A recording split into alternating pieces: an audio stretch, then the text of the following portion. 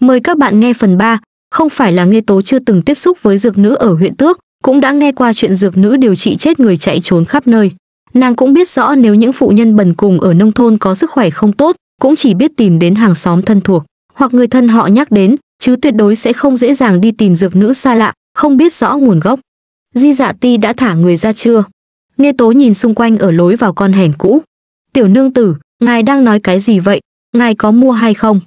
Ông lão ở quầy bán rau hết sức khó hiểu, chỉ thấy nàng ôm bó rau cải xoăn nhưng lại không nhìn vào rau. Cũng không biết đang nghiêng đầu nhìn đi đâu, dường như còn đang lẩm bẩm một mình, ông lão cũng không nghe rõ nàng đang nói cái gì. Nghe tố đang nhìn những thân tòng quan của di dạ ti đi ra từ trong hẻm, nghe thấy câu này nàng quay đầu bắt gặp ánh mắt kỳ lạ của ông lão. Trên má ửng hồng, nàng lung túng đang định bỏ bó rau cải xoăn xanh biếc xuống, lại nghe bên cạnh vang lên giọng nói, nghe tố, ngươi có thể giữ lại cái này. Nàng sững sờ một lúc, nhìn vào đôi mắt của nam nhân trẻ tuổi bên cạnh. Cái này có thể giữ lại để nấu canh. Trong ánh nắng rực rỡ, hình bóng hắn mỏng manh như sương mù. Nghe tố ngoan ngoãn đặt bó rau cải xoăn vào trong giỏ rau của mình. Ngươi nghe thấy cái gì rồi? Nghe tố đưa tiền cho ông lão, xách giỏ rau rời đi. Đây là quầy rau nàng dày công lựa chọn, nó cách con hẻm rất gần, từ từ lăng cũng vào bên trong con hẻm để nghe mấy tên thân tòng quan nói cái gì, làm những gì, nên cũng không đến mức bị kìm hãm. Nhưng nàng có chút không yên tâm, trong đám người đó liên tục nhìn hắn, quan sát hắn, trên người của ngươi thật sự không đau chứ, không đau. Từ hạc tuyết nhìn đám người qua lại trên đường, hoặc ít hoặc nhiều đều dùng ánh mắt kỳ lạ để đáp trả lại cô gái thường xuyên nhìn quanh bên cạnh. Hắn nói, nghe tố, nhìn đường đi. Nếu như ngươi chịu hiện thân đi trên phố với ta, thì bọn họ sẽ không nhìn ta đâu. Nghe tố vừa đi về phía trước vừa thì thầm nói, giống như lúc ở nhà của Kim Hướng Sư, ta cho ngươi một cái nón che mặt. Từ hạc tuyết nói không lại nàng, cho dù ngày hôm đó ở trong đình tạ xuân tại Hồ Vĩnh An chỉ có hai người bọn họ. Ngay cả khi vẽ tranh ở trên thuyền, từ đầu đến cuối cũng không thực sự lộ diện thân hình. Toàn bộ hàng xóm của A Châu đã được thả ra rồi, Triều Nhất Tùng nói rằng những người đó không quen biết với dược nữ mà nương A Châu tìm. Nhưng cha A Châu nói hình như dược nữ đó có mối quan hệ rất tốt với bà đỡ đẻ A Châu hồi trước. Từ Hạc Tuyết đã trả lời câu đầu tiên của nàng. Cho nên Triều Nhất Tùng bọn họ đã đi tìm bà đỡ kia rồi sao? Nghe Tố hỏi. Bà đỡ đó đã mất mấy ngày trước rồi. Từ Hạc Tuyết sánh bước cùng nàng, bọn họ đã điều tra thực hư nguyên nhân cái chết của bà đỡ ấy thì phát hiện bà ta bị bệnh chết chứ không phải do hắn ta giết. Vậy làm thế nào mới có thể tìm được dược nữ kia? Nghe tố cau mày lại, nhưng người bên cạnh dừng lại đột ngột, nàng cũng bất đắc dĩ dừng theo, ngẩng đầu nhìn hắn. Ngươi. Từ Hạc Tuyết nhìn nàng, mím nhẹ làn môi nhạt màu, nếu như ngươi không sợ thì chúng ta sẽ đến nhà bà đỡ đó vào ban đêm. Di Dạ Ti đã kết thúc việc kiểm tra rồi, cũng cho phép trong nhà bà ta phát tang đêm nay. Chỉ là đến nhà bà ta thôi mà, sao ta lại phải sợ chứ? Nghe Tố không hiểu tại sao. Bởi vì, có lẽ chúng cần mở nắp quan tài. Từ Hạc Tuyết giải thích, người mới chết sẽ còn sót lại lửa linh hồn, chỉ cần nhìn thấy lửa linh hồn của bà ta, thì ta không thể dùng phép thuật của ngươi được. Nghe Tố ngắt lời hắn. Từ Hạc Tuyết nhìn thấy vẻ mặt nghiêm túc của nàng, hắn chậm lại trong một lúc, hắn nói, ta sẽ không dùng.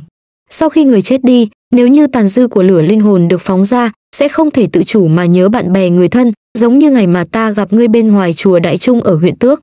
Nghe Tố nghe hắn nhắc đến chuyện ở rừng cây bách. Lúc đó trên người hắn nhiễm ngọn lửa linh hồn của huynh trưởng nàng, ngay khi ngọn lửa linh hồn đó gặp nàng thì hiện rõ ra. Viên thú châu này sẽ hấp thụ ngọn lửa linh hồn của người chết, dùng nó là đủ rồi. Nghe thấy giọng của hắn, Nghe Tố không khỏi nhìn viên thú châu chạm khắc gỗ lặng lẽ nằm trong lòng bàn tay xòe rộng của hắn. Bởi vì Di Dạ Ti đem thi thể của bà đỡ đi kiểm tra, nên đám táng trong nhà bà ta rời đến đêm nay mới làm. Sau khi làm xong thì con trai con dâu bà ta muốn phát tang suốt đêm, đưa đến an táng ở ngoài thành.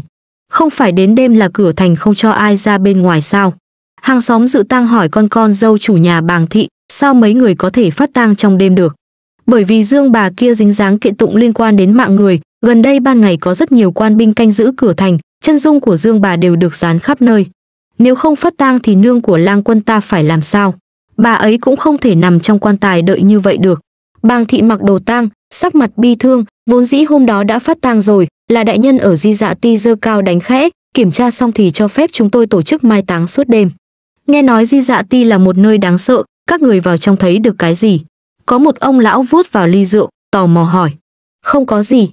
Bàng thị lắc đầu, các vị đại nhân đó chỉ hỏi phu thê ta vài câu, rồi thả chúng ta ra ngoài để trở về nhà. Nghe nói gần đây các quan gia trong di dạ ti đều đang xử lý một vụ án, chỉ sợ là không có thời gian rảnh để hỏi các ngươi nhiều, như vậy cũng tốt, dẫu sao thì các ngươi cũng được thả ra rồi.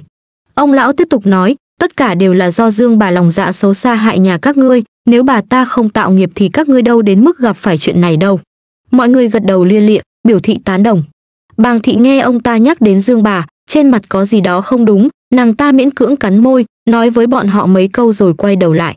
Vừa hay bên ngoài có một vị nữ tử trẻ tuổi đi đến, trải hai búi tóc, không có trang sức gì nhiều, quần áo vừa mộc mạc vừa trông vô cùng kham khổ, xách một ngọn đèn, đang nhìn quanh bên trong. Bàng thị thấy nàng là một người lạ, đứng lên đón tiếp, cô nương tìm ai? Ta nghe nói tiền bà bà đã mất, nên muốn đến cùng tế. Nữ tử nói, ngươi là bàng thị lại quan sát nàng một hồi, vẫn không nhận ra nàng là ai mấy năm nay tiền bà bà sống ở vân kinh đã đỡ đẻ thay cho rất nhiều người. Ngươi không biết cũng không có gì kỳ lạ. Ta nghe nương ta nói, nếu như năm đó không có tiền bà bà đỡ đẻ cho ta, chỉ sợ ta và nương ta đều lành ít dữ nhiều. Hiện giờ sức khỏe của nương không tốt, đi lại khó khăn, bà ấy ở nhà không tiện đến, nên nói ta nhất định phải đến thay bà ấy thắp một nén nhang cho tiền bà bà. Bàng thị cũng không làm bà đỡ, đâu biết được rốt cuộc mấy năm nay nương của lang quân mình đã đỡ đẻ cho bao nhiêu người. Nàng ta nghe nữ tử này nói như vậy cũng không nghi ngờ gì khác, bèn nên đón người vào cửa, nếu như đã đến rồi, thì ăn cùng nhau một bữa. Bên trong chính đường thô sơ đặt một cỗ quan tài gỗ màu đen, đèn dầu trên hương án cháy liên tục, nghe tố đi sau lưng bàng thị, lặng lẽ thở dài. Bàng thị đốt một nén nhang đưa cho nàng, khi nàng nhận lấy thì khấn lại sau đó cắm hương vào lư. Nào, tiểu nương tử, ngươi ngồi đây đi. Bàng thị dẫn nàng đến một chiếc bàn có ghế trống, ánh mắt tò mò của nghe tố nhìn chằm chằm quan sát một bàn có đầy đủ già trẻ gái trai, nàng nhắm mắt ngồi xuống đặt chiếc đèn lồng ở bên cạnh mình.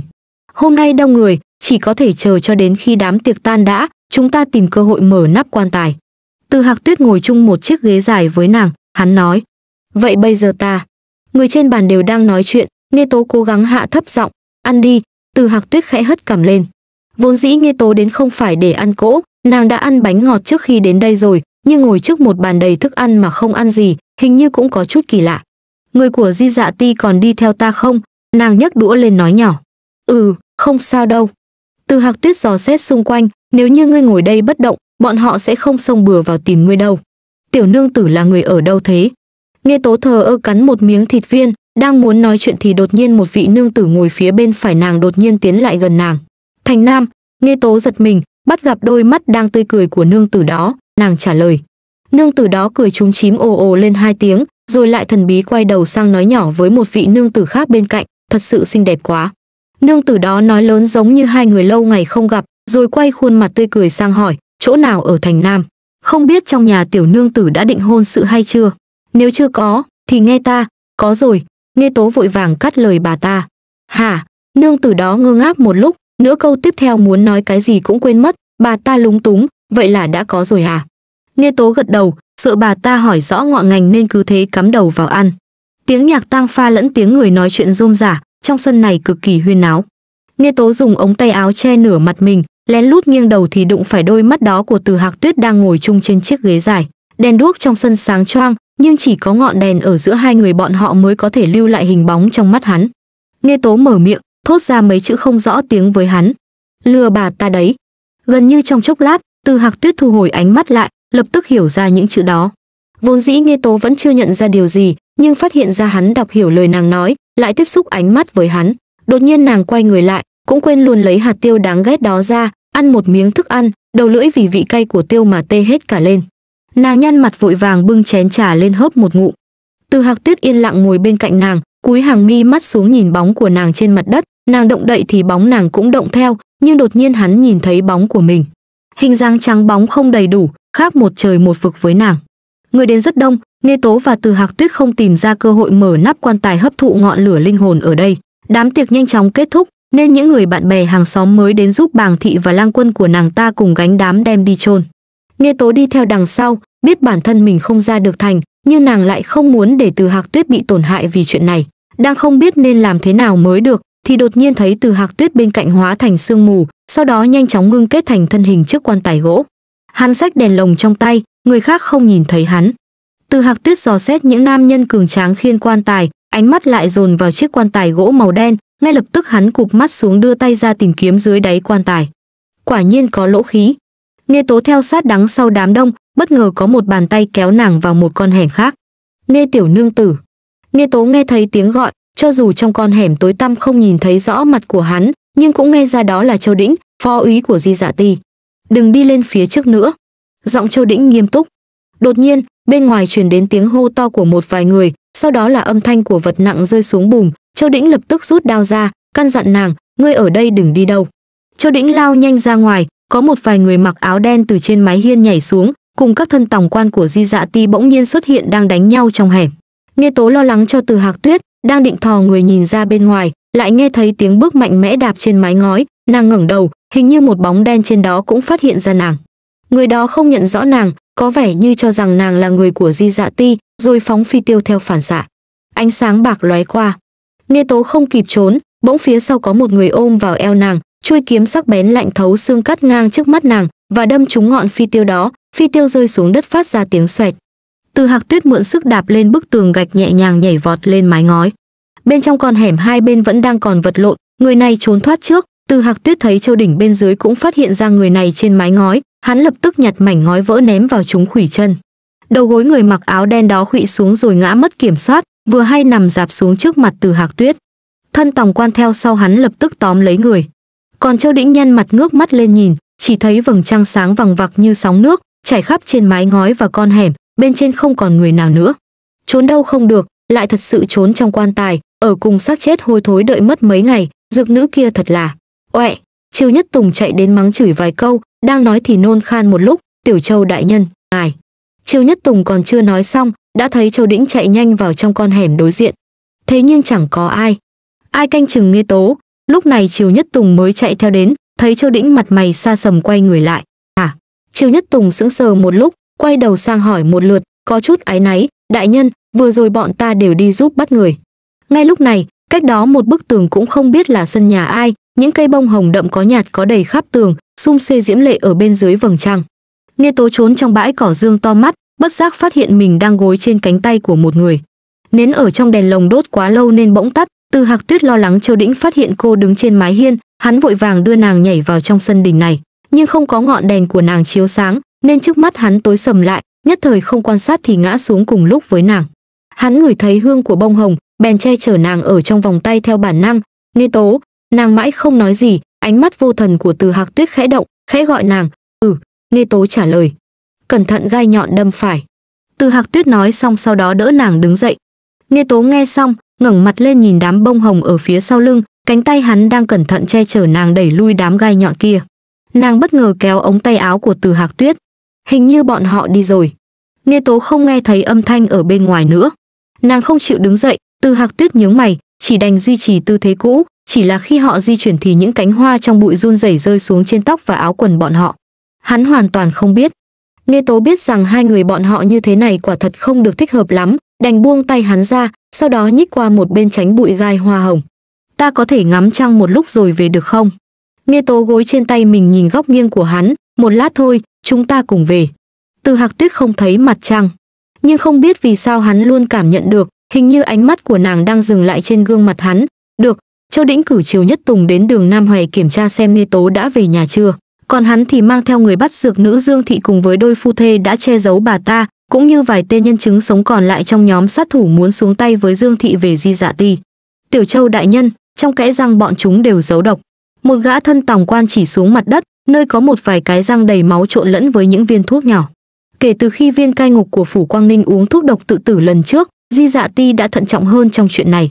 Châu đĩnh liếc mắt một cái quay lại thì thấy một số quan sai việc đang cầm sách, bút và mực vội vã chạy đến hình phòng. Hắn hỏi thân tòng quan bên cạnh, sử tôn ở bên trong?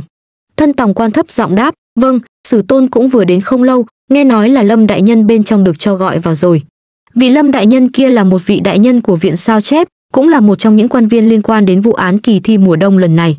Hắn ta được gọi vào. Châu đĩnh nghe thấy âm thanh, nhìn vào bóng của một ngọn nến được đặt trong phòng tra tấn. Lâm đại nhân bài thi của ngươi thanh lam và những người khác thực sự đã bị ngươi tự tay phá hủy. Hàn thanh, sử tôn di dạ ti ngồi ở ghế trên, ra hiệu cho quan sai việc viết lời chứng ở bên cạnh. Phải. Lâm du vừa nói, miệng phun ra một ngụm máu, quần áo trên người hắn đã thấm đẫm máu, cả người đều đang co giật. Quan niêm phong họ nghiêm kia là người cuối cùng phụ trách thu bài thi, hắn ta nói, có kẻ trước đó đã báo cho hắn ta biết. Người gian lận trong bài thi sẽ đề cập đến địa danh cổ phượng lân châu, cho nên hắn ta mới có thể nhận ra bài thi của người đó còn nghe thanh lam hắn ta đã nhận ra chữ viết tay của nghe thanh lam từ trước thừa dịp kim hướng sư không ở đó mạo hiểm kiểm tra bài thi chưa chép lại xong của hắn rồi nhớ kỹ một vài từ ngữ. Sau đó hắn ta thu đủ hết bài thi mà các quan niêm phong khác đã chép lại, rồi bí mật chép lại bài thi của Nghe Thanh Lam và người đó một lần nữa đưa đến viện sao chép giao cho ngài. Hàn Thanh thổi bọt trà trên mép bát. Theo lời kể của Kim Hướng Sư trước đây, bởi vì có một bài thi chẳng những viết hay mà viết cũng đẹp cho nên Kim Hướng Sư rất có ấn tượng với bài thi đó. Chính vì vậy mà trên đường thay đồng liêu đi nộp bài, hắn ta mới có thể phát hiện bài thi kia đã bị ai đó sao chép lại một lần nữa. Kim Hướng Sư vẽ xong địa đồ về kinh, nghe nói một học trò được cử đi thi tên là Nghê Thanh Lam đã chết thì lập tức đoán bài thi kia rất có thể đã xảy ra vấn đề nghiêm trọng. Mà kỳ thi mùa đông không chỉ có một vị quan niêm phong, Hàn Thanh yêu cầu từng người một để lại chữ viết tay, rồi để Kim Hướng Sư phân biệt, nhưng vì ai đó đã cố tình che giấu chữ viết nên lúc đầu mọi việc không mấy suôn sẻ. Mãi đến khi Châu Đĩnh tìm thấy chữ viết tay hoặc tài liệu của nhóm quan niêm phong trong nhà của họ, lại mời Kim Hướng Sư đến đối chiếu. Lúc này mới bắt được tên quan niêm phong họ nghiêm kia. Mà sau khi cậy miệng tên quan niêm phong họ nghiêm kia, phải tốn rất nhiều công sức mới bắt được dấu vết của Lâm Đại Nhân ở viện sao chép. Không sai, Lâm Du hò dữ dội, trong tay quan niêm phong kia có một tờ bài thi trắng đã được niêm phong tên thí sinh để chống gian lận, là được người khác đưa vào trường thi từ trước. Ta và hắn chỉ biết nghe Thanh Lam là người bọn họ đã lựa chọn, về phần cuối cùng kẻ gian lận là ai, bọn ta cũng không biết, bọn ta cũng không muốn biết. Chỉ là sau này quan gia đổi ý, muốn thêm khoa thi, nên ta đành phải lấy bài thi của hai người bọn họ cùng với những người khác. Thừa dịp hai ngày thiên can kia, viện sao chép bốc cháy, thiêu hủy cùng một chỗ. Lâm đại nhân à, ngài quả thật đúng là hồ đồ. Hàn Thanh đặt chén trà ở trên bàn, cười khẩy, ngươi không vừa ý bổng lộc quan gia đưa cho ngươi không đủ sao. Làm sao còn dám lấy gan cọp can hùm mà tham ô ở chuyện này. Ngươi cho rằng ngươi cắn chết không nói hoặc không thừa nhận, chỉ vào đám ngôn quan trong viện gián vì các người mà bị đối xử bất công, chuyện này cứ như vậy mà kết thúc. Chỉ cần vẫn còn sắc lệnh của quan gia, chúng ta không sợ bọn họ. Hàn Thanh ngồi ngay ngắn, liếc nhìn hắn ta, nói đi, là ai sai xử ngươi. Chúng ta đoán, ngươi cũng sắp không chịu nổi hình phạt này nữa rồi. Qua nhiều ngày ở di dạ ti, Lâm Du đã cảm nhận được cái gì mới gọi là sống không bằng chết, bất kể tính tình có sắc bén đến đâu nhìn thấy hình phạt ở đây, cũng sẽ bị bào mòn, hắn ta gian nan thở dốc. Đỗ Tông, bầu trời phía đông mây che trắng xóa, mưa rầm tầm tã. Đỗ Tông ngồi trong thư phòng gần như suốt đêm, kể từ khi Di Dạ Ti bắt đi tất cả các quan viên liên quan đến vụ án kỳ thi mùa đông, ông ta hầu như không có một giấc ngủ trọn vẹn. Trời còn chưa sáng, Đỗ Tông nhìn thấy quản gia dẫn một người khoác áo tơi đi lên bậc thang, quản gia lui ra. Người nọ vào cửa nhưng cũng không tháo nón xuống mà chỉ ở trong bóng tối, cúi đầu chào ông ta, Đỗ đại nhân. Hắn nói thế nào? Đỗ Tông ngồi trên ghế không đứng dậy. Người nọ không ngẩng đầu, chỉ đáp, đại nhân nhà ta chỉ có một câu nhắn nhủ ngài, vinh hoa phú quý 15 năm, ngài cũng nên thấy đủ, có phải hay không? Ngón tay Đỗ Tông chợt co lại. Người nọ chỉ nói một câu như vậy rồi lập tức xoay người đi ra ngoài, biến mất ở trong màn mưa. Tiếng mưa làm cho sự im lặng trong thư phòng càng trở nên tĩnh mịch. Đỗ Tông mang vẻ mặt thất bại chán nản, ngây người ngồi ở trước bàn dài. Không có quán ăn nào bán đồ ăn sáng trên đường Nam Hòe, Nghe Tố đành phải cầm ô đi sang con phố bên cạnh, gọi một ít bánh bao tại một quầy hàng ăn được che bằng tấm vải dầu. Lần trước gặp phải cường đạo, ta ở trong xe ngựa không nhìn rõ, lúc đó ngươi giết bọn họ, cũng không có sử dụng thuật pháp của ngươi đúng không? Mưa đập vào mái hiên, tiếng tí tách vang lên không dứt. Nếu lấy thuật pháp giết người, ta sẽ bị trừng phạt nghiêm khắc. Trong màn mưa bụi, từ Hạc Tuyết và nàng sóng vai mà đi, bóng dáng lúc mở lúc tỏ. Vậy ngươi bắt đầu luyện võ từ khi nào? Nghe tố tối hôm qua chính mắt nhìn thấy chiêu thức của hắn, cũng chính là lúc đó, nàng mới chính thức ý thức được. Dưới thân thể thoạt nhìn có vẻ yếu ớt mỏng manh của hắn ẩn giấu một mũi tên nhọn hoàn toàn khác biệt. Khi còn nhỏ cầm bút thì cũng phải cầm kiếm. Từ Hạc Tuyết ngửa đầu, ngẩng đầu liếc nhìn tán ô mà nàng che trên đầu, trong nhà dân dạy như thế. Sau đó hắn theo nương và huynh trưởng rời xa Vân Kinh, quy củ trong nhà cũng không còn ai nhớ rõ, nhưng hắn chưa bao giờ lơ là hai việc văn ôn võ luyện. Đang nói chuyện, hai người chuẩn bị ra đến đầu phố thì một bóng người dưới mưa đột nhiên đụng phải họ, từ hạc tuyết phản ứng cực nhanh lập tức nắm lấy cổ tay nghe tố kéo nàng lùi lại mấy bước. Những hạt nước mưa từ ống tay áo của người nọ rơi xuống túi giấy thấm dầu trong tay nghe tố, bàn tay lấm lem bùn đất của hắn đập vào khoảng không, lảo đảo té ngã trên đất. Chàng trai trong màn mưa khoảng 20 tuổi, ăn mặc rách dưới, nước da tái nhợt, thân hình gầy đến da bọc xương, khi nhìn thấy đôi mắt của hắn ta, nghe tố không khỏi hoảng sợ. Con ngươi của người bình thường tuyệt đối không thể lớn như người này.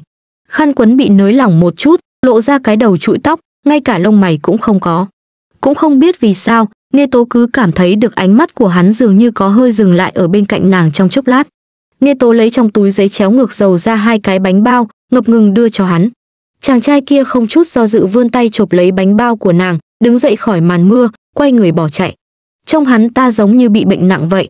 Nghe tố nhìn bóng lưng của người kia. Không phải bệnh. Từ hạc tuyết nói. Làm sao ngươi biết? Nghe tố nghe vậy thì quay đầu sang làn mưa bụi sáng sớm nhấn chìm bóng dáng của chàng trai, từ hạc tuyết bắt gặp ánh mắt của nàng, hắn thấy ta. Vậy hắn, cũng là ma. Nghe tố ngạc nhiên. Nhưng nếu đã là ma, hẳn là sẽ không cần những thức ăn này để thỏa mãn cơn đói mới đúng. Từ hạc tuyết lắc đầu, hắn ta không có tóc, đôi mắt khác hẳn với người thường, không phải ma, mà là quỷ thai. Nghe tố suýt chút nữa không cầm chắc bánh bao. Đó không phải là cốt nhục của người và ma sao. Mưa tạnh đi nhiều, chàng trai băng qua đường hai tay ôm chặt hai chiếc bánh bao, chạy đến dưới mái hiên một ngôi nhà, ngồi xổm sau đống đồ lặt vặt, chậm rãi gặm bánh. Đôi mắt của hắn dán chặt vào túp lều vải dầu đối diện. Mùi hoành thánh quyện lấy hơi thở của hắn hắn dùng sức hít một hơi, hai ba miếng ăn sạch bánh bao lạnh, chỉ nghe tiếng xe ngựa tới gần. Con ngươi đen cửa hắn khẽ nhúc nhích, nhìn thấy xe ngựa dừng lại trước cửa hàng hoành thánh, một ông lão từ trong xe ngựa đi ra trước, nhìn qua thì là một vị quản gia. Ông ta cầm dù xuống xe ngựa trước sau đó vươn tay đỡ một ông già ăn mặc giản dị, tóc hoa dâm trong xe xuống, đại nhân, ngài cẩn thận. Chàng trai cách màn mưa, nhìn quản gia kia đỡ ông lão xuống xe ngựa, hắn gãi đầu nhìn thấy ông lão kia, sau một lúc lâu, hắn mới lại lại nghiêm túc đánh giá chiếc xe ngựa. Trên một chiếc đèn lồng treo ở mái hiên của xe ngựa, có một chữ trương. Hôm nay trời mưa to, ngài còn phải vào cung, trong cung cũng không phải là không có đồ ăn sao. Ngài còn tới chỗ này làm gì? Quản gia cằn nhằn liên miên. Những năm này ta đối với vân kinh không phải quá lưu luyến gì nhưng mà chỉ có hoành thánh ở đây là không giống với những nơi khác. Trương kính được đỡ ngồi xuống vị trí trong cùng túp lều vải dầu. Ông ta đánh giá xung quanh, sạp hàng này qua mười mấy năm rồi mà vẫn còn mở cửa, cũng thật không dễ dàng gì. Nô tài đi lấy cho ngài một bát. Quản gia nói xong thì đi tìm chủ quán. Gọi thêm một ít dưa muối. Trương kính ho khan hai tiếng, rồi căn dặn. Chủ quán là một nam nhân khoảng ba bốn mươi tuổi, tay chân thoăn thoắt, chẳng mấy chốc đã nấu xong một bát hoành thánh quản gia bưng hoành thánh và dưa muối đến trước mặt trương kính, lại đưa cho ông ta một cái thìa. Nô tài đã hỏi qua, hóa ra hắn ta là con trai của chủ quán, ngài nếm thử xem, hương vị hẳn là giống nhau. Trương kính cầm lấy thìa, hút một ngụm canh, vẻ mặt khoan khoái gật đầu, quả nhiên là rất giống. Có lẽ hạ học sĩ sắp tới rồi, có hắn đi cùng với ngài một đoạn đường, cũng an toàn hơn chút. Quản gia liếc nhìn ra bên ngoài túp lều vải dầu nói với trương kính. Trương kính ăn hoành thánh và dưa muối, hừ một tiếng ta cũng không già đến mức nằm liệt một chỗ không đi đứng gì được, đường đi có vài bước làm gì cần hắn lúc nào cũng trông chừng. Đại nhân à mấy người hạ học sĩ bao nhiêu năm rồi không gặp người thầy là ngài, bây giờ mỗi ngày đều muốn ở bên cạnh bầu bạn với ngài thì có gì là không đúng đâu. Bọn họ có tâm, ngài nên vui mừng mới phải chứ. Quản gia vừa cười dứt lời, đã nghe thấy bên ngoài lều vải có tiếng động, ông ta vừa quay đầu, đã thấy hai người hầu đánh xe đang chặn một chàng trai ở bên ngoài. Sao lại không cho người ta vào? Trương kính đặt mạnh thìa xuống. Quản gia vội ra khỏi lều vải dầu câu mày hỏi hai người hầu, sao lại bắt người lại? Quản gia, dáng vẻ của hắn không giống như là đi ăn hoành thánh, ta thấy hai mắt hắn nhìn thẳng nhìn chằm chằm vào trương tướng công, trông rất lạ, một người hầu nói. Lúc này quản gia chuyển tầm mắt đến khuôn mặt của chàng trai, không khỏi giật mình trước ánh mắt đáng sợ của hắn. Chàng trai kia thoát khỏi hai người hầu, bàn tay gầy guộc thọc vào trong ngực, lấy ra một phong thư. Gửi trương tướng công. Hắn thậm chí còn cúi chào nhưng lại giống một con rối cứng nhắc, nhìn qua khá buồn cười. Quản gia thấy người này quần áo sộc sệch, nhưng lá thư trong tay hắn lại không hề bị ướt, trơn nhẵn không nếp nhăn, ngẫm nghĩ rồi vẫn cầm lấy. Gia vinh, nghe thấy trương kính đang gọi, quản gia nhanh chóng xoay người. Chàng trai cứ nhìn chằm chằm vào quản gia, nhìn ông ta đưa thư cho trương kính thì mới yên tâm, nhân lúc hai người hầu không để ý mà chạy nhanh vào màn mưa. Đại nhân, hắn chỉ nói là đưa cho ngài cái này, ngoài ra không nói gì nữa quản gia nghe thấy người hầu kêu lên, khi quay lại thì chàng trai đã biến mất, trong lòng càng cảm thấy kỳ lạ. Trương kính lấy thư ra xem, vẻ mặt bình tĩnh đột nhiên như bị dao sắc cứa từng nhát vậy, ánh mắt dán chặt vào từng chữ trên giấy, sắc mặt tái nhợt không chút máu. Quản gia thấy trương kính đột nhiên đứng bật dậy, ngay cả quải trượng cũng quên mất, lảo đảo tiến lên vài bước như sắp ngã, vội vàng chạy tới đỡ ông ta, đại nhân, ngài sao vậy? Trương kính miễn cưỡng đi tới bên ngoài lều vải dầu, hô hấp dồn dập mang theo tiếng khàn khàn từ trong cổ họng và phổi ông ta chừng mắt nhìn hai người bọn họ hắn từ đâu tới? Một người thành thật đáp tiểu nhân hỏi qua hắn chỉ nói hắn tới từ ung châu.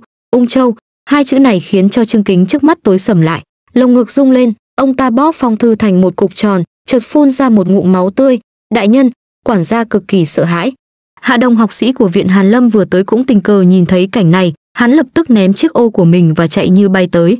Thầy, lúc này vẫn chưa đến giờ thân, nhưng cơn mưa lớn khiến sắc trời như nhuốm một màu tối tăm và u ám. Mạnh Vân Hiến vội vàng bước lên bậc thang, ném chiếc ô cho người hầu đi theo mình, ông ta bước vào cửa, để lại một loạt dấu vết ướt át dưới sàn. Đám người hạ đồng mới bị Trương Kính đuổi ra khỏi phòng trong, đụng phải Mạnh Vân Hiến thì lập tức chắp tay hành lễ gọi, "Mạnh tướng công." Đang yên đang lành, sao đột nhiên lại hộc máu, đã mời thầy thuốc đến chưa? Mạnh Vân Hiến liếc nhìn phòng trong qua tấm rèm, sau đó lại chuyển ánh mắt nhìn về phía Hạ Đồng. Đã mời rồi, thuốc cũng uống rồi. Hạ Đồng trả lời. Mạnh Vân Hiến vén rèm đi vào, mùi thuốc nồng nặc phả vào mặt, búi tóc của Trương Kính tán loạn, nằm ở trên giường nhắm mắt lại, cũng không biết là tỉnh hay ngủ. Trương Kính, Mạnh Vân Hiến đi tới bên giường gọi một tiếng, nhưng nhìn khuôn mặt gầy gò của ông ta, trong lúc nhất thời, Mạnh Vân Hiến lại quên lúc này nên nói cái gì.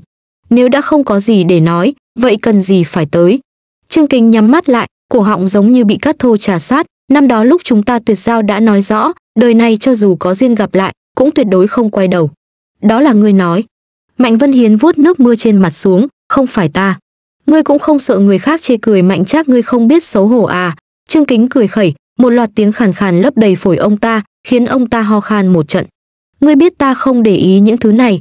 Mạnh Vân Hiến lắc đầu, năm đó ngươi cắt đứt với ta, chẳng lẽ thực sự cảm thấy ta làm sai sao?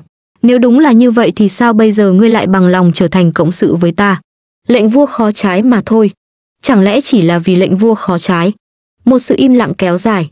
Trương Kính mở mắt ra, ông ta nhìn Mạnh Vân Hiến đang đứng bên giường, ngươi nhất định phải hỏi sao? Ngươi cũng biết, điều ta hối hận nhất trong cuộc đời này chính là năm đó đồng ý với ngươi, cùng ngươi mở rộng chính sách mới. Ông ta không nói là đúng hay sai, lại chỉ nói là hối hận. Mạnh Vân Hiến, ít nhất lúc này, ngươi đừng để ta thấy ngươi nữa. Trương Kính run rẩy, hô hấp cũng có run nhẹ, ông ta quay lưng lại, nắm chặt tay thành nắm đấm dưới chăn. Cơn mưa xối xả nặng hạt hơn, tí tách đập vào mái hiên. Mạnh Vân Hiến bước những bước nặng nề ra khỏi trương trạch, được quản gia dìu lên xe ngựa, một đường đi chân ông ta lảo đảo, không biết về đến nhà như thế nào. Nhìn chàng thế này, là gặp được rồi hay là chưa? Trương tiên sinh thế nào? Phu nhân của Mạnh Vân Hiến, Khương Thị cầm ô đón ông ta vào cửa. Gặp được rồi. Mạnh Vân Hiến lấy lại bình tĩnh, để Khương Thị lau nước mưa trên người, lão ta nằm trên giường bệnh, sao còn có thể ngăn cản ta, chỉ là phu nhân, hôm nay lão ta nói với ta một câu. Nói cái gì? Lão ta nói, ít nhất vào lúc này, đừng để lão ta nhìn thấy ta nữa.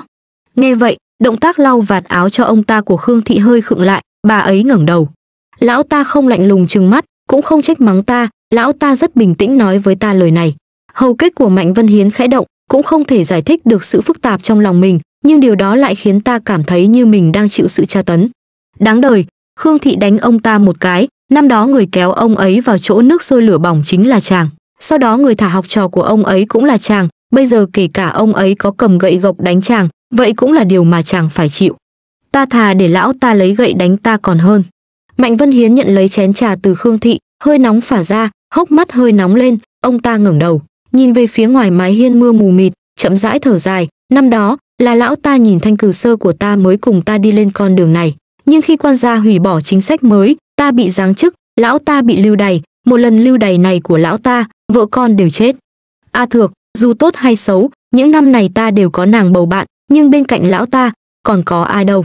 Trời đã tối, Châu Đĩnh mang theo một thân ướt đẫm nước mưa trở lại Di Dạ Ti, Hàn Thanh vẻ mặt âm trầm gạt hết mấy thứ liên quan đến vụ án xuống, tức giận mắng, người sáng hôm qua vẫn thượng triều, sao hôm nay trời chưa dạng các ngươi đã liên tục tìm kiếm mà sao lại không tìm thấy người. Châu Đĩnh cụp mắt xuống, giữ im lặng. Hôm nay trời còn chưa sáng, Lâm Du mở miệng, phun ra hai chữ Đỗ Tông, Đỗ Tông kia là người nào? Không phải là vị lễ bộ lang trung, hộ bộ phó sử, lần trước đến Di Dạ Ti để ra mặt cho Miêu Dịch Dương, con trai của Miêu Thái úy sao? Gần như ngay sau khi Lâm Du khai ra, Châu Đĩnh đã dẫn thân tổng quan đến Đỗ phủ bắt người, nhưng ngoài dự đoán của mọi người chính là Đỗ Tông mất tích. Châu Đĩnh bất chấp trời mưa lục tung trong thành Vân Kinh cả một ngày, cũng không tìm thấy Đỗ Tông. Qua một đêm, người này dường như đã bốc hơi khỏi thế giới, Di Dạ Ti không thể tìm thấy bất kỳ dấu vết nào của ông ta. Không có Đỗ Tông, vụ án này phải tra tiếp thế nào đây? Đương nhiên, Hàn Thanh không nghĩ rằng Đỗ Tông là đầu sỏ gây nên vụ án này, Đỗ Tông đã là quan trong triều, lại không có con cháu nối dõi để ông ta phải mạo hiểm như vậy để tranh tiền đồ. Thế thì chỉ có thể là ông ta nhận được chỗ tốt từ người nào đó, nên mới lợi dụng mối quan hệ của mình để thuận lợi hành động. Sử tôn, dược nữ Dương Thị đã nhận tội rồi. Châu Đĩnh nói, bà ta xác nhận có người đưa 10 lượng vàng cho bà ta để giết hai mẹ con A Châu, trong vài tên sát thủ bắt về cũng có người nhà ra, bọn họ đều được thuê giết Dương Thị diệt khẩu. Nếu bọn họ đều là người được thuê, thì chủ thuê là ai, bọn họ có nhìn rõ không? Hàn Thanh hỏi, không rõ. Châu Đĩnh dừng một chút, nhớ tới tên sát thủ dẫn đầu rơi xuống từ mái hiên, nhưng ta cảm thấy, trong đó có một người không giống với bọn chúng. Nếu không giống với những người đó, thì chắc chắn là biết chút gì đó nhỉ. Hàn Thanh nhận chén trà từ người bên cạnh, rồi bục một tiếng đặt xuống, nếu như thế, Châu Đĩnh, ngươi mau chóng làm cho hắn ta khai ra toàn bộ cho ta.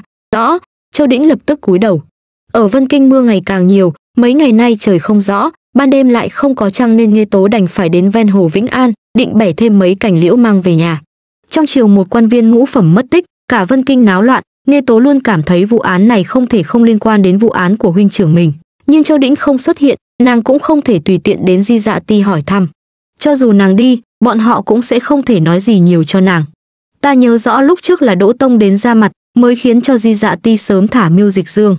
Nghe Tố cẩn thận tránh đi thềm đá dính nước, dẫm phải một cành liễu, nàng chợt hiểu ra, nếu người trao đổi bài thi của huynh trưởng ta thực sự là ông ta, thì bây giờ ông ta trồi lên mặt nước, Miêu Nhị công tử chẳng phải là càng bị nghi ngờ sao?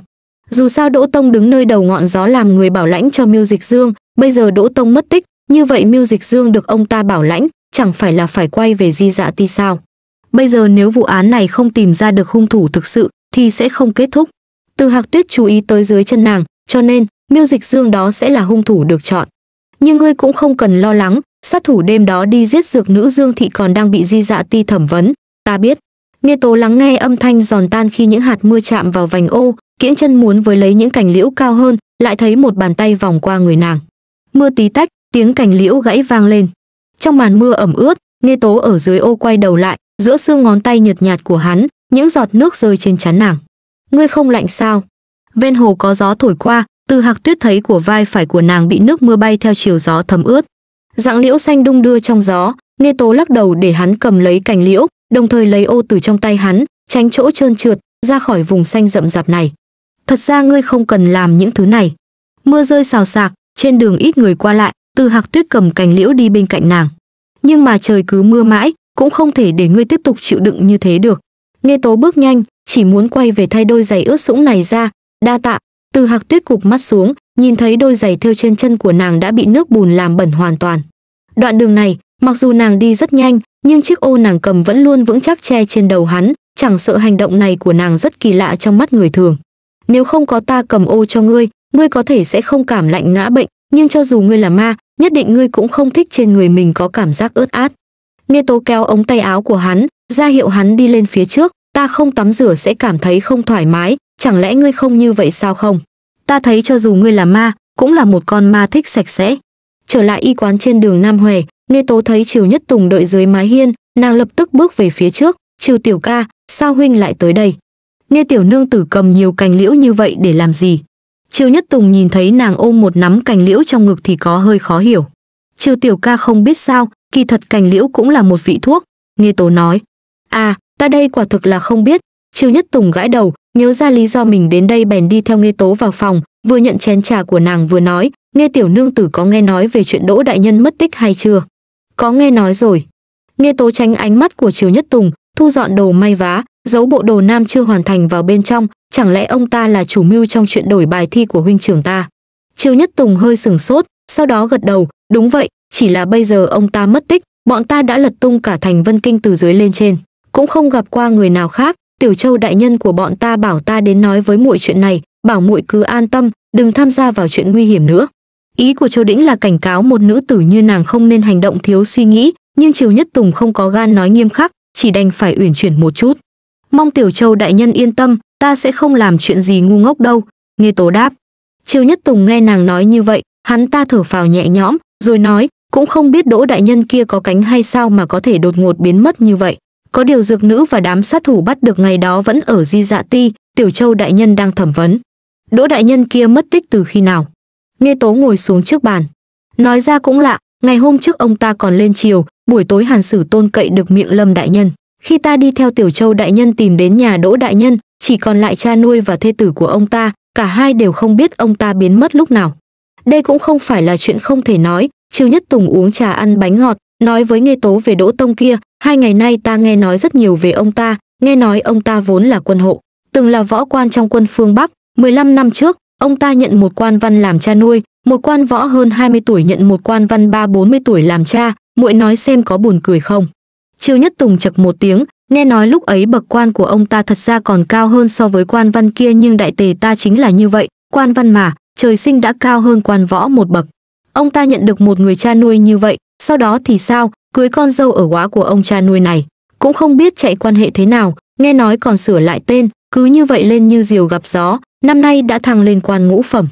Nghe Tố đang muốn nói chuyện, lại nghe thấy tiếng động từ phía sau, nàng quay đầu lại, thấy Từ Hạc Tuyết không biết khi nào đã vứt cành liễu đi, quần áo dính đầy nước, sắc mặt có hơi kỳ quái. Nhưng có Triều Nhất Tùng ở đây, Nghe Tố không có tiện gọi hắn. Nghe Tố, ngươi hỏi hắn, Đỗ đại nhân kia lúc trước tên là gì? Từ Hạc Tuyết ngước mắt lên, nhìn chằm chằm vào Triều Nhất Tùng ngồi đối diện nàng. Nghe Tố mặc dù không hiểu tại sao, nhưng vẫn quay đầu lại hỏi Triều Nhất Tùng, vậy huynh có biết Đỗ Tông kia lúc trước tên là gì không? Mấy ngày nay Di Dạ Ti điều tra ra không ít chuyện của Đỗ Tông, Triều Nhất Tùng nghiêm túc nghĩ lại, vỗ đùi một cái, Đỗ Tam Tài, đúng, chính là cái tên này. Con ngươi từ Hạc Tuyết hơi co rụt lại, cảm giác ù tai kịch liệt ập đến. Nghe Tố thấy bóng dáng hắn hóa thành sương mù nhanh chóng tán đi, nàng có dự cảm không lành nên nói với Triều Nhất Tùng mấy câu, sau khi hắn ta rời đi thì cô vội vàng đi ra hiên sau. Từ Tử Lăng, Nghe Tố đứng ngoài cửa phòng của hắn. Ánh đèn trong phòng lập lòe, Từ Hạc Tuyết nhìn thấy bóng của nàng trên màn cửa sổ, có việc sao không? Người. Nghe Tố muốn hỏi hắn một chuyện, nhưng nhìn ánh đèn mông lung trong màn cửa sổ, nàng mím môi, nói, ta đi đun nước lá liễu cho người. Bóng của nàng biến mất ở trên tấm màn cửa sổ. Từ Hạc Tuyết vẫn nhìn chằm chằm vào cửa sổ, một lúc sau, tay áo che đi đôi mắt của hắn. Đan Nguyên năm đó đêm khói lửa, áo giáp nhuốm máu. Năm 14 tuổi, hắn ở trong hội chữ quân có rất nhiều gương mặt trẻ tuổi vây quanh, uống bát rượu mạnh đầu tiên trong đời, khiến hắn bị sặc không ngừng ho khan, uống tới mặt mũi đỏ bừng cả lên. Bọn họ đều cười hắn. Tiểu tiến sĩ tử lượng không tốt lắm nha, về sau nhất định phải cùng chúng ta luyện tập. Giáo úy trẻ tuổi cười ha ha. Năm đó hắn còn trẻ và sung sức, nhấc thương bằng một chân, đập vỡ vò rượu trong tay giáo úy, rồi chiến đấu với hắn ta giữa tiếng ồn ào của đám đông. Tiết Hoài, ngươi có phục hay không? Cuối cùng, hắn dùng đầu gối ép vào lưng giáo úy. Công phu từ ra các ngươi, ta có thể không không phục sao? Cả người giáo úy Tiết Hoài đều quỳ dạp trên mặt đất cũng không thấy mất mặt mà vẫn tươi cười, ngươi còn trẻ tuổi mà đã có bản lĩnh như vậy, tiểu tiến sĩ, đám người hồ kia phải ăn mệt với ngươi rồi. Rượu quá ba tuần, hắn mơ màng ngủ thiếp đi bên đống lửa, lấy áo giáp làm gối. Một thanh niên nhút nhát đột nhiên đi tới, nhỏ giọng gọi, từ tiến sĩ, ơi, hắn miễn cưỡng đáp lại. Ngươi mới 14 tuổi đã làm tiến sĩ, vậy vì sao lại muốn đến biên cương?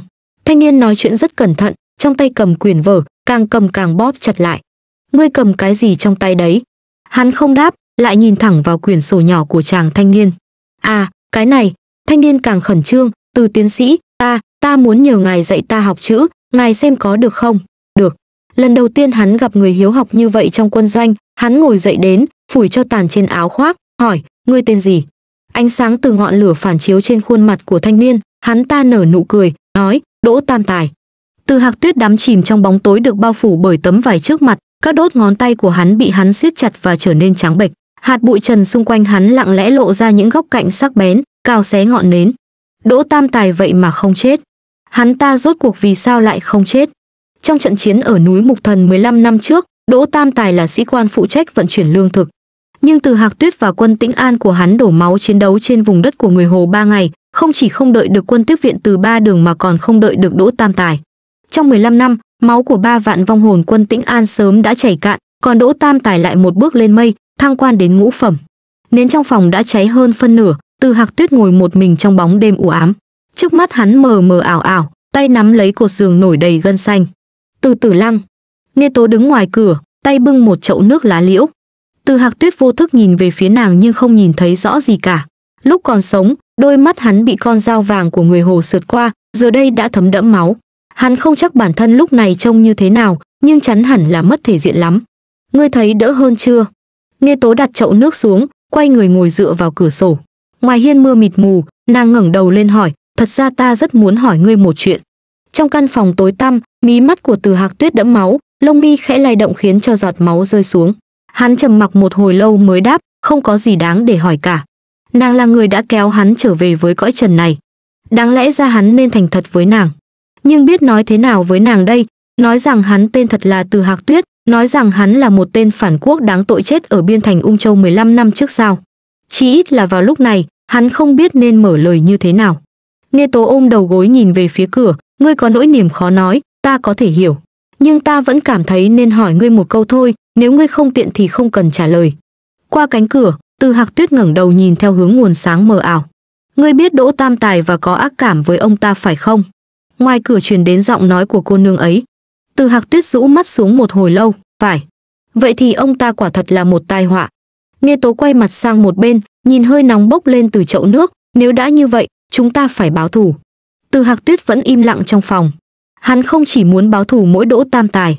Hắn trở lại dương thế không phải để tìm những người bạn cũ mà là muốn tìm ra thủ phạm đã khiến ba vạn tướng sĩ quân tĩnh an của hắn phải gánh trọng tội phản quốc. Ngoài hiên, mưa thu không ngừng rơi. Từ hạc tuyết nghe từ trong phòng, nghiêm tố đứng ngoài cửa nhìn. Nghe tố, ta muốn đến nhà đỗ tam tài xem sao. Hắn đột nhiên nói. Nhà đỗ tam tài hiện tại chỉ có người cha nuôi kia và thê tử của hắn, đỗ phủ giờ đã bị bao vây hoàn toàn, nghe tố có muốn cũng không vào được. Nhưng nàng vẫn gật đầu nói, được. Vậy ta vào nhé.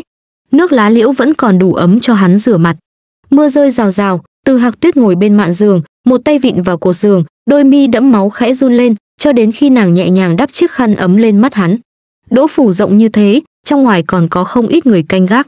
Ta biết ta không thể vào cùng ngươi, chỉ có thể chờ ngươi ở ngoài. Ta sẽ cố ở gần ngươi, sẽ mua thêm chút nhang nến đợi ngươi. Nghe tố lau nhẹ mí mắt mỏng của hắn, nhìn thấy giọt nước từ hàng mi ướt át chảy xuống gò má, nhưng nếu không cần phải chịu đau đớn thì ngươi nên đối xử tốt với mình hơn đi. Từ hạc tuyết nghe vậy thì mở mắt ra. Hắn không biết nàng đang ở gần đến thế, mái tóc đen nhánh búi cao, hai gò má trắng trẻo, đôi mắt phản chiếu ánh nến, điểm xuyết thành sao. Đa tạ, hắn nói. Sao lông mi của ngươi cứ chớp mãi thế? Nghe tố lại dùng mép khăn ẩm mân mê hàng mi dài và dày của hắn. Từ hạc tuyết bối rối mở mắt, không thể ngăn được ngón tay của nàng áp sát vào mí mắt chọc ghẹo hắn. Ngươi sợ nhột à? Nghe tố nhướng mắt lên. Từ hạc tuyết quên mất lúc còn sống mình có sợ nhột hay không, nhưng hắn rất bất lực với hành động cố ý trêu ghẹo của nàng, quay mặt đi cũng không tránh được. Trong sự đan xen lẫn lộn giữa ánh nến và ánh sáng ngoài trời, khuôn mặt tươi cười của nàng khiến hắn khó mà phớt lờ. Hắn vô thức nhếch khóe môi, bắt chước theo nụ cười cong môi của nàng. Cứng nhắc và cũng không đủ rõ ràng. Trời tối dần. Đỗ phủ mang một màu ảm đạm, tần viên ngoại phát phiền vì nghe tiếng con dâu khóc, cứ đi đi lại lại trong phòng, khóc khóc khóc, khi con trai ruột ta mất rồi mà ngươi cũng chỉ biết khóc. Đứa con nuôi vô dụng kia mới mất tích chứ không phải qua đời, ngươi khóc hơi sớm đấy. Chắc chắn là hắn chạy mất rồi, bỏ cha với con ở đây, cái tên khốn nạn đó, mấy năm nay còn đối xử tốt với hắn bằng không rồi. Hà thị, thê tử của Đỗ Tông, khóc đến mức gần như ướt sũng chiếc khăn trong tay. Việc do nó làm ra, quan gia nhân hậu, cũng không phải việc gì to tát, không đến mức liên lụy đến ta và ngươi. Sao cha có thể chắc chắn như vậy? Hà thị khóc rướt mướt, lẽ nào, lẽ nào hắn sẽ thật sự không quay lại nữa sao? Nó mà quay lại chỉ có chết, có ngu mới quay lại. Tần viên ngoại lạnh lùng hừ một tiếng, cũng không biết nó ở bên ngoài làm ăn thế nào, bình thường cho đi nhiều bạc như vậy, được đầy tớ kính trọng. Nó thì tham lam, mấy năm nay có bao nhiêu chỉ sợ bản thân nó còn đếm không xuể, nhưng số bạc đó đến tay nó thì chữ được bao lâu. Không phải vẫn cho đi sao, nhưng con nhìn xem, bây giờ nó gặp nạn có ai giúp đỡ không. Nói xong, tần viên ngoại nhìn Hà Thị, vậy tối hôm đó, nó thật sự không nói gì với con à, cả đêm cũng không về phòng. Không về, hắn ngủ trong thư phòng nhiều ngày liên tiếp. Hà Thị nức nở nói, con còn tưởng hắn có người nào đó bên ngoài, sắp sửa. Lúc đang nói chuyện, một cơn gió đêm buốt giá lướt qua cửa sổ, đột nhiên khiến hai người lạnh sống lưng. Tần viên ngoại ngẩng đầu nhìn ra ngoài cửa sổ, không hiểu sao trong lòng thấy có gì đó kỳ lạ. Suy ngẫm một lúc, ông nói với Hà Thị, không được, ta phải đến thư phòng tìm thử xem sao. Hà Thị nghẹn ngào nói, tìm gì cơ, nếu hắn có để lại lời nhắn nào, không phải sớm đã bị đám người di dạ ti săn lùng rồi sao? Nó để lại lời nhắn hay không quan trọng à? Tần viên ngoại cao mày, quan trọng là vào thời khắc này, trừ kỳ thi mùa đông, chuyện người khác tặng bạc cho nó hay nó tặng bạc cho người ta nhất định phải giấu kín. Lỡ như dính líu đến người có tiếng, không kịp thu dọn cẩn thận, nhất định người ta sẽ tức giận, đến lúc đó hai chúng ta thật sự sẽ bị chôn cùng Đỗ Tông. Mưa đêm giả dích, ánh lửa của đèn lồng phập phồng. Nghe Tố ngồi dưới vải bạt tre của quầy trà, nghe tiếng mưa rơi tí tách, dùng giấy nến gói gọn nhang đến trong giỏ. Nàng ngẩng đầu lên, bất chợt chạm phải ánh mắt của một nam tử trẻ tuổi mặc áo bào đen huyền giữa màn mưa. Nam tử đó không che ô, đôi lông mày tuấn tú bị nước mưa rửa sạch, hắn cởi bỏ con dao bên hông, bước vào trong vải bạt, rũ nước mưa và gấp gọn áo, ngồi xuống phía đối diện Nghê Tố. Tiểu Châu đại nhân, Nghê Tố rót một tách trà nóng mời hắn. Ngươi ở đây làm gì? Châu Đĩnh liếc nhìn tách trà nóng hổi trên bàn. Đến xem thử. Chỉ xem thử. Nghê Tố bưng tách trà, đối diện với ánh mắt của hắn, nếu không thì ta còn có thể làm gì nữa. Tiểu Châu đại nhân nhìn ta như này trông có giống có bản lĩnh bước vào đỗ phủ không? Quầy trà này rất gần đỗ phủ, cách đường Nam Hòe rất xa, nàng xuất hiện ở đây đương nhiên không thể chỉ là uống trà. Nhưng giống như nàng đã nói, hiện giờ bên ngoài đỗ phủ đầy lính canh, nếu nàng đã không vào được thì cần gì mạo hiểm nữa. Châu Đĩnh thấy câu trả lời của nàng không có gì sai, nhưng trong lòng hắn vẫn có chút do dự, ánh mắt hướng sang chiếc giỏ trong tay nàng. Tiểu Châu đại nhân đặc biệt tới tìm ta sao? Nghe Tố hỏi. Không phải. Châu Đĩnh định thần lại, đáp, chỉ là quán ăn gần đây bị niêm phong rồi, ta đưa người về di dạ ti thẩm vấn cặn kẽ. Hàn nhấp một ngụm trà rồi đứng dậy, nghe tiểu nương tử, dù Đỗ Tông mất tích, vẫn còn những manh mối khác có thể truy xét ra hung thủ đã hại huynh trưởng nhà ngươi, ngươi hãy ghi nhớ lời khuyên nhủ của ta. Uống xong tách trà này rồi quay về sớm đi. Đa tạ tiểu châu đại nhân, nghe tố đứng dậy, chắp tay thì lễ. Là trách nhiệm của ta, nghe tiểu nương tử không cần làm vậy. Châu đĩnh buộc chặt con dao lại, gật đầu với nàng rồi bước vào trong màn mưa. Qua màn mưa, nghe tố thấy triều nhất tùng cách đó không xa, nhóm bọn họ áp giải mấy người về phía đông, nàng không kiềm chế được mà tiến lên vài bước, nhìn thêm vài lần. Lúc trở lại bàn, nàng chậm rãi thưởng trà, chủ quầy có chút ngại ngùng nhắc nhở, tiểu cô nương, ở đây tôi phải dọn hàng rồi. Nghe tố chỉ đành cầm ô, xách giỏ và rời khỏi quầy trà. Đêm sương ẩm ướt, nàng đứng dưới mái hiên, dựa vào tường lẳng lặng chờ đợi. Nàng chăm chú nhìn vào chiếc đèn lồng dưới hiên thật lâu, nhưng ánh lửa vẫn bị nước mưa dập tắt. Nàng ngồi co mình lại, sợ mưa làm ướt mất nhang nến nên ôm chiếc giỏ vào lòng, đếm từng hạt mưa rơi xuống từ trên mái hiên. Cũng không biết đã trôi qua bao lâu. Bỗng có một ánh đèn vàng ấm áp tiến đến gần nàng. Nghe tố ngẩng đầu lên. Nam tử trong bộ quần áo trắng như tuyết thấm đẫm nước mưa và máu, giọt máu loãng chảy dọc theo xương ngón tay của hắn. Hắn sở hữu đôi mắt long lanh, phản chiếu lại ánh đèn lồng. Ngọn đèn hắn cầm do chính tay nàng thắp lên. Châu Đĩnh đi rồi nhưng các quan lại di dạ ti đi theo Nghe Tố vẫn ở đây, Nghe Tố không thể nói chuyện với hắn. Nhưng lúc ngẩng đầu lên thấy mặt của hắn, nàng cũng không biết tại sao mà chóp mũi lại thấy cay cay. Nàng đứng dậy, lặng lẽ tiến về trước, đổi hướng ô, âm thầm che cho hắn. Tiếng mưa trong trẻo. Nghe Tố nhìn về phía trước, không nhìn hắn, giọng nói nàng nhẹ nhàng, đủ để hòa vào làn mưa, "Ngươi, ổn chứ? Không cần bận tâm." Từ Hạc Tuyết đang ở cạnh nàng, vào thời điểm nàng không thể nhìn thấy hắn, hắn lẳng lặng quan sát góc nghiêng của nàng. Nghe Tố rũ mắt xuống, nhìn những giọt nước đọng lại trên giấy nến trong giỏ, lừa đảo. Từ Hạc Tuyết mới đi được vài bước, đã cảm thấy chóng mặt, hắn lảo đảo đi lệch hướng ra xa khỏi ô của nàng, Nghe Tố vô thức muốn đưa tay ra đỡ, nhưng lại thấy hắn lắc đầu, không cần. Nghe Tố nhìn hắn chống một tay trên bức tường gạch ẩm ướt, dường như bị chậm lại một chút, mới miễn cưỡng đứng thẳng người. Chúng ta cũng đã bàn trước rồi mà, nhiều nhất là hai chén trà, sau đó ngươi sẽ đi ra. Nhưng nàng lại ở bên ngoài đợi hắn nửa canh giờ. Từ Hạc Tuyết chủ động quay về phía dưới ô của nàng, vị tiểu châu đại nhân kia có làm khó ngươi không? Ta chỉ ở trong quán trà đó uống trà, hắn làm khó ta làm gì? Âm thanh giòn giã của chiếc ô dưới mái hiên nhà, nghe tố nhìn hắn không chớp mắt. Từ Hạc Tuyết nhíu mày như đang suy tư về cái gì, nghe lời nói này của nàng, hắn ngừng một lúc, ngước mắt lên, để ngươi phải đợi rồi. Không có, nói thì nói như vậy, nhưng suốt đoạn đường này nghe tố hầu như không nói thêm bất cứ cái gì nữa, khi trở lại y quán ở đường Nam Hòe, nàng cũng không đổi một bộ quần áo khác trước, vội lấy ra nhang nến mà nàng đem theo suốt quãng đường, đốt thêm vài cây nến. Từ Hạc Tuyết ngồi ở mép giường, nhìn nàng thắp nến xong rồi muốn rời đi, hắn gần như lên tiếng ngay lập tức, "Nghe Tố." Nghe Tố quay đầu lại. Nàng vẫn không nói gì, Từ Hạc Tuyết đứng dậy, đi đến trước mặt nàng, nói, "Ngươi chờ một chút." Nghe Tố không có cách nào phớt lờ giọng điệu nghiêm túc của hắn, nàng mím môi, gạt đi phần nước ướt nhẹp trên hai má, buông tiếng thở dài, "Ngươi có tìm được gì ở nhà hắn không?" Từ Hạc Tuyết gật đầu, từ chỗ nhạc phụ hắn tìm thấy một quyển sổ sách. "Ngươi xuất hiện ở trước mặt hắn." Nghe Tố kinh ngạc, hắn chưa nhìn thấy rõ ta. Sở dĩ từ Hạc Tuyết đi ra ngoài muộn như thế là bởi vì hắn âm thầm đi theo vị tần viên ngoại, cha vợ của Đỗ Tam Tài, đến thư phòng. Ở thư phòng, tần viên ngoại tìm rất lâu cũng không tìm thấy được gì, nhưng ở đúng phút cuối cùng lại tìm được một quyển sổ sách ở bên trong tấm ngăn dưới giường của ông. Tần viên ngoại còn chưa kịp nhìn rõ phần giấy gói bên ngoài của sổ sách thì một thanh kiếm đã kề ở ngay sau gáy ông. Ông sợ đến mức mất hồn mất vía, không dám quay đầu, không dám đứng thẳng dậy, run run rẩy rẩy hỏi, ai? Lưỡi kiếm lạnh như băng khiến toàn thân tần viên ngoại run như cầy sấy, từ đầu đến giờ ông không biết rằng đứng ở phía sau mình là một ma quỷ có thân hình như xương. Mặc dù từ hạc tuyết ép hỏi hết lần này đến lần khác thì ông cũng vẫn nói không biết tung tích của Đỗ Tam Tài. Cổ tay từ hạc tuyết vừa di chuyển, dùng chuôi kiếm đánh vào phía sau gáy ông, rồi lấy hết sổ sách mang đi.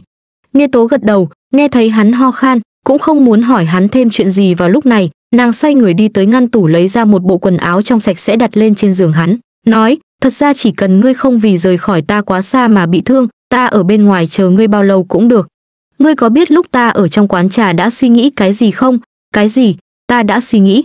Nghe tố đứng thẳng người, nên đón ánh mắt của hắn, rõ ràng ta là một thầy thuốc, nhưng đối với ngươi cho đến giờ, ta chỉ có thể đứng ngoài nhìn ngươi đau đớn, có lẽ ngươi đã quen như thế, nhưng mỗi khi ta nhìn thấy vậy thì trong lòng cảm thấy rất khó chịu.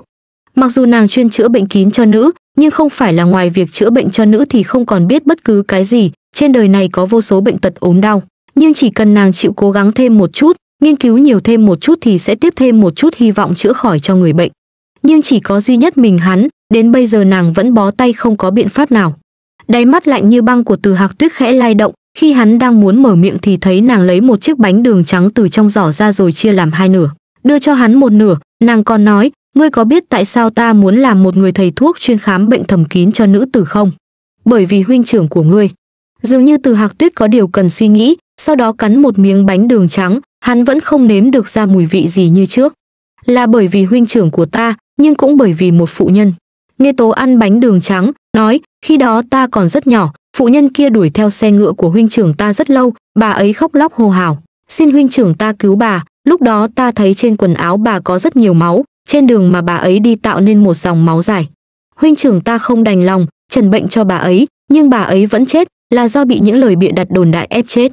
Huynh trưởng ta cũng vì vậy mà mất đi con đường làm nghề y, còn ta vẫn nhớ phụ nhân kia, một phần do rất nhiều năm qua ta thường xuyên suy nghĩ nếu lúc đó ta không nhỏ như thế, nếu khi đó, người cứu bà ấy là ta bây giờ, bà ấy sẽ không phải chết, huynh trưởng ta cũng sẽ không. Nghe tố không nói được nữa, nàng nắm chặt bánh đường trắng, im lặng một lúc lâu trong tiếng mưa rơi lục đục ngoài cửa, mới ngẩng đầu lên nhìn hắn, từ từ lăng, nếu có thể, ta cũng muốn cứu ngươi, để ngươi không cần phải chịu đau đớn như vậy nữa.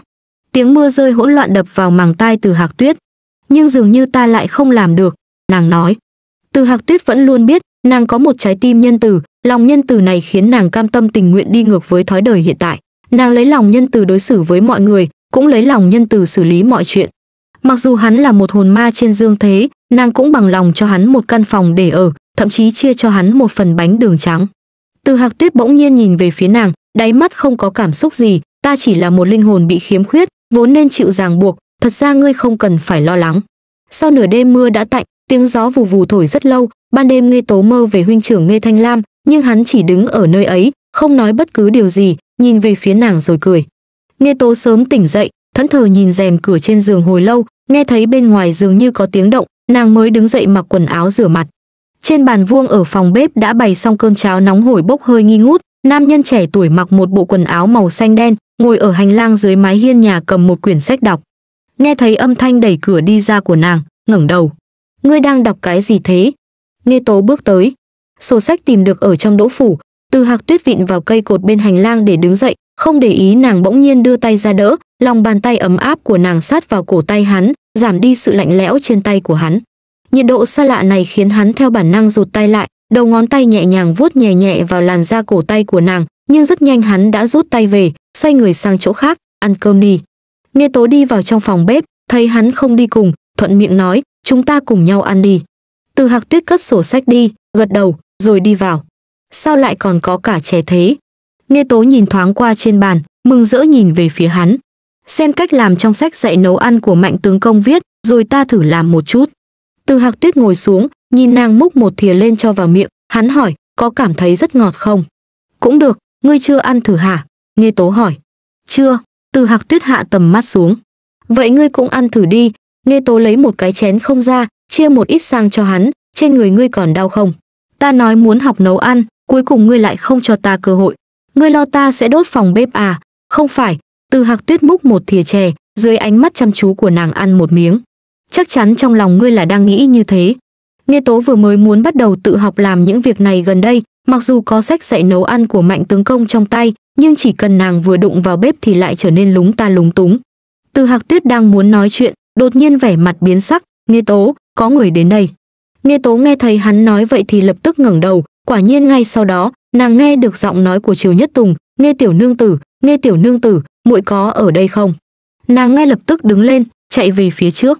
Triều nhất tùng đầu đầy mồ hôi thấy nghe tố vén rèm đi ra hắn ta thở gấp nói nghe tiểu nương tử hàn sử tôn của bọn ta mời muội đến di dạ ti. Trong lòng nghe tố suy nghĩ bây giờ đến di dạ ti có nghĩ là gì? Trong lòng nàng biết rất rõ ràng bỗng nàng không quan tâm cái gì nữa, gần như là chạy như bay về phía cửa.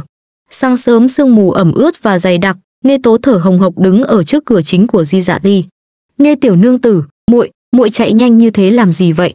Đến lúc này triều nhất tùng còn chưa dừng lại thả lỏng được lần nào, hai tay của hắn ta chống lên đầu gối, lời còn chưa nói hết thì đã thấy nghe tố chạy lên bậc thang. Hắn ta lập tức chạy theo sau, đưa lệnh bài của mình cho lính canh trông coi nhìn. Hàn thanh và châu đĩnh đều một đêm chưa ngủ châu đĩnh đứng thẳng bên cạnh hàn thanh, trông không giống như đang mệt mỏi, trái lại hàn thanh lại liên tục xoa mí mắt. Nghe tiểu nương tử đến rồi ư, ngồi đi. Vừa thấy nghe tố, hàn thanh lập tức nâng cằm ra hiệu cho một thân tòng quan rót cho nàng một ly trà. Lúc này bọn ta gọi ngươi đến, ngươi hẳn cũng biết là vì cái gì rồi chứ. Hàn sử tôn. Nghe tố không có tâm trạng nào để uống trà, nàng đặt tách trà mà vị thân tòng quan kia đưa cho sang một bên, đứng lên hướng hàn thanh thở dài, xin hỏi, có phải là đã tra được rồi không? Vốn khi đỗ tông mất tích, manh mối cũng đã bị đứt đoạn, nhưng dù sao cũng vẫn còn những tên sát thủ ở đấy. Tuy rằng bọn họ được thuê, không biết tình hình cụ thể nhưng ông chủ của bọn họ thì chắc chắn sẽ biết gì đó. Hàn thanh nhấp một ngụm trà, tối hôm qua ta để châu đĩnh lật tung hang ổ của bọn họ, bận rộn suốt một đêm, cuối cùng ông chủ kia cũng đã chịu gặp hắn.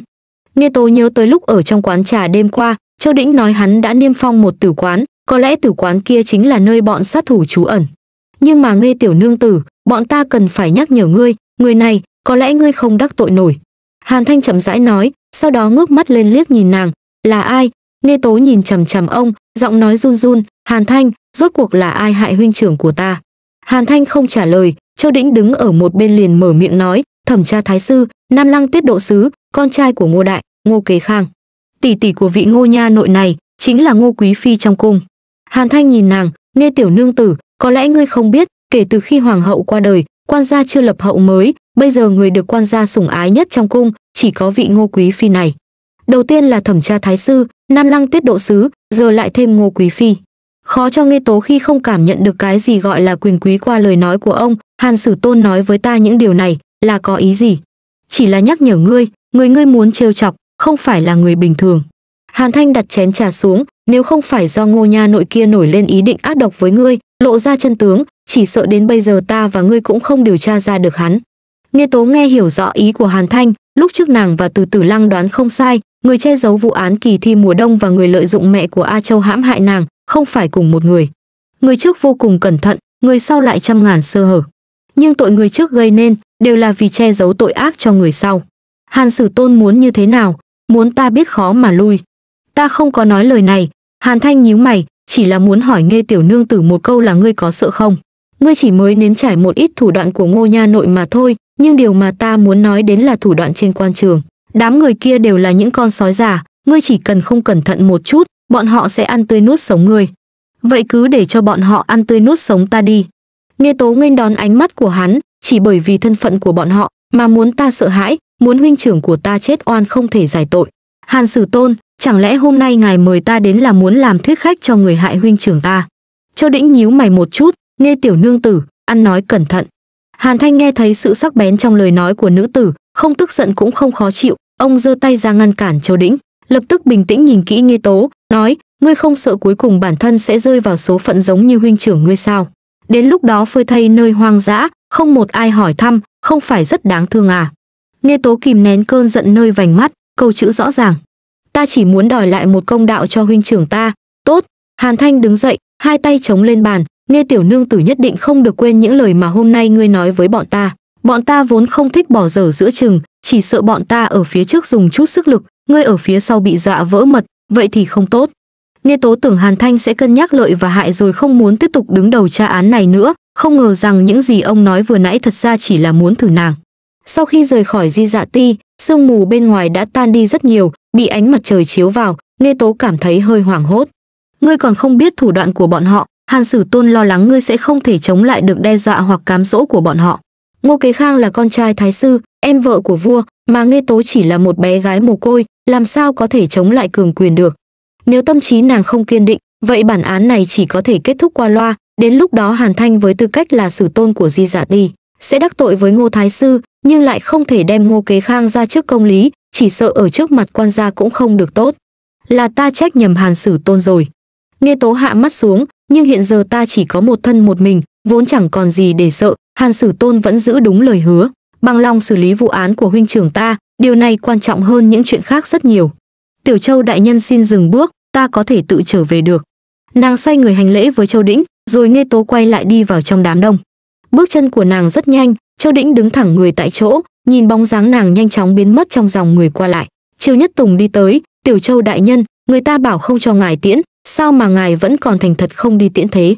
Châu đĩnh liếc mắt nhìn hắn một cái, một tay ấn vào chuôi đao, lặng lẽ xoay người trở về bên trong di dạ đi người sai khiến dược nữ dương thị đưa quá lượng xuyên ô cho mẹ của a châu và muốn a châu hãm hại nghi tố, sau đó lại thuê người giết dược nữ dương thị chính là con trai của ngô thái sư. Thư đồng ngô kế khang, chuyện này ván đã đóng thuyền sử tôn hàn thanh của di dạ ti dựa vào sắc lệnh của quan gia. Ngày đó, sai thân tòng quan của di dạ ti vào phủ ngô thái sư, áp giải ngô kế khang cùng với thư đồng quay về di dạ ti để thẩm vấn. Việc này vừa được truyền ra, trên triều đình đồng nhất ổ lên. Ngô thái sư không có nhiều con nối dõi, ngoại trừ ngô quý phi đang ở trong cung. Cũng chỉ còn mỗi ngô kế khang là đứa con duy nhất, mà kỳ thi mùa đông lần này cũng xác nhận có ngô kế khang ở trong đó. Ngô kế khang ở trong di dạ ti năm ngày ngày nào ngô thái sư cũng vào cung với thân thể ốm yếu bệnh tật không những không gặp được quan gia còn quỳ ở vĩnh định môn đến hôn mê bất tỉnh. Ngày thứ sáu, thư nhận tội do chính tay ngô kế khang viết đã được hàn thanh đưa lên bàn của quan gia, nhưng quan gia cũng không tỏ thái độ gì. Trái lại còn tụ họp các quan văn của viện gián và viện hàn lâm vào một chỗ để bàn luận về tội ác của ngô kế khang. Mạnh tướng công, đám lão già kia cũng sắp lật ngược nóc của điện kim loan lên rồi, sao ngài không nói câu gì? Quan gia nhìn ngài mấy lần, ngài còn giả vờ không nhìn thấy trung thư xá nhân bùi chi viễn trở lại bên trong chính sự đường từ phía sau, uống trước một chén trà thật lớn. Quá sớm, mạnh vân hiến tựa lưng ngồi vào ghế, ngươi nhìn xem bọn họ đã cãi nhau chưa? Chuyện đấy thì chưa. Bùi chi viễn đặt mông ngồi vào bên cạnh hắn. Vậy còn chưa được à? Mạnh vân hiến chậm rãi nhấp một ngụm trà, còn chưa cãi nhau, nhất định là do lửa cháy chưa đủ. Lời nói này của ngài là có ý gì? Bùi chi viễn bật cười. Tâm trạng của mạnh vân hiến khá là thanh thản bây giờ bọn họ còn đang làm ầm ĩ về vụ án của Nghê Thanh Lam, không biết có nên kết tội Ngô Kế Khang hay không, và nên kết tội như thế nào, chỉ cần bản thân chưa rời khỏi vụ án này, chúng ta không cần phải vội, cứ để cho bọn tưởng ngự xử sốt ruột đi. Khi biết được tin tức Ngô Kế Khang nhận tội, Nghe Tố đang ở trong phủ Miêu Thái úy thăm hỏi vợ chồng Thái Xuân Nhứ, Miêu Dịch Dương đi đến Di Dạ Ti một lúc, đến khi ra ngoài lại bị dọa cho ngã bệnh. Ngô Kế Khang kia chính là một tên điên. Miêu Dịch Dương quấn chăn, giống như con mèo dựa vào Thái Xuân Nhứ, ngày đó lúc đi ra ta nhìn thấy hắn ta, nghe tiểu nương tử, hắn vẫn còn đang cười đấy, trông giống như một người bình thường không gặp chuyện gì, còn cười rất khó nghe. A hỉ muội muội muội đừng nghe chàng nói bậy. Thái xuân nhớ lo lắng mà nhìn nghe tố. Tay cầm bút của nghe tố dừng lại một chút, lập tức nói, đơn thuốc này là thuốc gia truyền của cha ta, buổi chiều đầu tiên phải cho nhị công tử uống một chén, ban đêm sẽ không gặp ác mộng rồi co giật. Mau gọi người đi lấy thuốc. Vương thị vừa nghe nghe tố giải thích nhớ đến lúc trước còn mời một thầy thuốc khác đến nhìn đơn thuốc của cô nương này thấy không có vấn đề gì. Trên mặt bà hiện lên chút ngượng ngùng, vội vàng kêu một tỷ nữ đi lấy thuốc. Miêu thái úy không có ở trong phủ, nghe nói là bị đỗ tông chọc giận. Miêu thái úy tưởng rằng đỗ tông cảm kích ông từng làm giáo úy ở trong quân, cho nên mới giúp ông vớt người. Ai ngờ đỗ tông mượn con trai ông là miêu dịch dương để giấu đầu hở đuôi. Miêu thái úy tức không chịu được, bẩm báo lên quan gia, tự mình dẫn binh tìm kiếm tung tích của đỗ tông khắp nơi. A hỉ muội muội hay là muội ở trong nhà chúng ta một khoảng thời gian đi. Ta nghe nói bây giờ ở đường nam hòe ồn ào nhiều lời đồn đại, những người hàng xóm ở gần muội đối với muội. Thái xuân nhớ thân thiết ôm lấy cánh tay của nghe tố, muốn nói lại thôi. Mấy ngày nay y quán cũng đã đóng cửa, bọn họ muốn tìm cớ gây sự cũng không có cơ hội, hơn nữa còn có người của di dạ ti ở đây, muội cũng không có gì phải sợ cả. Trong hai ngày qua, chuyện của mẫu thân a châu bị người nào đó cố tình lan truyền trên đường nam hòe. Mặc dù di dạ ti đã sớm nói rằng nghe tố trong sạch nhưng vẫn không ngăn cản được một số lời nói xấu có chủ ý. Thậm chí còn có xuất hiện lời đồn rằng Nghê Tố và Châu Đĩnh phó úy của Di Dạ Ti có gì đó mờ ám nên Di Dạ Ti mới ra mặt xử lý êm đẹp. Mục đích của kẻ đứng sau rất dễ đoán. Đơn giản là muốn ép Châu Đĩnh tránh xa nàng ra một chút, tốt nhất là đưa hết những người đang canh giữ trong y quán của nàng đi, như thế mới dễ dàng xuống tay với nàng hơn. Thái Xuân như muốn nói rất nhiều lời an ủi, nhưng khi đang muốn nói ra, nàng ấy nhìn khuôn mặt ngày càng gầy của Nghê Tố, lại chỉ nói khẽ, a hỉ muội muội muội đừng buồn. Nghe tố nghe vậy, nàng nhìn sang thái xuân nhứ rồi cười, lắc đầu nói, muội không buồn, thái tỷ tỷ, muội vốn là đang đợi một ngày như thế này, hắn ta nhận tội, hắn ta sẽ phải trả giá. Bất kể như thế nào, muội đều phải chờ ở đây, muội phải chờ để nhìn thấy hắn ta, dùng chính mạng của hắn ta đền trả lại nợ mạng cho huynh trưởng của muội. Nghe tố không quên được, không quên được ngày đó bản thân nàng làm như thế nào nhận thi thể của huynh trưởng về từ di dạ ti không quên được những gì châu đĩnh nói với nàng vào ngày hôm đó, huynh trưởng của nàng rõ ràng chết vì đói. Nàng có làm thế nào cũng không nhịn được mà suy nghĩ, lúc huynh trưởng chết đã phải khó chịu đến nhường nào. Chỉ cần tưởng tượng đến điều đó nghe tố sẽ đến bàn thờ và quỳ gối ở phía trước, nhìn thấy bài vị của mẫu thân và huynh trưởng, nhìn nó suốt cả đêm. Hy vọng quan gia nhanh chóng hạ lệnh giết chết hắn ta. Thái xuân Nhứ vừa mới nhớ đến trong lời nói của lang quân nhà mình, ngô kế khang đi vào di dạ ti nhưng lại cười vô cùng điên cuồng không biết sợ hãi nàng ấy không khỏi oán hận mắng một tiếng. Rời khỏi phủ thái úy, bước chân nghe tố rất nhẹ nhàng, ánh mặt trời rực rỡ chiếu rọi khắp mặt đất. Nàng nhìn trên mặt đất thấy một chiếc bóng trắng trong suốt, từ đầu đến cuối đều ở bên cạnh nàng. Trở lại đường nam hòe nghe tố thấy mấy đứa trẻ con đang tụ tập trước y quán của cô chơi ném những hòn đá nhỏ. Nàng vừa đi đến gần, chúng chạy tán loạn như chim bay thú chạy. Ánh mắt của mọi người xung quanh cứ dán chặt vào cô, khẽ xì xào bàn tán không ngớt. Nàng nhìn không chớp mắt, lấy chìa khóa từ trong tay áo ra mở cửa đôi mắt của đứa trẻ con đang trốn ở đối diện khẽ xoay chuyển, lập tức nhếch miệng cười, dùng sức ném đi hòn đá trên tay ra ngoài. Ánh sáng trắng muốt ngưng tụ như sương mù, trong giây lát hóa thành một nam nhân trẻ tuổi thân thể cao to, hắn giơ tay, cục đá đang bay vào sau lưng nghe tố ngay lập tức xoay ngược lại. Đứa trẻ con không nhìn thấy hắn, lại bị những viên đá quay ngược về đập vào trán. đứa trẻ con ôm đầu gào khóc. Nghe tố bị hoảng sợ, quay đầu lại liếc mắt nhìn một cái, đứa trẻ con kia khóc đến thở không ra hơi đứa trẻ như chim sợ cành cong, chân chạy nhanh như chớp. Chẳng lẽ nó thấy ngươi à? Nghe tố không nghĩ ra tại sao, nhìn về phía người bên cạnh. Từ hạc tuyết lắc đầu, không nói lời nào. Sắc trời dần dần ngả tối, nghe tố thắp rất nhiều ngọn đèn lồng ở mái hiên hành lang, chiếu sáng rực cả sân.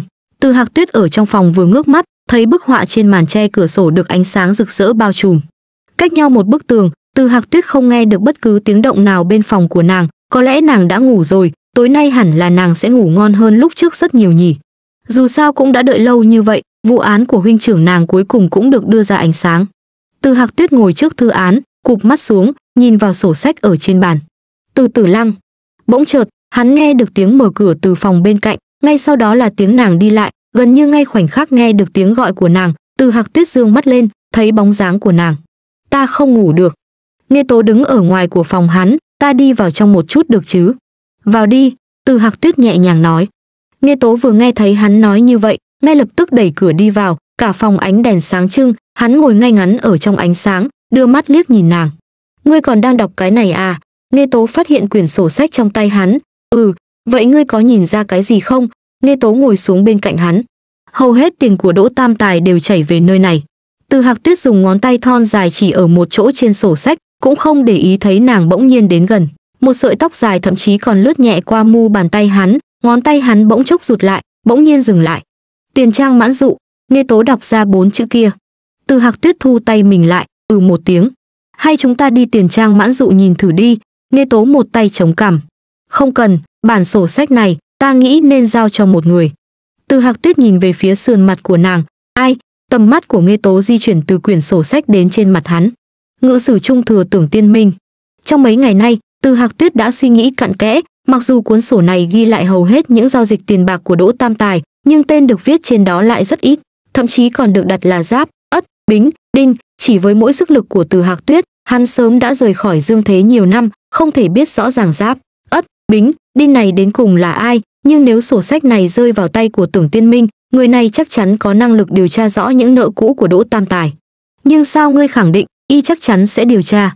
Nghe tố hỏi, chắc chắn lông mi của từ hạc tuyết phủ lên một hình ảnh nhạt nhẽo dưới mí mắt. Năm đó rốt cuộc vì sao mà đỗ tam tài có thể chạy thoát khỏi trừng phạt khi làm hỏng bí mật quân sự?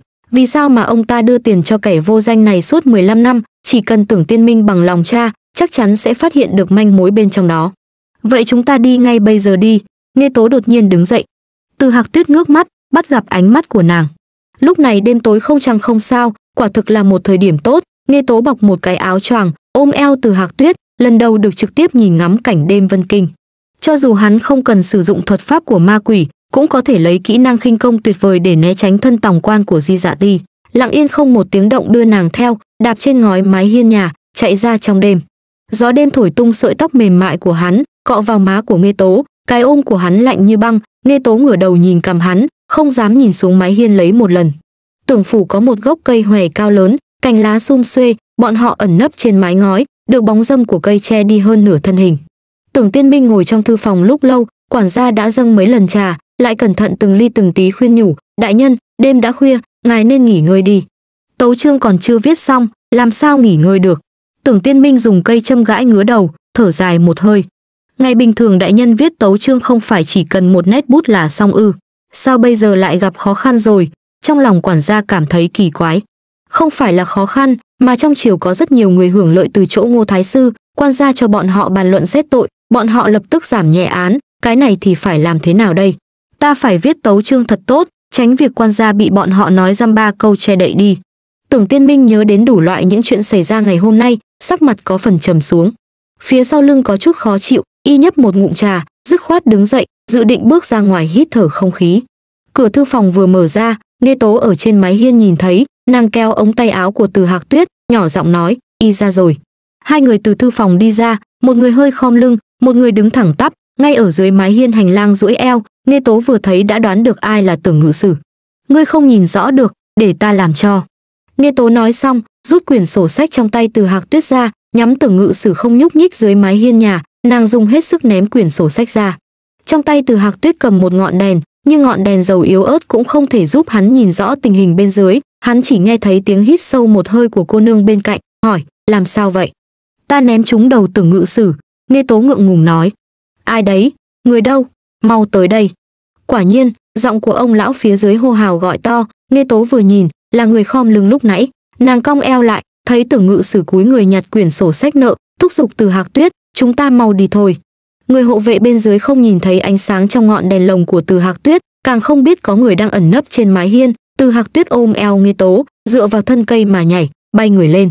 Hai người nhẹ nhàng dừng ở một con hẻm nhỏ. Từ hạc tuyết nghe thấy tiếng nghe tố hắt xì một cái, cởi áo choàng xuống, khoác ở trên người nàng. Áo choàng của rất nặng này là chiếc áo mùa đông đã được đốt, nàng cũng không cảm thấy nó ấm áp được bao nhiêu. Nhưng nghe tố vẫn đóng chặt áo lại, thấy cổ tay áo có hai chữ tử lăng, nàng ngẩng đầu, ánh mắt hai người lơ đãng chạm nhau. Hai người gần như là đồng thời rời mắt. Quanh thân từ hạc tuyết tản ra một lớp bụi lạnh lẽo càng khiến cho bóng dáng hắn tựa ảo mộng, giống như chỉ cần gió đêm thổi mạnh lên chút, thân ảnh hắn sẽ tan biến như sương mù. Nhưng nghe tố nhìn hắn, bỗng nhiên muốn hắn trở nên chân thật hơn, ít nhất không cần mờ nhạt yếu ớt như thế, giống như có thể biến mất bất cứ lúc nào. Rời khỏi con hẻm nhỏ nghe tố nhìn xung quanh bốn phía, nhiều trận mưa mùa thu khiến trời dường như trở nên lạnh hơn. Hơi nóng từ quán ăn cũng rõ ràng hơn rất nhiều, nàng còn ngửi được một mùi hơn rất thơm ngọt. Từ hạc tuyết nhìn nàng bước nhanh về phía trước, hắn lập tức đi theo sát nàng thấy nàng dừng lại ở trước một quầy hàng ăn, trong chiếc chảo kia là những chiếc bánh dày màu vàng kim óng ánh. Nàng nói chuyện cùng chủ của quầy hàng, từ hạc tuyết thì đứng bên cạnh nhìn nàng. Nàng nói những gì, hắn cũng không chú ý nghe, chỉ là hắn cảm thấy, ánh sáng của chiếc đèn lồng bằng vải lụa màu xanh lá cây trên quầy hàng này chiếu vào ánh mắt và lông mi của nàng rất đẹp. Nghe tố nói với chủ quầy, ta có thể mua một cái đèn lồng không? Xong rồi đây. Chủ quầy thấy nàng chỉ có một người mà cũng không cầm đèn lồng ra ngoài, cười tủm tỉm gật đầu nghe tố cầm một gói bánh dày chiên, cầm theo chiếc đèn lồng đan bằng mây tre màu xanh đi đến ngõ nhỏ không người, mới ngồi xổm xuống lấy một cái ống đánh lửa từ ngực ra. Từ lúc gặp ngươi, ta luôn mang theo cái này trên người. Nghe tố nói xong, gói bánh dày kỹ trong giấy dầu cho hắn, ngươi cầm giúp ta một chút đi. Từ hạc tuyết nhận lấy, bánh dày chiên mới ra lò còn rất nóng hổi, cho dù được bọc trong giấy dầu nhưng vẫn nóng hổi như cũ. Hắn nhìn xuống quan sát, hắn nhìn nàng cố gắng phồng má thổi tắt ngọn nến trong chiếc đèn lồng màu xanh rồi dùng ống đánh lửa châm lại một lần nữa. Ánh lửa tắt rồi sáng, chiếu vào sườn mặt nàng, dịu dàng mà sạch sẽ. Nghe tố đứng lên, thò tay về phía hắn. Từ hạc tuyết đưa bánh dày chiên cho nàng, lại thấy nàng nói, đèn lồng. Hắn loạn nhịp trong nháy mắt, lập tức đưa cho nàng ngọn đèn trên tay mình. Nghe tố nhận đèn lồng, đưa cho hắn chiếc đèn lồng bằng lụa màu xanh mà nàng vừa mua, cái này do chính chủ quầy hồi nãy tự tay làm, ngươi thấy có đẹp không? Từ hạc tuyết cầm cây gậy đèn ánh nến được bao bọc trong lớp lụa màu xanh lá, tỏa dọi ra ánh sáng rực rỡ, chiếu vào trong mắt hắn, nhưng tầm mắt hắn chậm rãi di chuyển, nhìn xuống mặt đất, thấy được bóng dáng của nàng. Sau một lúc lâu, hắn gật đầu, khá đẹp. Nghe tố nhìn hắn, khuôn mặt tái nhợt và yếu ớt, gần như không bao giờ cười, nhưng nàng không thể ngăn được mình mà suy nghĩ. Nếu như hắn vẫn còn sống, có một cơ thể bằng xương bằng thịt giống như nàng, như vậy hắn sẽ cười như thế nào nhỉ?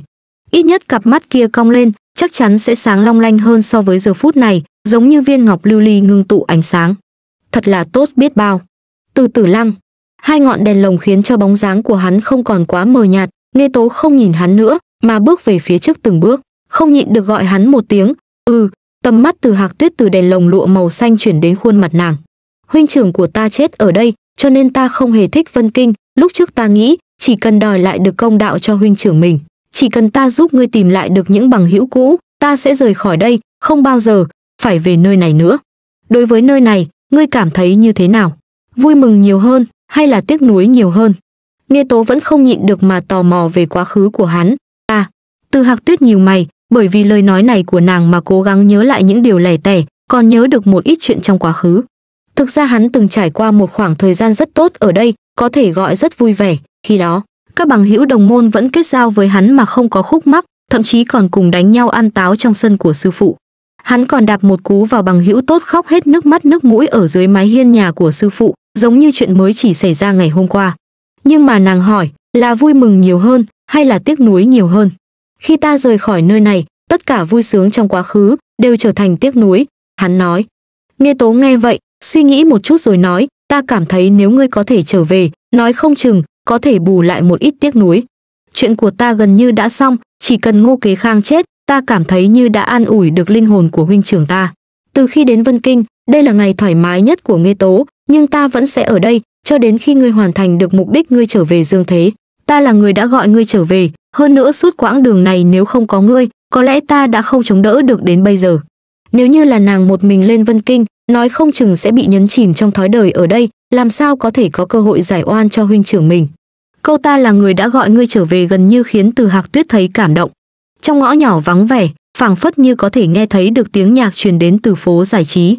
Thật ra hắn chẳng có gì để hối hận, mấy chuyện khi còn sống, hắn vốn đã quên đi rất nhiều, nếu không phải trở về dương thế, hắn vốn phải quên hết mọi thứ hoàn toàn, chỉ là những linh hồn trong bảo tháp dưới âm phủ đều không thể quên được hận thù và oán trách.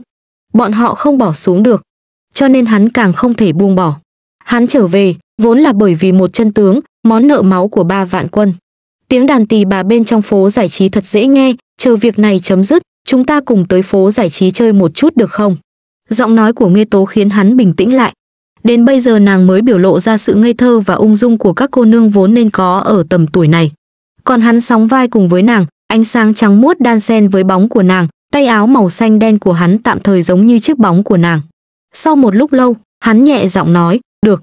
Vụ án kỳ thi mùa đông đã được phá nhưng gián viện và viện hàn lâm thảo luận tội trạng ngô kế khang suốt một tháng trời, ban đầu giữa hai phe ước chừng chỉ là khó thống nhất tội danh.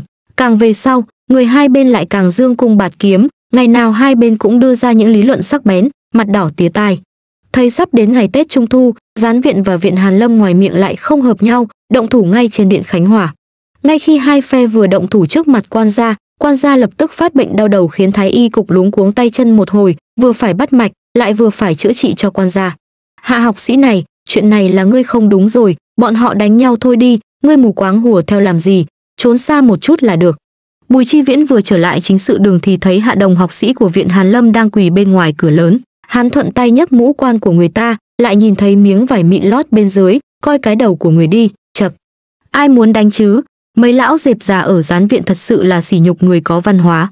Hạ đồng tức giận đoạt lại mũ cánh chuồn đội lên đầu chư tưởng ngự sử từng người từng người bọn họ đều nói láo trước mặt quan gia. Nói không lại thì lập tức ra tay, nếu ta không đánh trả, vậy không phải là dung túng cho đám gián viện kiêu căng sao? Còn chưa nói được hai câu, cơn tức của hạ đồng lại nổi lên, bùi chi viễn gật đầu ừ ừ hai tiếng, còn chưa kịp phụ họa thì một giọng nói ẩn chứa sự tức giận từ bên trong vọng ra, hạ đồng, ngươi quỳ nghiêm túc vào cho ta. Nghe thấy thầy trương kính nổi giận, hạ đồng mới vừa rồi còn lẽ thẳng khí hùng bỗng chốc ỉu xìu, cúi thấp đầu không dám nói thêm nữa. Hạ học sĩ, cái mũ lịch rồi kìa bùi chi viễn nhẹ nhàng nhắc nhở một câu, lại nói, trương tướng công đang tức giận đấy, trước tiên ngươi cứ chờ bên ngoài một lát nữa, ta đi vào xem xem. Hạ đồng đang chỉnh lại cái mũ, nghe thấy bùi chi viễn đang nói bóng gió, hắn hừ một tiếng, cũng không để ý tới. Sùng chi, dẫu sao hắn cũng là người ở viện hàn lâm.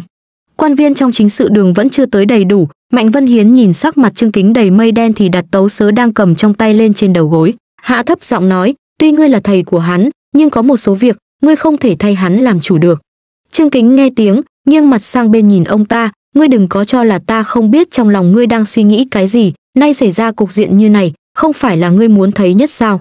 Gián viện và viện Hàn Lâm ẩm ý như nước với lửa, ngươi thà như tưởng tiên minh biết cuống cuồng tức giận.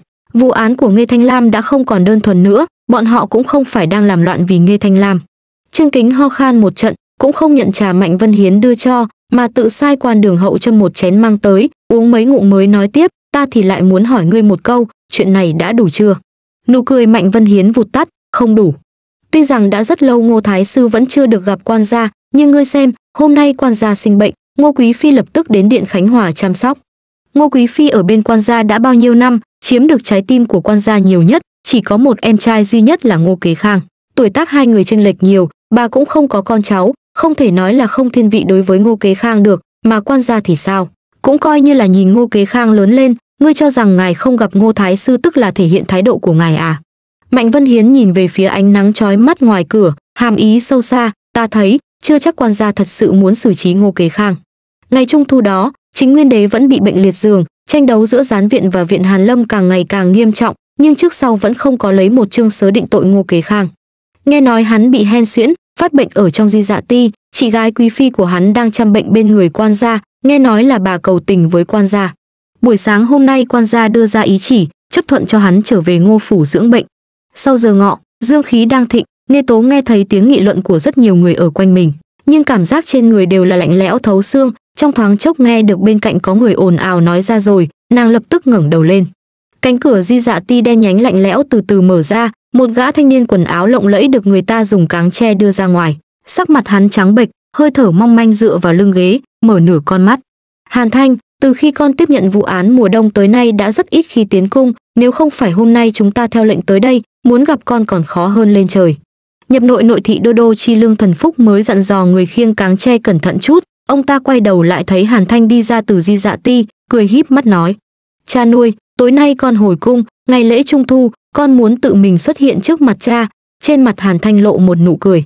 Những người như chúng ta nào có lễ hội, bệnh đau đầu của quan gia nghiêm trọng, cho dù con có về, chỉ sợ ta cũng không rảnh rỗi.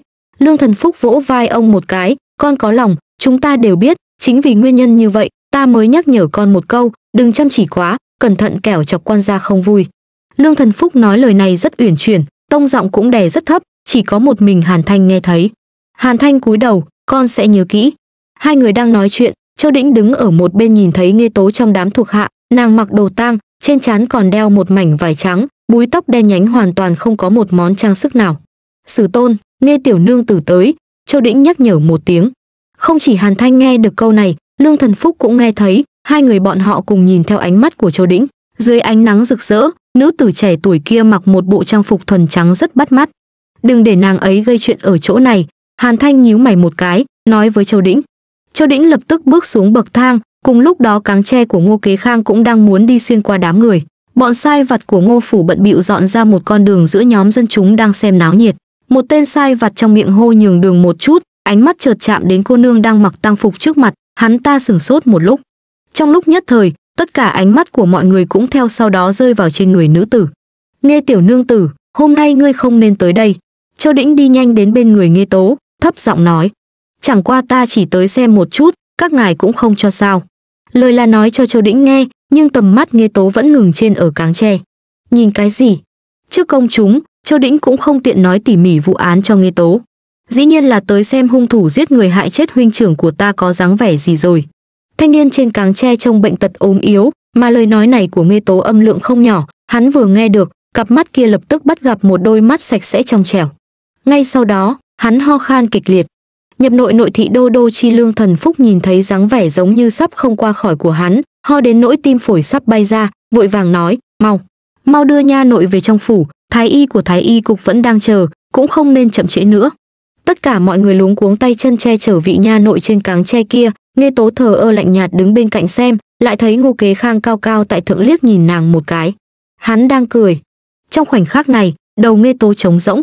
Rất nhiều người vây quanh ngô kế khang từ trong đám đông đi ra ngoài, châu đĩnh bên người thấp giọng nói với nàng cái gì nàng không nghe rõ, trong đầu nàng đều là cái nhìn ngô kế khang vừa quăng cho nàng kia. Giống như một cây kim vô hình không ngừng đâm vào tim nàng, căn xe lý trí của nàng. Nàng quay đầu, nhìn chăm chú vào bóng lưng của người kia. Hắn cao cao tại thượng, được mọi người vây quanh. Nghe tiểu nương tử, Châu Đĩnh không cho phép nàng đi về phía bên Ngô Kế Khang. Dân chúng chung quanh đã tản đi, lúc này trước cửa Di Dạ Ti chỉ còn lại Nghe Tố và Châu Đĩnh, Nghe Tố nhìn hắn nắm cổ tay mình, ngẩng đầu lên. Châu Đĩnh lập tức buông lỏng tay, đối diện với hốc mắt ửng đỏ của nàng, hắn bỗng chốc ngơ ngác, lập tức nói: "Ngươi không nên kích động, hôm nay hắn ta là tuân theo lệnh trở về phủ, nếu ngươi ngăn cản thì chính là kháng chỉ." Vậy như thế nào thì mới tính là không kháng chỉ?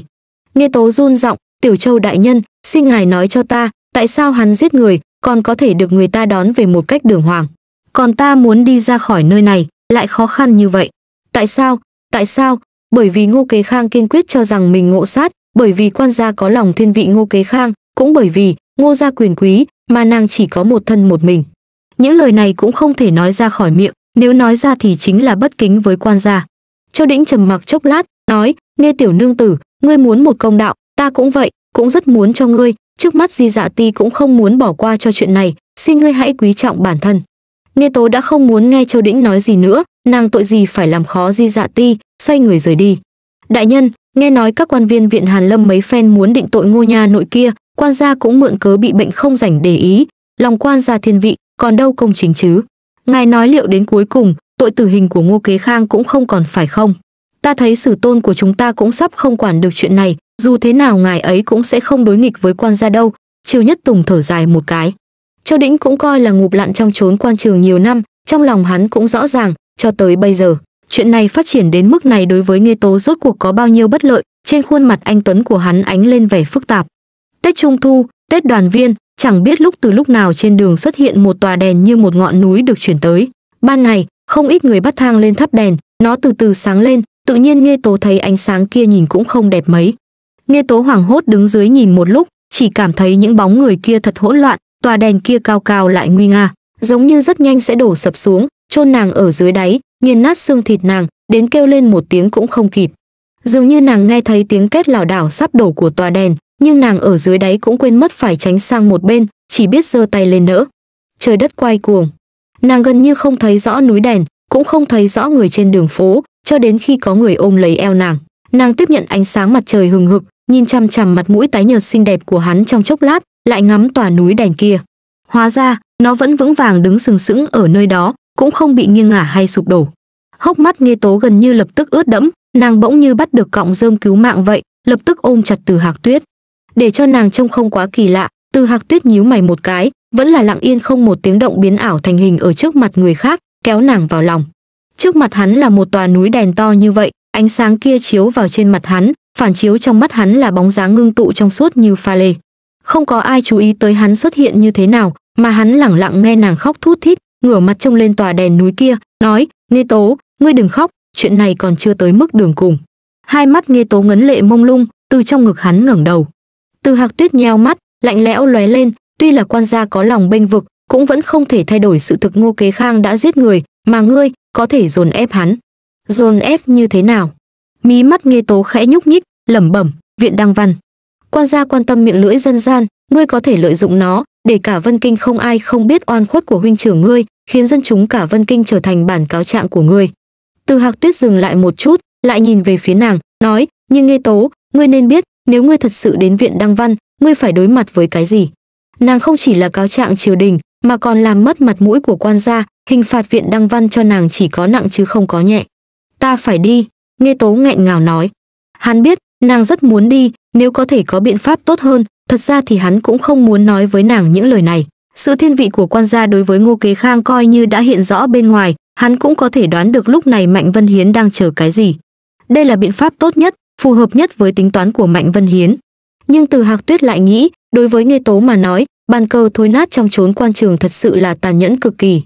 Đèn núi càng ngày càng sáng, gần như có chút chướng mắt. Trung quanh tiếng ồn ào càng lúc càng nhiều hơn. Dưới bóng đèn đan sen, trong lòng từ hạc tuyết như có thứ gì sống dậy, xoa xoa mái tóc nàng. Ánh nắng mặt trời từ từ tắt dần làm cho ánh sáng trên ngọn núi đèn càng trở nên rực rỡ và lộng lẫy hơn. Nhất thời, từ hạc tuyết thấy nó giống như là tòa bảo tháp dưới âm phủ và những ngọn nến đang đung đưa nhảy nhót kia cũng rất giống với lửa linh hồn lơ lửng trong tòa tháp. Công tử, bánh trung thu của ngài đây. Ông chủ sạp bánh ngọt tay chân lanh lẹ gắp mấy chiếc bánh trung thu bỏ vào túi giấy nến rồi đưa cho hắn, sau đó không nhịn được mà lén lút liếc nhìn người trẻ tuổi này một cái. Sắc mặt của hắn rất nhợt nhạt, xanh xao như thể một người bị bệnh triền miên trong một thời gian rất dài, đa tạ. Từ hạc tuyết gật đầu rồi cầm lấy túi bánh trung thu. Khi quay đầu lại hắn nhìn thấy cô nương đang mặc chiếc váy màu trắng thuần đơn điệu vẫn đứng ở đằng kia. Xung quanh có rất nhiều người đi tới đi lui nhưng ánh mắt của nàng vẫn luôn nhìn về phía hắn. Nàng giống như một đứa trẻ không nhớ đường như thể chỉ đợi đến khi hắn đi qua đó thì sẽ ngay lập tức nắm thật chặt góc áo của hắn. Khi từ hạc tuyết đi tới nàng thật sự đã nắm lấy ống tay áo của hắn. Hắn cụp mắt xuống khẽ liếc nhìn bàn tay của nàng. Hắn lấy chiếc bánh trung thu tròn tròn từ trong chiếc túi được làm bằng giấy nến ra rồi đưa cho nàng. Bánh trung thu nhân mứt táo đó. Nghe tố khẽ ừm một tiếng, khịt mũi, sau đó vừa đi theo hắn vừa ăn bánh trung thu. Khi đi qua ngọn núi đèn kia, từ hạc tuyết thực sự cảm thấy khá khó chịu bởi ánh mắt của những người xung quanh thi thoảng lại quét qua người hắn. Mặc dù chỉ là những cái nhìn thoáng qua và cũng chẳng phải là ánh mắt soi mói hay tò mò, nhưng từ hạc tuyết nhớ đến việc trên dương thế chỉ mới trôi qua vẻn vẹn 15 năm cho nên rất có thể hắn sẽ gặp phải những người đồng môn cũ ở nơi này. Có thể sẽ gặp phải thầy của mình, có thể sẽ gặp phải những người hắn từng quen biết, hoặc là những người quen biết hắn. Vừa nghĩ đến đây, hắn chợt cảm thấy bản thân khó có thể đối mặt với bất cứ một ánh mắt tình cờ nào liếc nhìn hắn trên con phố này. Hắn sợ sẽ có người nào đó gọi cái tên từ hạc tuyết trước mặt nàng. Hắn nghiêng đầu nhìn kỹ khuôn mặt của nàng. Lúc này, từ hạc tuyết lại thầm thắc mắc vẻ mặt của nàng sẽ như thế nào nếu nàng nghe được cái tên này nhưng nghe tố vẫn đang ăn bánh trung thu rất chăm chú, nàng chẳng thèm nhìn đường mà chỉ biết nắm lấy ống tay áo của hắn và đi theo hắn. Từ hạc tuyết biết rằng mình không thể chỉ vì trong lòng cảm thấy khó chịu mà hóa thành xương rồi để nàng một mình lẻ loi đi bộ về nhà được. Lúc này, nàng cần một người ở bên cạnh, một con người chân chính, người mà ai cũng có thể nhìn thấy, người mà có thể lặng lẽ dắt nàng hòa vào không khí đông đúc và náo nhiệt trước mặt. Từ hạc tuyết sớm đã chẳng còn thân thể bằng xương bằng thịt. Hắn thật sự không thể trở thành người đó từ hạc tuyết im lặng nhìn nàng ăn bánh trung thu. Chiếc bánh trung thu tròn như trăng rằm, nàng cắn một miếng thì trở nên thiếu thiếu. Những người hầu trong ngô phủ đang tất bật vẩy nước để tẩy trần và xua đuổi xui xẻo cho nha nội vừa trở về nhà. Y chính của thái y cục đang trần bệnh cho ngô kế khang ở trong phòng. Nhập nội nội thị đô đô chi lương thần phúc và ngô thái sư đang ngồi cùng nhau thưởng trà ở bên ngoài. Đây toàn là lá trà ngon đó thái sư, ngài đưa cho ta dùng thì lãng phí lắm. Lương thần phúc nhìn một tỷ nữ đang ôm mấy bình trà làm bằng ngọc bích đi đến ông ta cầm tách trà trên tay, cười tít mắt nói, lương nội thị là người hầu hạ trước mặt quan gia nhiều năm như thế, chắc là đã ngửi quen mùi trà của quan gia rồi. Ta nghĩ đến ông cũng là người yêu trà, mà đã yêu trà thì có gì mà lãng phí hay không lãng phí cơ chứ? Ngô thái sư vừa nói xong thì một cơn ho ập đến. Thái sư bị nhiễm phong hàn khi ở trong cung đến bây giờ vẫn chưa khỏi sao. Hay là mời y chính khám lại cho ngài một lần nữa? Lương thần phúc ân cần hỏi han. Không sao đâu. Ngô thái sư xua tay những bệnh vật khác ta đều không bị mà chỉ bị ho hơi nặng thôi chỉ cần uống thêm chút thuốc là sẽ ổn. Thái sư ngài hãy chú ý đến thân thể nhiều hơn một chút. Mặc dù quan gia không gặp ngài nhưng mấy ngày hôm nay quý phi nương nương luôn ở bên cạnh quan gia đó. Sau khi lương thần phúc nhận được trà ngon thì biết rằng bản thân nên nói thêm vài lời. Năm xưa khi quan gia đang cải trang vi hành ở Giang Châu thì đúng lúc gặp phải một người họ phương kia đã tụ họp một đám tá điển và nông dân đến để gây sự. Lúc đó, nếu không phải ngài gặp nguy nhưng không loạn, đã thế còn dám một mình giao đấu với cái tên họ phương đó rồi thành công chiêu hàng hắn thì không biết hắn sẽ còn gây ra rắc rối lớn như thế nào nữa. Khi đó, Lương Thần Phúc đang đi theo hầu hạ bên cạnh chính nguyên đế. Chính nguyên đế nhất thời cao hứng muốn đi tìm một đạo quán ở trên núi nên chỉ dẫn theo một ít người. Khi chính nguyên đế đi lên tới đó thì mới phát hiện ra rằng đạo quán kia sớm đã bị một đám sơn tặc có số lượng khá lớn chiếm cứ rồi. Mặc dù giờ đây ngài đã không lên chiều nữa nhưng quan gia vẫn còn nhớ rất rõ những công lao lẫn khổ lao của ngài trước đây. Với lại, còn có quý phi nương nương nữa, sao nương nương có thể trơ mắt nhìn nha nội thật sự đi đền mạng cho người ta được. Lương Thần Phúc nhấp một ngụm trà rồi tiếp tục nói, dù sao thì đó cũng chỉ là một cử tử, thậm chí ngay cả mặt mũi của hắn như thế nào quan gia cũng chẳng biết. Nhưng nha nội thì khác, từ sau khi An Vương điện hạ chết yểu cho đến bây giờ quan gia vẫn chưa có thêm con nối dõi nào khác. Nha nội vào cung thăm hỏi quý phi thường xuyên hơn khiến cho cái nhìn của quan gia về nha nội cũng không giống. Lương Thần Phúc hạ giọng xuống, "Thái sư à, quan gia là người hiểu rõ nỗi đau cốt nhục tình thâm nhất, ngài cũng không dễ dàng gì mới sinh được con, quan gia sẽ không để ngài phải mất đi đứa con này đâu." Những lời mà Lương nội thị nói ta đều hiểu. Sau khi nghe Lương Thần Phúc nói xong, Ngô Thái sư như thể được uống một viên thuốc an thần, cảm thấy an tâm hơn rất nhiều. Lúc này, ông ta chậm rãi thở dài và nói, chuyện này vốn dĩ cũng phải trách ta. Bởi vì quan gia muốn đẩy nhanh chính sách mới cho nên mới mở kỳ thi chiêu mộ nhân tài. Ta biết rất rõ quan gia đã cho quý phi và cả ngô gia ta ân sủng cực lớn nên ta muốn Khang Nhi biết phấn đấu một chút. Không phải làm quan vì muốn có được ân sủng mà là vì báo đáp ân huệ của quan gia. Cho nên, ta đã dồn ép Khang Nhi chặt đến mức khiến cho Khang Nhi phải làm ra những chuyện hồ đồ như thế này. Chỉ với dăm ba câu, Ngô Thái Sư đã bày tỏ một cách rất rõ ràng về sự ủng hộ cho chính sách mới lẫn lòng nhiệt tình báo đáp ơn vua của bản thân. Lương Thần Phúc là nội thị thân cận nhất bên cạnh chính nguyên đế. Ông ta đã ở trong cung nhiều năm, sao có thể không hiểu rốt cuộc Ngô Thái Sư muốn nói những lời này cho người nào nghe cơ chứ. Lương Thần Phúc cười cười rồi nói, nếu như quan gia nghe được những lời này của Thái Sư thì nhất định quan gia sẽ hiểu được lòng trung thành của ngài đối với quan gia. Mặc dù hiểu đạo lý bắt người tay ngắn cắn người miệng mềm nhưng suy cho cùng thì Lương Thần Phúc cũng không phải chỉ vì những lá trà cực kỳ quý hiếm kia của Ngô Thái Sư mà là bởi vì tâm tư của quan gia hướng về Thái Sư nên đương nhiên tâm tư của ông ta cũng hướng về Thái Sư rồi. Lương Thần Phúc dẫn theo người của Thái Y cục rời đi. Ngô Thái Sư ngồi trên ghế ho khan mấy trận liền, người hầu đi tới đi lui, ra ra vào vào khiến cho chiếc rèm châu liên tục lay động. Lui ra ngoài hết đi. Ngô Thái Sư ho đến mức khản cả giọng, ngay lập tức tất cả người hầu bị quản gia xua tay ra lệnh lui hết ra ngoài. Trong phòng đột nhiên trở nên yên tĩnh và cánh cửa cũng được quản gia đứng bên ngoài chậm chậm đóng lại. Ra đây đi. Ngô Thái Sư nheo mắt, quan sát tia sáng lọt qua khe cửa kia. Cha, con vẫn còn thấy khó chịu. Toàn thân Ngô Kế Khang cứng đờ, dựa người vào thành giường, cách bức bình phong và rèm châu nên hắn không thể nhìn thấy người đang ngồi ở bên ngoài. Hắn cố gắng hết sức để khiến cho giọng nói của mình nghe yếu ớt hơn. Nhưng hắn không hề nghe thấy câu trả lời của cha mình. Trong lòng Ngô Kế Khang cảm thấy rất hoang mang và sợ hãi, hắn không dám ở lì trên giường nữa mà đứng dậy vén rèm đi ra ngoài, quỳ xuống. Nghe thấy giọng nói lạnh lùng của cha mình, toàn thân Ngô Kế Khang run lẩy bẩy, chân mềm nhũn ra, còn chưa kịp phản ứng thì đã quỳ xuống đất lúc nào không hay. Người ở Di Dạ Ti không dùng hình tra tấn ngươi sao? Vẻ mặt của Ngô Thái sư vô cùng lạnh lùng. Vâng, Ngô Kế Khang nhỏ giọng đáp. Vậy tại sao ngươi lại nhận tội dễ dàng như vậy? Là, là do giả nham đã nhận tội trước. Mặc dù người của Di Dạ Ti không dùng hình tra tấn con nhưng bọn họ lại tra tấn giả nham trước mặt con. Cha, giả nham đã khai con ra, con, lúc đó con đã quá sợ hãi. Giả nham chính là thư đồng của Ngô Kế Khang. Vừa nhắc đến người này, Ngô Kế Khang lập tức cảm thấy rất buồn nôn. Hắn nhớ tới lúc đó người này đã bị tra tấn đến không còn hình người ở di dạ ti, hơn nữa còn phải chịu đựng hình phạt ngay trước mặt hắn. Thậm chí hắn còn không dám nhớ dù chỉ một chút hình ảnh khuôn mặt máu me bê bết của giả nham. Không dám nhớ đến đôi mắt nhìn chằm chằm về phía hắn kia nhưng những hình ảnh này cứ chui vào trong tâm trí của hắn rồi quanh quẩn trong đó. Cả người hắn không ngừng run rẩy, lưng của hắn khom xuống và bắt đầu nôn mửa. Ta đoán chắc là ngươi đang nghĩ rằng tỷ tỷ của ngươi ở trung cung, còn ta thì lại tìm người giúp ngươi lấp liếm, ngươi cho rằng có ra sao đi nữa thì bản thân cũng không thể chết được, đúng không?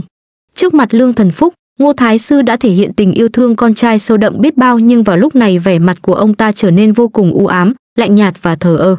Chẳng lẽ, chẳng lẽ không phải sao? Ngô Kế Khang vừa quỳ vừa dùng đầu gối lết từng chút từng chút đến trước mặt Ngô Thái Sư, hai tay run rẩy nắm chặt lấy áo bào của ông ta. Cha, con sẽ không chết đâu đúng không? Cha và tỷ tỷ sẽ cứu con đúng không? Con không muốn lại bị bắt vào di dạ ti lần nữa đâu. Nơi đó có rất nhiều máu, còn có rất nhiều người bị tra tấn trước mặt của con. Con đã mơ thấy ác mộng, con đã mơ thấy rất rất nhiều ác mộng. Ngô Thái Sư đá mạnh vào bụng của Ngô Kế Khang khiến hắn ngã sõng xoài trên mặt đất, đau đớn đến mức hai mắt đỏ hoe, cuộn tròn cả người lại. Nếu ngươi đã biết như vậy thì tại sao còn gây thêm phiền phức cho ta? Ngô Thái Sư đột nhiên đứng dậy, liếc mắt xuống nhìn chằm chằm người đang nằm ở dưới đất. Lúc ngươi tìm Đỗ Tông để làm ra chuyện gian lận, ngươi có từng nghĩ đến việc một ngày nào đó chuyện này sẽ bị người khác phanh phui không? Ta ở phía trước nỗ lực hết sức, nghĩ đủ mọi cách để che giấu giúp ngươi. Ngươi thì giỏi rồi, không những hãm hại muội muội của Nghê Thanh Lam thất bại, ngược lại còn để một con chó ác độc không có chuyện gì để làm như Hàn Thanh nắm được thóp. Cha, quan gia sẽ bảo vệ con, quan gia sẽ bảo vệ con. Ngô Kế Khang thở hồng hộc, con chỉ không muốn nàng ta tiếp tục gây thêm phiền phức, con muốn khiến cho nàng ta phải cuốn gói ra khỏi đất Vân Kinh. Nếu như nàng ta không cút đi thì con sẽ giết nàng ta, giống, cũng giống như giết Nghe Thanh Lam vậy, vô cùng dễ dàng, hắn dường như đã rơi vào trong ma chướng. Nói một cách chính xác, kể từ khi Nghe Thanh Lam chết, hắn vẫn luôn ở trong loại ma chướng này. Ngươi đúng là, tại sao ta lại sinh ra một đứa con vô dụng như ngươi chứ? Ngô Thái Sư không nén được cơn thịnh nộ tiếp tục nói, ta còn chưa hỏi ngươi, tại sao ngươi lại giấu thi thể của Nghe Thanh Lam bên trong bức tượng Bồ Tát bằng đất sét trên núi Thanh Nguyên cơ chứ? Nếu như ngươi cẩn thận hơn một chút thì đã không ai có thể tìm ra cỗ thi thể này rồi. Để hắn ta được siêu độ đó mà. Ngô Kế Khang phản ứng rất chậm chạp, như thể đang lẩm bẩm trong miệng, con để thi thể của hắn ta ở trong tượng Bồ Tát thì hắn ta có thể đi theo Bồ Tát tu hành. Sau đó, hắn ta sẽ được lên trời không cần phải biến thành oan hồn tới tìm con nữa. Cha, con chỉ quên cho hắn ta ăn cơm mà thôi, vốn dĩ con không có ý định muốn giết hắn ta nhưng hắn ta đã chết đói. Ngô Kế Khang bực bội vào đầu bứt tai khiến cho búi tóc của hắn rối tung cả lên. Tại sao hắn ta lại có một muội muội cơ chứ? Nếu không phải do nàng ta thì sẽ chẳng ai có thể phát hiện ra được, không một ai. Ngươi thử nhìn lại bộ dạng bây giờ ngươi đi, có chỗ nào giống với con trai của Ngô đại ta chứ? Học hành thì chẳng ra làm sao, đến giết người mà ngươi cũng nhát như thỏ đế. Ngô Thái Sư lại tức giận hung hăng đá hắn thêm một cước. Vậy cha nhận Nghê Thanh Lam làm con trai của cha luôn đi. Ngô Thái Sư đã động đến dây thần kinh nhạy cảm của Ngô Kế Khang, lại bị đá thêm một cú khiến hắn đau đớn đến mức hốc mắt ngấn lệ. Hắn hét lên, Diệp Sơn Lâm nói hắn ta học vô cùng giỏi. Bọn họ ai cũng nói rằng hắn ta có thể đăng khoa và làm tiến sĩ. Còn con, cho dù con có cố gắng chăm chỉ học hành đến mấy thì con cũng không bao giờ có thể trở thành một đứa con trai giỏi giang của người. Sắc mặt ngô thái sư càng tái mét khiến cho ngô kế khang càng lúc càng sợ hãi nhưng hắn vẫn ôm đầu, miệng vẫn không ngừng lẩm bẩm. Người cứ nhất định phải ép con đọc sách, người có ép con như thế nào đi chăng nữa thì con vẫn không thể thi đậu. Người ngoài ai cũng nói thái sư ngô đại đến lúc về già mới sinh ra được một đứa con trai. Vậy nên tất cả mọi người đều cho rằng ngô đại chắc chắn rất yêu thương đứa con trai này, ngay cả quý phi tỷ tỷ đã nhập cung từ lâu cũng cho là như thế. Nhưng chỉ có ngô kế khang biết rõ rằng tất cả chỉ là giả dối. So với đứa con trai này của mình, ngô thái sư coi trọng thể diện của ông ta hơn. Đứa con trai khó khăn lắm mới có được lúc đã già thì sao chứ. Ông ta không thấy con trai mình rất tầm thường và vô dụng ư. Kể từ sau khi Ngô Kế Khang bị học sĩ hạ đồng của Hàn Lâm viện chỉ trích nghiêm khắc ở Chiêu Văn Đường trong cung, Ngô Thái sư đã đích thân bắt đầu dạy dỗ Ngô Kế Khang. Sau năm 13 tuổi, Ngô Kế Khang lớn lên dưới sự dạy dỗ cực kỳ khắt khe của Ngô Thái sư.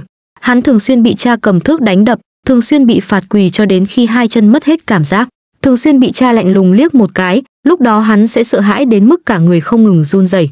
Mặc dù phải chịu áp lực lớn như thế nhưng Ngô Kế Khang vẫn không thể đáp ứng được những yêu cầu của cha mình. Ban đầu, Ngô Kế Khang vẫn nghĩ rằng gia đình mình có ân ấm, hắn có tệ đến mấy thì cũng chẳng sao. Thế nhưng quan gia lại đột nhiên muốn đẩy mạnh chính sách mới, cha hắn vì muốn biểu thị lòng trung thành mà bắt hắn phải đi tham gia khoa cử cùng với đám con cháu của mấy nhà bần hàn kia. Khi kỳ thi mùa đông đến gần, Ngô Kế Khang đã bị rơi vào trạng thái hoảng loạn và bất an. Hắn sợ nếu bản thân không thi đỗ cống sinh thì lúc đó cha của hắn sẽ trừng phạt hắn nghiêm khắc như thế nào. Hắn chẳng nhồi nhét nổi cuốn sách nào vào đầu nữa nên đã bị thư đồng giả nham suối bậy đi đến một bữa tiệc dành cho con cháu của quan gia. Trong bữa yến tiệc này cũng có một vài người xuất thân từ gia đình bình thường. Bọn họ đều là những kẻ biết nịnh nọt, biết nói những lời hoa lá đường mật được nha nội triệu đến để pha trò và trong số đó có một người tên là Diệp Sơn Lâm. Sau khi đã uống được 3 tuần rượu, mọi người trong bữa tiệc bàn tán về kỳ thi mùa đông. Cái người mà gia đình kinh doanh hiệu sách tên Diệp Sơn Lâm kia cũng bắt đầu khoe khoang, tôi biết một người. Y là một cử tử đến từ huyện Tước, trước đây Y đã từng thể hiện tài năng ở hội thơ của Lâm Viên ngoại. Khi đó Y đã trở thành thủ khoa của hội thơ kia.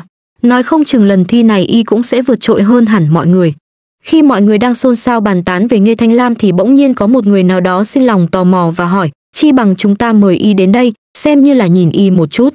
Nếu như y thật sự có học vấn sâu rộng như vậy thì chúng ta cũng có thể kết giao sớm hơn một chút. Nghe thấy thế Diệp Sơn Lâm lắc đầu, y sẽ không đến đây đâu, ta chưa từng gặp y lần nào. Người này vừa mới được lâm viên ngoại coi trọng thì đã trở nên kiêu căng rồi à. Ở chỗ chúng ta bây giờ còn có mấy vị nha nội đó, y là nhân vật lớn thế nào mà không mời nổi chứ. Không phải y kiêu căng mà là bởi vì ta đã từng nghe người khác nói rằng y không thích những nơi như thế này. Còn về tài năng và học vấn của y thì chắc chắn không phải là giả. Ta có quen một người bằng hữu thân thiết của y, tên là Hà Trọng Bình. Người đó đã cho ta xem sách luận do y viết, sách luận đó cực kỳ hay.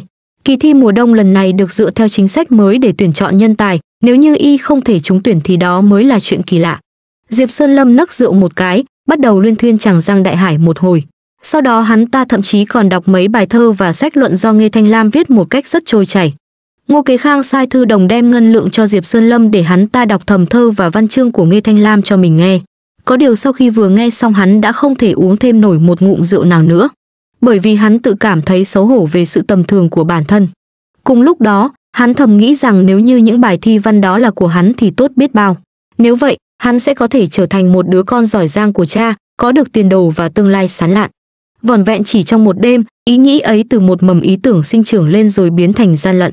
Ngô Kế Khang nhờ những mối quan hệ của cha mình và đưa rất nhiều ngân lượng cho Đỗ Tông.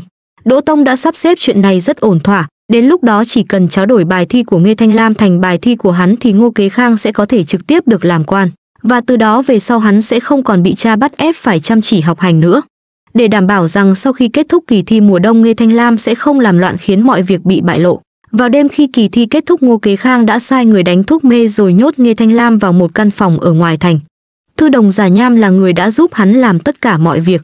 Thậm chí, khi phát hiện Nghê Thanh Lam chạy trốn, giả nham cũng chính là kẻ đã dẫn người đi bắt Nghê Thanh Lam về rồi ra sức đánh đập tra tấn, dày vào hắn.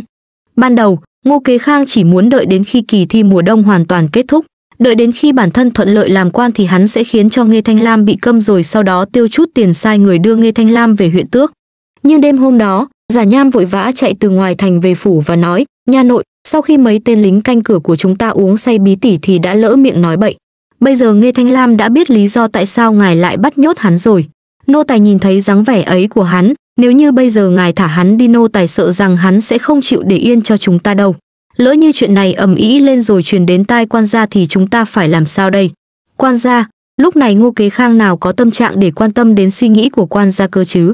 Trong đầu hắn bây giờ chỉ toàn là những lời chửi bới nhục mạ của cha hắn và cả gia pháp nữa.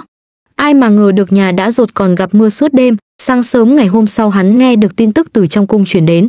Quan gia đã thông qua đề xuất của viện gián và đã thay đổi ý định, sau kỳ thi mùa đông sẽ có thêm kỳ thi đình. Thế là đêm hôm đó, Ngô Kế Khang đã đến gặp Nghe Thanh Lam. Mặc dù quần áo trên người chàng trai kia nhuốm đầy máu tươi nhưng trông hắn vẫn rất chỉnh tề. Trong căn phòng tồi tàn và ẩm mốc, Nghe Thanh Lam vẫn bình tĩnh nhìn chằm chằm Ngô Kế Khang và nói, nếu chuyện của nha nội đã thất bại, vậy thì ta và ngươi cứ kết thúc chuyện này ở đây đi. Sau này trong chúng ta không đề cập đến nó nữa, được không?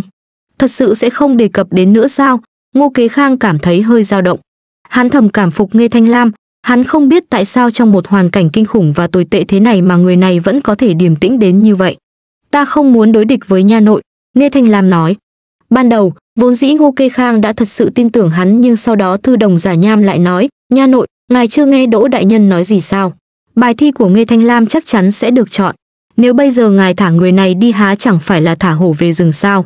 Hiện tại hắn không đủ năng lực để đấu lại ngài nhưng nếu sau này hắn làm quan, biết không chừng hắn lại có thể leo lên được cái cột nào đó, đến lúc đó hắn bắt đầu tính sổ với ngài thì ngài phải làm thế nào? Sợ thì cũng sợ thật nhưng nếu như thái sư phát hiện ngài. Vừa nghe thư đồng nhắc đến hai chữ thái sư, Ngô Kế Khang lập tức cảm thấy toàn thân lạnh toát. Một cảm giác sợ hãi cha mình dâng lên trong vô thức mà bên cạnh giả nham vẫn tiếp tục nói thầm bên cạnh tai của hắn, nha nội, trước đây hắn đã từng chạy trốn một lần. Chuyện ngài tráo đổi bài thi cũng là do hắn đã cố ý lừa chúng nô tài nói ra. Hắn tuyệt đối không phải ngọn đèn đã cạn dầu, hắn đang lừa ngài đó. Sau khi Ngô Kế Khang nghe được những lời này, hắn thực sự cảm thấy Nghe Thanh Lam chắc chắn là đang lừa gạt mình, cho nên hắn vô cùng tức giận, quát lớn, mấy ngày này không được cho hắn ăn cơm. Chẳng những không cho Nghe Thanh Lam ăn cơm mà Ngô Kế Khang còn sai giả nham và mấy tên khác treo Nghe Thanh Lam lên để đánh đập và hành hạ. Mặc dù không phải là những đòn tra tấn chí mạng nhưng chúng đã khiến cho Nghê Thanh Lam cạn kiệt sức lực rồi đổ bệnh. Thực ra Ngô Kế Khang không có ý định giết người nhưng hắn không biết giải quyết Nghê Thanh Lam như thế nào mới có thể sắp xếp ổn thỏa chuyện này. Hắn không thể ngờ rằng sau khi Nghê Thanh Lam đổ bệnh thì thậm chí đến một thìa cơm cũng ăn không nổi nữa. Hắn cứ thế dần dần chết đói. Lúc đó Ngô Kế Khang còn đang do dự có nên mời thầy thuốc đến trị bệnh cho Nghê Thanh Lam hay không. Lúc hắn còn đang cực kỳ hoảng loạn và sợ bị người khác phát hiện, đúng vào lúc hắn còn đang chần chừ thì Nghê Thanh Lam đã chết. Bầu trời u ám xám xịt, sấm chớp rền vang, chẳng mấy chốc gió táp mưa xa đã ảo ảo đổ xuống. Ngô Thái sư nhìn đứa con trai sụi lơ hệt như bùn nhão đang nằm trên mặt đất, trên khuôn mặt nhăn nheo của ông ta chẳng còn một chút sự dịu dàng hay ôn hòa nào nữa. Ông ta cầm một cây roi, hung dữ quất thẳng vào người của Ngô Kế Khang, nghiến răng cười khẩy. Nếu nghe Thanh Lam là con trai của ta, cho dù ngươi chỉ mới động tay vào bài thi của hắn mà chưa làm hại đến tính mạng của hắn, thì ta cũng sẽ khiến cho ngươi phải trả giá bằng chính mạng sống của mình. Đáng tiếc, hắn không phải con ta, mà ngươi mới là con ta. Trung thu qua đi, tranh chấp giữa viện Hàn Lâm và viện Gián trở nên ngày càng gay gắt. Số lần cái tên Nghe Thanh Lam bị nhắc tới cũng nhiều hơn, quan văn đại tề cũng vì vậy mà hận không thể dùng thủ đoạn để bác bỏ ý kiến của đối phương. Viện gián cho rằng bởi vì quốc cữu Ngô Kế Khang làm việc sơ suất nên mới dẫn đến cái chết của Nghe Thanh Lam. Cuối cùng, Ngô Thanh Lam mắc phải chứng xuất hồn, không ăn được gì nên mới chết đói, Ngô Kế Khang không đáng tội chết. Nhưng viện Hàn Lâm lại nghĩ khác, Ngô Kế Khang mua chuộc Đỗ Tông gian lận trước, sau đó còn giam giữ Nghê Thanh Lam, khiến cho người này mắc phải chứng xuất hồn dẫn đến tử vong, nhất định phải xử Ngô Kế Khang tội chết. Hai bên tranh chấp mãi không dứt, chính nguyên đế thì lúc nào cũng viện cớ bị ốm để tảo chiều, tấu chương mà viện Hàn Lâm và viện Gián gửi tới điện Khánh Hòa cũng là đá chìm đáy biển. Thái độ này của chính nguyên đế khiến khí thế của viện Gián ngày càng cao hơn. Mấy ngày nay chuyện của Nghê Thanh Lam được rất nhiều người để ý, đều đã được truyền đi khắp phố phường dối, lúc ở quán trà ta cũng có nghe. Mà vị tiên sinh kia kể chuyện sinh động như thật vậy, nào là tâm tư của Ngô Kế Ngang xuất hiện như thế nào, nghe Thanh Lam bị giam giữ và tra tấn ra sao. Mấy chuyện này đều kể rất rành mạch, khiến không ít người bên đường tức giận chửi mắng quốc cữu Ngô Kế Khang, mấy lời chửi mắng đó vô cùng khó nghe. Bùi Chi Viễn vừa bóc vỏ đậu phộng vừa nói, ta nghe nói hôm qua có rất nhiều cử tử đến phủ Quang Ninh hỏi về bản án của Nghê Thanh Lam, nhất là những cử tử có xuất thân nghèo khó, bọn họ ai nấy đều rất tức giận, thay phiên nhau làm loạn. Một vị quan viên khác nói tiếp, ngươi cũng đã nói là con cháu nhà nghèo, nhưng ngoại trừ quan lại ra, người đọc sách trên thiên hạ có ai nghe xong chuyện của hắn mà không thấy buồn bã thất vọng chứ? Nếu quan gia không xử trí Ngô Kế Khang, chỉ sợ rằng bọn họ sẽ không bỏ qua. Một quan viên khác thở dài. Những người trẻ tuổi không có gia thế chống lưng đó có ai lại không lo lắng bản thân sẽ trở thành nghe Thanh Lam thứ hai chứ? Chỉ cần quyền quý muốn thì có thể đốt sạch 10 năm gian khổ đèn sách của người khác, thậm chí còn khiến người ta trả giá bằng tính mạng. Chuyện này khiến người đọc sách phải làm loạn đến như vậy thật ra là bởi vì nó chạm đến ý chí của họ, cũng là nhiệt huyết của người trẻ tuổi. Chúng ta vẫn chỉ nên thảo luận cho tốt về việc chính sách mới, đừng nên xen vào chuyện của viện gián và viện Hàn Lâm nữa. Nhân lúc học sĩ của viện Hàn Lâm là Hạ Đồng còn chưa tới, có người nhỏ giọng nói. Mới vừa nói xong thì đã thấy Trương tướng công và Mạnh tướng công bước vào, mọi người lập tức đứng dậy chắp tay hành lễ. Nhanh chóng nói chuyện chính đi. Mạnh Vân Hiến như không nghe thấy lời bọn họ nói, chắp tay sau lưng rồi bước vào cửa, nói bọn họ không cần đa lễ, sau đó vào chỗ ngồi, bàn chính sự với Trương Kính. Tuy quan gia vẫn còn đang bệnh, nhưng bọn họ vẫn phải dâng tấu chương về chuyện thảo luận chính sách mới lên bàn của ông ta. Mấy quan viên khác cũng không dám nói chuyện phiếm nữa, vội vàng tập trung vào chuyện lúc này. Thiên tài sát hắc Mạnh Vân Hiến rời cung về đến nhà, nghe người bên trong nói có khách đến chơi thì ông ta cũng lười thay quần áo, trực tiếp đi tới thư phòng. Chuyện của nghe Thanh Lam nổi tiếng ở Vân Kinh như vậy là so di dạ ti ngươi làm à? Chờ người bưng trà đi ra ngoài xong, Mạnh Vân Hiến mới hỏi người bên cạnh mình. Là muội muội của nghe Thanh Lam, nghe Tố làm, nhưng ta cũng có dùng một chút thủ đoạn. Ta kêu Châu Đĩnh đi rêu giao lời khai của thư đồng giả nham ra ngoài, cứ như vậy, người kể chuyện trong quán trà sẽ kể lại. Nếu không phải do thủ đoạn này của Hàn Thanh, người bên ngoài cũng sẽ không biết nhiều chi tiết về hành động phạm tội của Ngô Kế Khang như vậy. Cô nương này, Mạnh Vân Hiến ngẩn người trong giây lát, ông ta bưng chén trà lên nhưng lại không uống, không ngờ lại cứng đầu như vậy. Giọng nói của ông ta mang theo một chút tán thưởng. Chẳng lẽ nàng muốn tới viện đăng văn? Mạnh Vân Hiến bỗng nhận ra. Nếu không phải như thế, nàng hà tất phải đi khắp nơi, dùng tiền để làm lớn chuyện này. Ta nghĩ, nàng không thể nào không tới viện đăng văn được. Nhắc đến nàng, vẻ mặt của Hàn Thanh trở nên hơi phức tạp. Nàng chỉ là một nữ tử yếu đuối, thật sự có thể chịu được hình phạt của viện đăng văn sao. Khói bốc lên, Mạnh Vân Hiến nhấp một ngụm trà, nhưng mà hành động này của nàng càng tiện cho ta và ngươi làm việc. Quan gia vốn đã rất để ý tới lời nói của dân, mà nay lại gặp Thái Sơn phong thiện, trong lòng sẽ càng quan tâm tới việc này. Đợi lúc chuyện của Nghê Thanh Lam truyền tới viện Đăng Văn, quan gia chắc chắn không thể tiếp tục ngồi yên, nhất định sẽ đưa ra phán quyết. Nhưng phải quyết định như thế nào mới ổn đây? Người ở kinh thành Mãn Vân đều nhìn chằm chằm vào vụ án này, những người đọc sách xuất thân nghèo khó kia còn coi chuyện của Ngê Thanh Lam là chuyện của mình. Nếu như quan gia vẫn quyết tâm bao che cho Ngô Kế Khang như trước, chỉ sợ chuyện này sẽ không dễ kết thúc. Nghe tố này đúng thật là đang chèn ép quan gia. Nghĩ đến đây, Mạnh Vân Hiến không khỏi thở dài, Hàn Thanh, ta cảm thấy nàng có hơi giống với ngươi của trước đây. Năm đó nếu như ta có cơ hội đến viện Đăng Văn, ta nhất định sẽ đi, khuôn mặt Hàn Thanh hiện lên ý cười. Năm đó Hàn Thanh chỉ mới 11-12 tuổi, là một vị quan không quyền không thế ở trong cung, mà một cung nô như ông thì làm gì có quyền tới viện Đăng Văn. May mắn thay, nhờ có Mạnh Vân Hiến giúp đỡ, muội muội ông mới giữ được tính mạng. Mạnh Vân Hiến trầm ngâm một lát, chống tay lên đầu gối nói, ngày nàng đến Đăng Văn viện cáo trạng, quan gia nhất định sẽ triệu kiến ta, ngày 9 tháng 9 là trùng dương. Nghe Tố thức dậy từ rất sớm, nàng đứng sửa soạn nhang đèn trước bàn thờ. Hôm qua, nàng thấy Thái Xuân Nhứ có đưa thủ du tới, cắm loại cây gốc son đỏ ấy vào trong bình. Nàng suy nghĩ một chút rồi đưa tay bẻ một đoạn cài lên tóc. Ngày xưa, người dân Trung Quốc vào Tết trùng dương có tục lệ cài nhánh hoa thủ du lên đầu để trừ tà. Trông có đẹp không? Nàng xoay người, cất tiếng hỏi người đang đứng trước mái hiên. Từ Hạc Tuyết nhìn Nghe Tố, hôm nay nàng mặc một bộ đồ trắng trông trong trẻo như xương, tóc được búi làm ba búi nhưng lại chẳng có trang sức gì kèm thêm cả, chỉ có một đoạn thủ du được cài ở giữa. Vừa trắng vừa đỏ, trông thật sự rất hút mắt. Ừm, hắn gật đầu. Nghe Tố hơi mỉm cười, khi sắc của nàng không không tốt lắm, cả khuôn mặt cũng rất gầy gò. Nàng bẻ thêm một đoạn thủ du từ trong bình rồi đi tới trước mặt từ Hạc Tuyết, vừa giữ chặt lấy vạt áo hắn rồi quấn thủ du lên vừa nói hôm nay chúng ta phải đi lên một ngọn núi vô cùng cao, mang theo cái này đi đi. Ngọn núi rất cao đó là viện Đăng Văn. Từ Hạc Tuyết cúi đầu nhìn bàn tay này đang nắm lấy vạt áo bạc màu của mình, ánh mắt khẽ lay động. Ngươi nghe ta nói này. Nghe tố ngắt lời hắn, hôm nay ngươi nhất định không được giúp ta, đừng để bất kỳ người nào phát hiện ra sự tồn tại của ngươi. quấn chặt thù du xong tầm mắt của nghe tố di chuyển từ quả thù du đỏ thắm chuyển qua vạt áo trắng tinh nghiêm chỉnh của từ hạc tuyết sau đó lại ngẩng đầu lên nhìn hắn ta đi chịu phạt còn lo phải nhờ ngươi đến giúp đỡ. Giọng nói của nghe tố rất nhẹ nhàng, nếu như ngươi không giúp ta ta nhất định sẽ rất thảm. Yên tâm, hắn nói, ừm, khóe mắt nghe tố khẽ cong lên, cảm ơn ngươi trước. Trống đăng văn được đặt ở trước cửa hoàng thành nghe tố đi từ đường nam hoài tới, sương mù ban sáng đã tan đi rất nhiều, ánh mặt trời càng thêm chói lóa. Trên đường có rất đông người qua lại, ở giữa đám người muôn hình vạn trạng ấy, nàng trông thấy những binh sĩ canh giữ trước cửa hoàng thành ai nấy đều mặc áo giáp, vẻ mặt vô cùng nghiêm túc ở bên cạnh trống đăng văn còn có không ít binh lính chạy những công việc lặt vặt. Không một ai chú ý đến nghe tố cho đến khi nàng bước đến trước trống đăng văn, ngẩng đầu nhìn nó. Ánh nắng mặt trời rực rỡ chói mắt, mấy người trong đội giữ trống xô đẩy lẫn nhau, họ nhìn chằm chằm vào vị cô nương bỗng dưng đến gần này mà khẽ khẽ nói, nàng ấy định làm gì vậy nhỉ? Không lẽ nàng ấy muốn đánh trống à? Đã rất nhiều năm không có ai tới đây đánh trống rồi. Nàng ấy không sợ bị phạt sao? Đội giữ trống đang nói chuyện với nhau thì bỗng thấy nữ tử trẻ tuổi kia đang với tay nắm lấy dùi trống trên giá gỗ. Nàng từ từ giơ cao dùi trống lên, nặng nề đánh vào mặt trống. Đùng, một âm thanh vang lên. Mặt trống vì bị đánh mà dao động. Người đi đường bị tiếng trống làm cho bất ngờ, rất nhanh đã tụ tập lại trước trống đăng văn. Tiếng trống vang lên ngày một dồn dập, ngày một nặng nề hơn. Mau mau đi bẩm báo với quản trống đại nhân. Mọi người tụ tập chen lấn xô đẩy nhau người quản trống là nội thị trong cung, nhiệm vụ là gửi tin tức của tiếng trống vào cung, sau đó tiếp tục đưa nó đến viện đăng văn. Một lần gửi tin như vậy chỉ hoãn không ít thời gian, nhưng tiếng trống kia thì không được dừng lại. Cả người nghe tố mồ hôi nhễ nhại, cổ tay vô cùng đau nhức, thế nhưng nàng vẫn nắm chặt lấy dùi trống, mãi đến khi tuyên đức môn của viện đăng văn ở phố nam mở ra. Là ai đến đây đánh trống? quản trống gân cổ kêu lên.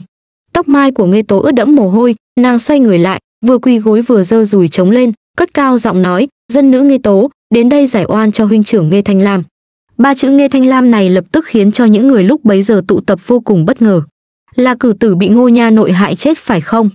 Ta cũng có nghe nói, hình như là bị ngô nha nội tra tấn đến mức mắc chứng xuất hồn, không ăn uống được, đói đến mức chết đi. Đúng là làm bậy.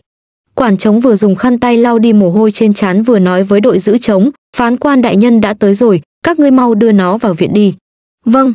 Đội giữ trống vội vàng đáp lại từ sau khi có quy định rằng khi cáo ngự trạng sẽ phải chịu phạt, đã lâu rồi chống ở viện đăng văn không có ai hỏi thăm, phán quan ở nơi này còn kiêm luôn chức vụ trong viện gián.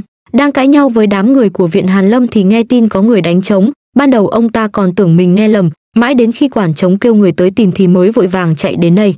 Ngồi vào công đường đàm phán quan thấy ngoài cửa có nhiều dân chúng tụ tập như vậy nên không quen, ông ta chỉnh lại mũ mão, dùng tay áo lau mồ hôi xong rồi mới ngồi nghiêm chỉnh lại quan sát nữ tử trẻ tuổi đang quỳ gối trước mặt mình, người đang ngồi dưới công đường là ai, vì sao lại đánh trống? Dân nữ nghe tố, cáo trạng con trai của thái sư đương triều ngô đại, ngô kế khang giết hại huynh của dân nữ, nghe tố cúi người dập đầu. Hiển nhiên đàm phán quan cũng không ngờ rằng vụ án hôm nay của chính mình lại là vụ của nghe thanh lam, sắc mặt của ông ta khẽ thay đổi. Đánh giá nữ tử trước mặt mình một phen, trầm giọng nói, chắc ngươi cũng biết là để cáo trạng ở viện đăng văn này thì cần phải chịu phạt nhỉ. Dân nữ biết nếu có thể giải được oan cho huynh trưởng, dân nữ tự nguyện chịu phạt. Đàm phán viện nheo mắt, nghĩ rằng nữ tử này ngu ngốc, không biết hình phạt tại viện đăng văn này nặng đến mức nào. Ông ta bỏ những lời định nói sang một bên, hất cằm với nhóm đầy tớ, làm đi. Rất nhanh sau đó, nhóm đầy tớ đã khiêng ra một cái sập hoa đầy bụi bặm. Một người trong số họ dùng ống tay áo lau chùi qua loa trên mặt sập, hai người còn lại áp giải nghi tố nằm lên. Một bên gương mặt của nghi tố áp sát vào mặt sập lạnh như băng, nàng nghe thấy giọng nói nghiêm túc của đàm phán quan nghe tố, bản quan hỏi ngươi thêm lần nữa, ngươi còn muốn cáo trạng nữa hay không? Dân nữ muốn, nghe tố nói, được, đàm phán quan gật đầu, nói với gã đầy tớ đang cầm gậy, dùng hình. Gã đầy tớ cũng không có vẻ gì là thương tiếc thân nữ nhi như nàng, vừa nghe thấy lệnh của phán quan, gã lập tức giơ gậy lên, nặng nề đánh xuống. Cơn đau nhức của xương thịt khiến nghe tố không nhịn được mà kêu la thảm thiết, nước mắt từ hốc mắt tuôn ra giàn giụa. Đau đớn đến mức toàn thân run rẩy, còn đau đớn hơn cả gậy giảm uy của phủ quang ninh gã đầy tớ đánh nàng liên tiếp mấy gậy, dân chúng đứng ngoài cửa ai ai cũng nghe thấy tiếng trầm đục khi gậy đánh lên da thịt. Lúc thái xuân nhứ vừa được miêu dịch dương đỡ ra từ xe ngựa, nàng ấy đã nghe thấy tiếng nữ tử run rẩy kêu la bên trong, đầu gối nàng ấy mềm nhũn, suýt chút nữa đã ngã khỏi xe ngựa. Thái xuân nhứ chạy nhanh đến cửa, đẩy những người đang đứng chắn ở phía trước ra. Nàng ấy vừa nhìn thoáng qua một chút là đã trông thấy nghe tố đang bị đặt trên một cái sập hoa, bên trên quần áo bạc màu là những vệt máu loang lổ. A hỉ muội muội hốc mắt của thái xuân nhứ nóng lên nghẹn ngào lẩm bẩm Nghe tố, bản quan hỏi lại ngươi, ngự trạng này, ngươi còn muốn cáo không? Đánh được vài gậy, đàm phán quan giơ tay lên ý bảo gã đầy tớ tạm thời dừng lại. Cáo, đôi môi nghe tố run rẩy. Trong mắt đàm phán quan ánh lên vẻ khác thường, ông ta không ngờ rằng nữ tử này lại không bị dọa cho sợ hãi. Nghĩ đến tình trạng hiện giờ của viện Hàn Lâm và viện Gián, sắc mặt của ông ta không được tốt lắm, phất tay. Gã đầy tớ gật đầu, hai người một trước một sau lại tiếp tục đánh. Nghe tố đau đến mức ngón tay nàng nắm chặt lấy một góc của sập hoa, đốt ngón tay trở nên trắng bệch. Dù có cắn răng chặt thế nào nàng cũng không thắng nổi sự đau đớn trên thân thể, chỉ có thể khó chịu rơi lệ. Đây cũng không phải là lần đầu tiên từ Hạc Tuyết thấy nàng chịu phạt, nhưng chỉ có lần này là hắn thật sự không đành lòng, thậm chí còn không nhìn nổi cảnh nàng rơi nước mắt. Cây gậy lại tiếp tục rơi xuống, hắn nhắm mắt, tay siết lại thành nắm đấm. Nghe tố, ngươi nói cho bản quan nghe, vì sao ngươi muốn giải oan? Đàm phán quan ngồi nghiêm chỉnh trên công đường nói. Vì sao muốn giải oan ư? Gã đầy tớ vẫn chưa dừng tay, nghe tố đau đớn đến mức cả tinh thần cũng trở nên chậm chạp, nàng lẩm bẩm, ta muốn làm gì? Lại một gậy nữa rơi xuống, nàng đau đến nước mắt giàn giụa, phát ra một tiếng kêu thảm thiết ngắn ngủi. Nghe tố khó nhọc hít thở, khóc lóc kêu lên, ta muốn kẻ giết người phải chết. Ta muốn hắn ta trả lại tính mạng cho huynh trưởng của ta. Ta muốn hắn ta trả lại tính mạng cho huynh trưởng của ta. Dựa vào cái gì? Dựa vào cái gì mà tính mạng của huynh trưởng của nàng không so được với tính mạng của người kia? Dựa vào cái gì mà kẻ giết người có thể công khai thoát khỏi lao ngục? Đại nhân, nếu không thể giải oan cho huynh trưởng, dân nữ cũng không sợ chết. Đừng có đánh nữa. Thái Xuân Nhứ bị gã đầy tớ ngăn lại ở cửa, nàng ấy trơ mắt nhìn Nghe Tố bị đánh, một gậy rồi lại một gậy, nôn nóng kêu lên, đại nhân, đừng đánh muội ấy nữa. Thế nhưng đám đầy tớ lại mắt điếc tai ngờ. Từ Hạc Tuyết trông thấy đoạn thù du đỏ tươi trên tóc mai của Nghe Tố rơi xuống đất, cả người nàng toàn là máu, trong khi gậy thì không ngừng đập mạnh vào người nàng. Cầm hắn cứng lại, suy cho cùng vẫn khó có thể chịu đựng được, từ Hạc Tuyết vươn tay, mấy hạt bụi óng ánh màu bạc trắng, non mềm mại như mây chui ra từ hai ngón tay, khẽ khàng bám lên người nàng. Gã đầy tớ vẫn không ngừng vung gậy, nhưng Nghe Tố lại không cảm thấy đau đớn nữa. Nàng chậm chạp ngẩng đầu, nước mắt bám trên lông mi cũng chảy xuống, nàng nhìn thấy bụi bặm di chuyển quanh người hắn, từng giọt máu đỏ thẫm không ngừng nhỏ xuống từ ống tay áo bên cạnh. Nghe Tố nhìn thấy miệng vết thương ở cổ tay hắn bị hở ra, ngay cả vạt áo cũng bị nhuộm hồng, có lẽ dưới lớp áo bào này có rất nhiều vết thương đã hiện ra rồi. Gương mặt của hắn ngày càng tái nhợt.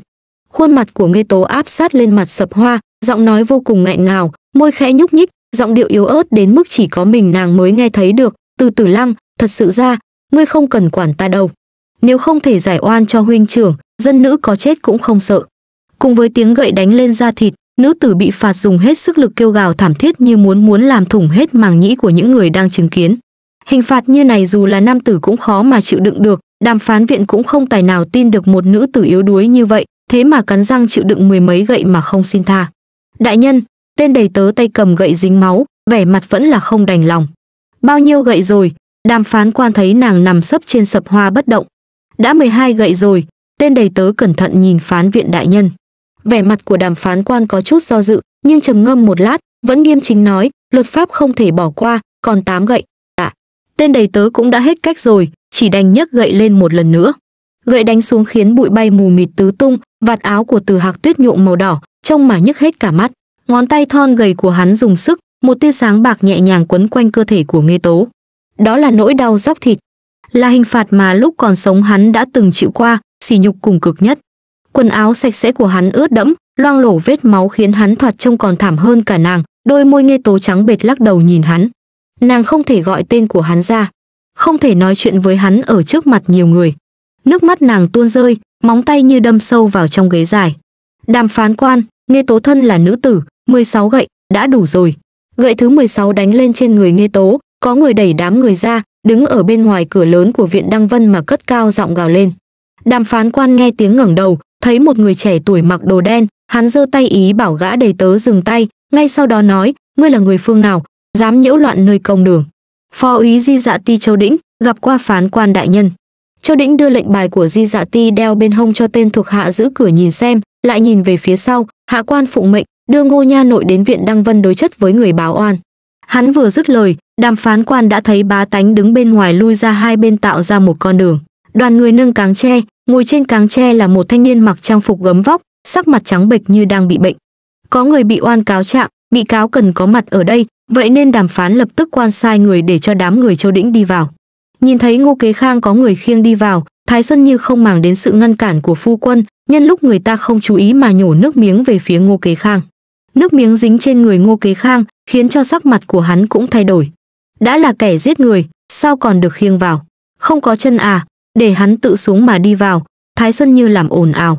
Trong đám người lập tức vang lên tiếng hùa theo, đúng thế, thả hắn ta xuống. Cũng không biết rau cải và trứng thúi bay đến từ chỗ nào, những tên sai vật đó vội vàng buông cáng tre nhưng muốn cản cũng không cản được. Ngô Kế Khang bị quăng trúng, hắn chừng lớn hai mắt, không tài nào chịu đựng được sự dơ bẩn trên người, sắc mặt càng nhăn nhó hơn. Ngực phập phồng sắp nổi giận, lại nghe Châu Đĩnh ở bên cạnh lạnh nhạt nói, "Ngô nha nội, xin đứng lên đi vào viện Đăng Vân để thẩm vấn." Chữ thẩm vấn này Châu Đĩnh nói rất thoải mái, như đang nhắc nhở Ngô Kế Khang về tình cảnh của bản thân hắn. Ngô Kế Khang khó chịu mà đứng lên, được gã sai vặt bên người đỡ, từ từ đi vào trong viện Đăng Vân. Dưới ánh nắng chói chang, hắn mới liếc mắt đã nhìn thấy nữ tử nằm sấp trên sập hoa thấy, sau lưng nàng bị máu tươi nhuộm đỏ hết, cả người run rẩy trong vô thức. Ngô Kế Khang vô thức nắm chặt cánh tay gã sai vặt, hoảng hốt mà ngẫm nghĩ, đã bị phạt như vậy, sao nàng còn chưa chết nữa? Nha nội, gã sai vặt nhỏ giọng nhắc nhở hắn. Nhưng vẫn chậm rồi, Ngô Kế Khang lảo đảo một cái, suýt nữa thì quỳ dạp xuống đất, hắn được gã sai vặt đỡ lên đứng thẳng người, chắp tay hành lễ với đàm phán quan ngồi ngay chính giữa, bái kiến phán quan đại nhân. Đại nhân, phạt gậy này còn đánh không? Tên đầy tớ ở bên cạnh cẩn thận hỏi. Đàm phán quan cũng khó khăn, nhất thời cũng nói không biết nên nói đánh hay không đánh. Phán viện đại nhân, viện Đăng Vân dùng hình pháp trước rồi sau đó mới thẩm tra án, là vì đề phòng vu cáo, bất kính với thánh thượng. Dùng hình pháp này để thử thách ý chí kiên định của người khiếu nại, mục đích này chẳng có gì đáng trách, nhưng để truy ra chân tướng, chẳng lẽ đại nhân cho rằng nàng còn chưa đủ thành tâm sao? Châu Đĩnh đi vào công đường, chỉ vào Nghê Tô đang nằm dưới ánh nắng chịu phạt, nói: "Nhưng 20 gậy là quy củ của viện Đăng Vân." Đàm phán quan nhíu mày lại, nếu không tuân theo quy củ, sẽ không dẹp loạn được. Đại nhân, học trò đồng ý thay nàng nhận phạt. Bên ngoài cửa lớn của cổ viện, bỗng nhiên truyền đến giọng nói vội vàng. Trong lúc nhất thời, ánh mắt mọi người đều tập trung trên người thanh niên đang bị tên thuộc hạ giữ cánh tay ở ngoài cửa, Nghe Tố phản ứng chậm chạp một hồi lâu, mới đưa mắt nhìn. Vậy mà là Hà Trọng Bình. Hắn quỳ xuống dầm một tiếng, cao giọng hô, Tế Minh huynh trời sinh như vàng như ngọc, khí chất như tùng, phong thái hiên ngang, nhưng chẳng thể nào có được cuộc sống trọn vẹn như ý nguyện. Ta được Tế Minh huynh quan tâm, được làm bạn với Tế Minh huynh, hôm nay nếu trơ mắt nhìn muội muội duy nhất của hắn đòi lại công đạo cho hắn, Hà Trọng Bình ta uổng công đọc sách thánh hiền. Kẻ giết người phải đền mạng, là việc tất yếu xưa nay, tuy Tế Minh huynh đã chết nhưng những thư sinh nghèo chúng ta vẫn còn đây. Học cho Hà Trọng Bình, cam chịu hình phạt, giải oan cho bằng hữu Nghê Thanh Lam. Khoảng thời gian Nghê Tố đánh chống kêu oan, rồi lại vào viện Đăng Vân chịu hình phạt, chuyện này đã truyền khắp đường lớn ngõ nhỏ Vân Kinh. Không chỉ có Hà Bình Trọng nghe thấy, những thư sinh có xuất thân nghèo khó như hắn cũng bỏ quên việc học ở thư viện, vội vàng chạy tới. Kẻ trí tồn tại vì bách tính, vì công lý. Đây là đạo lý tiên sinh ở thư viện chỉ dạy cho. Nhưng hôm nay ai sẽ lấy lại công đạo cho sĩ tử nghèo hèn khắp thiên hạ? Ai có thể chắc chắn được Nghê Thanh Lam của hôm nay gì không phải là chúng ta của sau này chứ? Một học trò nói, phất vạt áo qua rồi quỳ xuống, học trò nguyện chịu hình phạt, vì Nghê Thanh Lam giải oan. Còn chờ cái gì? Chẳng lẽ các ngươi lại chẳng mạnh mẽ bằng nữ tử yếu ớt kia à? Thêm một thư sinh nhìn chung quanh bốn phía, ngay sau đó quỳ xuống. Càng ngày càng nhiều người đọc sách quỳ xuống. Học trò đồng ý chịu phạt, đồng ý giải oan cho Nghê Thanh Lam. Học trò đồng ý giải oan cho Nghê Thanh Lam. Học trò đồng ý giải oan cho Nghê Thanh Lam. Đàm phán quan rất đau đầu, ông ta lau mồ hôi trên trán, nghe thấy những bá tánh đang xem náo nhiệt cũng hùa theo hô hào, đại nhân, đừng đánh nàng nữa. Ông ta cùng hết cách, lúc này cũng không thể nào dùng hình tiếp được nữa, phẩy tay, bảo thuộc hạ đừng đè Nghê Tố xuống nữa. Đám người Hà Trọng Bình bị đưa vào trong viện Đăng Vân, đám đầy tớ lại đưa đến vài cái sập hoa, đám thư sinh lần lượt nằm sấp lên. Đàm phán quan buồn bực trong lòng, không biết sao việc này lại thành ra như thế này, ông ta đang ở viện gián. Biết rõ án này nếu không tra rõ là không được, chỉ sợ những tên ở viện Hàn Lâm đó sẽ rất đắc ý. Nhưng tình hình trước mắt này, đàm phán quan ngẩng đầu, nhìn thoáng qua những thư sinh ở bên ngoài chịu hình, ông ta chỉ cảm thấy đầu càng đau. Ngô Kế Khang, nàng cáo trạng ngươi giết hại huynh trưởng của nàng, mà tội này ngươi đã nhận lúc ở trong di dạ ti, có thật hay không?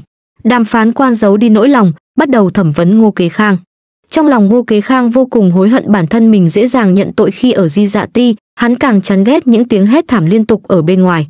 Nhưng ta là không muốn giết hắn, ta chỉ là, ta chỉ là nhốt hắn lại, sau đó hắn bị chết đói, hắn tự đói chết, không liên quan gì đến ta. Nếu ngươi không giam cầm huynh ấy, không tra tấn huynh ấy, sao huynh ấy lại bị chứng ly hồn chứ? Nghe tố chống đôi tay trên sập hoa muốn ngồi dậy, nhưng trên cổ tay lại không có sức lực. Sao ta biết được? Trạng thái của Ngô Kế Khang càng loạn, ta đã bảo, ta không muốn giết hắn, cho dù thế nào thì tội ta cũng không đáng chết, không đáng chết. Nếu ngươi không chết, nghe tố ta đời này nhất định sẽ không bỏ qua. Nghe tố quên không được ngày ấy hắn cười điên dại ở di dạ ti, nàng hận trong tay mình không có đao kiếm. Nếu xã hội này chẳng thể lấy lại công đạo cho huynh trưởng của nàng, nàng cũng sẽ một đao đâm chết hắn. Khiến hắn không thể cười nữa, không thể nào dùng ánh mắt như thế để khinh thường sinh mạng của huynh trưởng nàng nữa. Ngô Kế Khang bực dọc trong lòng khiến bản thân gãi cổ không ngừng, hắn chán ghét ánh mắt của nàng cực kỳ, nếu những thư sinh kia xen vào việc của người khác thì tốt rồi. Ta quả thật không cố ý giết người, không thì ngươi nói cho ta biết, ta nên bù đắp cho ngươi thế nào đi. Ngô Kế Khang đi nhanh ra ngoài, đến trước mặt nàng, hạ người xuống, dáng vẻ không biết phải làm sao, nhưng ánh mắt của hắn nhìn về phía nàng lại là lạnh lùng và dữ tợn, đòi tiền sao, hay là muốn cái gì? Hắn thấp giọng nói. Nghe Tố Hận không thể xé rách ra mặt hắn ngay tại nơi này, cả người nàng run rẩy mạnh mẽ, lại thấy Ngô Kế Khang bỗng nhiên lảo đảo lui về phía sau vài bước, ngay sau đó, sắc mặt của hắn trở nên quái dị. Tia sáng màu bạc như sợi tơ quấn quanh cổ hắn, Nghe Tố nhìn theo tia sáng kia. Dưới ánh sáng, bàn tay tái nhợt của Từ Hạc Tuyết dính máu, xương cốt mềm oặt, sợi tơ của hắn xuyên vào nhập quần áo của Ngô Kế Khang, từng chút một xé rách những vết thương bằng roi bên dưới lớp quần áo của Ngô Kế Khang. Ngô Kế Khang hoảng sợ vô cùng, hắn không thấy được trên người rốt cuộc bị thứ gì quấn lấy, lại có thể cảm giác được những sợi tơ mỏng xé rách từng chút da thịt trên người hắn, đục khoét da thịt hắn, đau đến mức khiến hắn quay cuồng trên đất hét thảm. Nghe tố, ngươi yên tâm, ta sẽ không dùng thuật pháp giết người. Đôi mắt lạnh lùng của Từ Hạc Tuyết nhìn chằm chằm Ngô Kế Khang cả người bụi bặm nằm lăn trên mặt đất. Hắn không quay đầu lại nhìn cô nương nằm trên sập hoa, bình tĩnh nói chuyện cùng nàng, 16 gậy này là hắn hại muội phải hứng chịu, nên trả. Nghe Tố muốn nói chuyện, muốn nói với hắn, không cần như vậy, đừng khiến cơ thể bản thân dần nhạt đi, nếu không hôm nay lại có tuyết rơi nữa. Chỉ là nàng không thể. Nàng sợ mọi người nơi này phát hiện ra sự tồn tại của hắn. Sợ hắn không thể nào tự xử lý được. Nghe tố trơ mắt nhìn ngón tay hắn dùng sức, chỉ bạc đâm vào máu thịt của ngô kế khang, giống như đang khống chế một con rối vậy. Hắn điều khiển ngô kế khang dập đầu vào nền đất như kẻ điên, dập cho đến khi chán toàn máu, gã sai vặt của viện đăng vân cuống quýt đến giữ hắn lại, suýt nữa là giữ không được. Ngô kế khang cố sức gào thét, có quỷ, có quỷ. Dường như từ hạc tuyết đã quen với cơn đau đớn trên người mình, ngón tay hắn cong lên, kéo sợi tơ, thờ ơ và lạnh nhạt nhìn trò hề của ngô kế khang. Ngươi đừng buồn, cũng đừng nản lòng thoái chí, ngươi muốn lấy lại công đạo, sẽ có người muốn giống muội. Cơ thể từ hạc tuyết đã trong suốt như sương mù, hắn nhìn về phía đám thanh niên nằm trên ghế dài chịu phạt, nói với cô, quan trường là nơi lạnh lẽo, nhưng máu của một số người vẫn là nóng. Đàm phán viện không biết vì sao Ngô Kế Khang lại bỗng nhiên phát điên, chỉ nghĩ là do hắn bị tâm thần mà còn thấy tuyết đột nhiên rơi xuống, chỉ đành phải kết thúc công được một cách qua loa, chọn ngày khác tái thẩm. Nhưng 36 tên thư sinh và muội muội của Nghê Thanh Lam đang bị xử án giải oan ở viện Đăng Văn cũng khiến cho cả Vân Kinh ồn ào xôn xao. Ngày đó ở viện trống, dân chúng đứng hóng hớt ở ngoài cửa chính cũng không ít, vô số người thấy được trận tuyết kia, tiếng kêu bất bình vào Tết trùng dương đã không thể kiểm soát được. Những cử tử hoặc công sinh đã tham gia kỳ thi mùa đông cũng có không ít người lên tiếng, công khai lên án quốc cữu Ngô Kế Khang. Ngươi đang đợi quan gia à? Mưa thu liên miên, Trương Kính dùng hai tay chống lên quải trượng, thình lình lên tiếng. Chúng ta là những người làm thần tử đó, chẳng phải chỉ là chờ đợi thôi sao? Lúc này cũng chẳng có mấy quan viên đang bàn chuyện trong nội đường, Mạnh Vân Hiến bưng chén trà, vừa coi múa vừa nói. Dù là ngự sử được quan gia yêu ái như tưởng tiên minh cũng phải quỳ gối ở ngoài điện Khánh Hòa vài lần, quan gia vẫn như cũ, nói không gặp thì là không gặp. Trương Kính vuốt đầu gối, ta nghe Hạ Đồng nói, sách luận mà Nghê Thanh Lam viết vô cùng hay, vốn là nhân tài hiếm có. Quả thực là vậy. Mạnh Vân Hiến gật đầu, lập tức cười nói với ông ta, trong lòng ngươi hiểu rất rõ. Cho dù viện gián và viện Hàn Lâm đang tranh nhau là vì cái gì thì học trò hạ đồng của ngươi cũng vẫn là người thẳng thắn thanh liêm, hắn rất lấy làm tiếc cho tên Nghê Thanh Lam này. Học trò của ta, ta tự biết, Trương Kính bình tĩnh nói. Đương lúc hai người đang nói chuyện không mặn không nhạt thì bên ngoài có hoạn quan đội mưa chạy đến. Mạnh Vân Hiến tập trung nhìn, đúng là nhập nội nội thị đô đô chi lương thần phúc luôn hầu hạ bên cạnh quan gia. Mạnh tướng công, trương tướng công. Lương thần phúc thi lễ, quan gia có chỉ, mời mạnh tướng công đến khánh hòa điện. Mạnh Vân Hiến và Trương Kính nhìn nhau, lập tức đứng dậy, lương nội thị cứ đi trước, ta sẽ lập tức theo sau. Cho đến khi lương thần phúc rời đi, Trương Kính không động đậy ngồi trên ghế, chỉ nói, đợi bao nhiêu ngày thì cuối cùng quan gia cũng chịu kiến, sao ngươi còn không mau đi đi. Mạnh Vân Hiến nghe vậy quay đầu, đáp, bộ dâu của ngươi bị rối rồi, sau khi đi gặp quan gia xong thì có muốn cùng ta đến con phố ở phía đông để cạo mặt không? Trương Kính mắt điếc tai ngơ, nhấp một ngụm trà. Mạnh Vân Hiến hậm hực sờ mũi, sai người mang mũ cánh chuồn đến rồi sửa sang lại quần áo, lúc này mới đến chính sự đường. Bầu trời khi mưa có mấy khi quang đãng, toàn bộ cấm cung như được gột rửa bằng nước mưa, lạnh lẽo giống như màu nước mực vậy. Mạnh Vân Hiến bung dù đi dưới cơn mưa bụi, vung vạt áo đi về phía bậc thềm ngọc trắng. Xa xa, ông ta nhìn thấy ngự sử tưởng tiên minh ướt đẫm cả người. Mạnh tướng công. Tưởng tiên minh vừa nhìn thấy Mạnh Vân Hiến đi đến thì lập tức tiếp cận. Vì vụ án kỳ thi mùa đông mà tưởng ngự sử đã khổ cực rồi, nghe nói mấy ngày nay mỗi ngày ngươi đều cầu kiến quan gia, hôm nay quan gia đã gặp ngươi chưa? Mạnh Vân Hiến đưa cái dù che mưa cho hoạn quan trẻ đang đứng bên cạnh. Đúng là hạ quan đang đợi mạnh tướng công cùng nhau vào điện. Tưởng tiên minh lau nước mưa đọng trên mặt, y hơi hạ thấp giọng, hôm nay vụ án kỳ thi mùa đông đã truyền khắp đường phố Vân Kinh rồi. Tiếng kêu oan Tết trùng dương đến nay vẫn chưa dứt, chắc hẳn mạnh tướng công cũng có nghe thấy. Hạ quan khẩn cầu mạnh tướng công, mong ngài có thể nói một lời công đạo cho án này trước mặt quan gia. Chẳng phải quan gia triệu ta và ngươi vào điện cùng nhau sao? Tưởng ngự sử muốn nói gì thì nói cái đó đi. Mặc dù là như thế, tưởng tiên minh ngượng ngùng, nhưng hạ quan thấy, sợ rằng hôm nay quan gia không muốn nghe hạ quan nói chuyện. Bởi vì y đã nói nhiều lắm rồi, quan gia đã xin lòng phiền chán, hơn nữa viện gián và viện Hàn Lâm tranh cãi không ngừng, quan gia càng không muốn nghe những lời đã được quá nhiều người nói thêm nữa. Nếu không, hôm nay quan cũng sẽ không chịu kiến mạnh tướng công. Mạnh tướng công quá bận chuyện chính quyền mới, chưa bao giờ nhúng tay vào việc này, quan gia muốn nghe người không biết nói chuyện. Đang trò chuyện, Lương Thần Phúc từ trong điện đi ra, quan gia mời hai vị đại nhân vào điện. Bên trong điện Khánh Hòa hun hương xen lẫn với một ít mùi đắng chát của thuốc, đèn đồng sơn son thép vàng tán cành như cây, phía trên được điểm xuyết bằng những ngọn nến và chụp đèn, khiến cho trong điện sáng ngời. Quan gia, Mạnh Vân Hiến và Tưởng Tiên Minh cúi người thi lễ. Lương Thần Phúc, Mạnh Vân Hiến và Tưởng Tiên Minh đều cúi đầu, chỉ nghe tiếng nói khàn khàn của chính nguyên đế. Lương Thần Phúc lập tức sai người mang một cái ghế đến, đặt ở phía sau lưng Mạnh Vân Hiến. Tưởng Tiên Minh hơi xoay đầu nhìn thoáng về phía sau mình, rỗng tuếch. Eo của y lập tức cúi thấp hơn. Sự khác biệt như vậy, cho dù là ai cũng có thể thấy rằng lúc này chính nguyên đế đang giận Tưởng Tiên Minh. Mạnh Vân Hiến không có biểu cảm gì, chỉ thản nhiên ngồi xuống, nói, tạ ơn quan gia. Mạnh Khanh, hôm nay gọi ngươi đến đây không phải vì việc chính quyền mới. Chính nguyên đế chỉ mặc một cái áo bào đỏ cổ tròn, dựa lưng trên gối mềm, cầm một quyển sách, chấm muốn biết, ngươi thấy viện gián và viện Hàn Lâm cãi nhau vì cái bản án lớn này như thế nào. Cơ thể đế vương ở phía sau màn tơ, không thể nào thấy rõ ràng, chỉ nghe giọng điệu như vậy cũng không cách nào suy đoán được nỗi lòng của chính nguyên đế lúc này. Chính nguyên đế đi thẳng vào vấn đề, Mạnh Vân Hiến đặt hai tay trên đầu gối, kính cẩn đáp, thần cho rằng bản án này trên liên quan đến khoa cử, dưới liên lụy đến dân tình, muốn tránh cũng không thể tránh. Chính nguyên đế đằng sau tấm rèm không đáp. Vào Tết trùng dương có một cơn tuyết kỳ lạ rơi xuống, mặc dù thời gian rất ngắn nhưng chắc chắn quan gia ở trong cung cũng có thể nhìn thấy. Bây giờ những lời đồn thổi nổi lên khắp bốn phía phố phường, nói rằng án này xử oan uổng vô cùng, tuyết rơi tháng 9 chính là oan hồn chưa tan của Nghê Thanh Lam.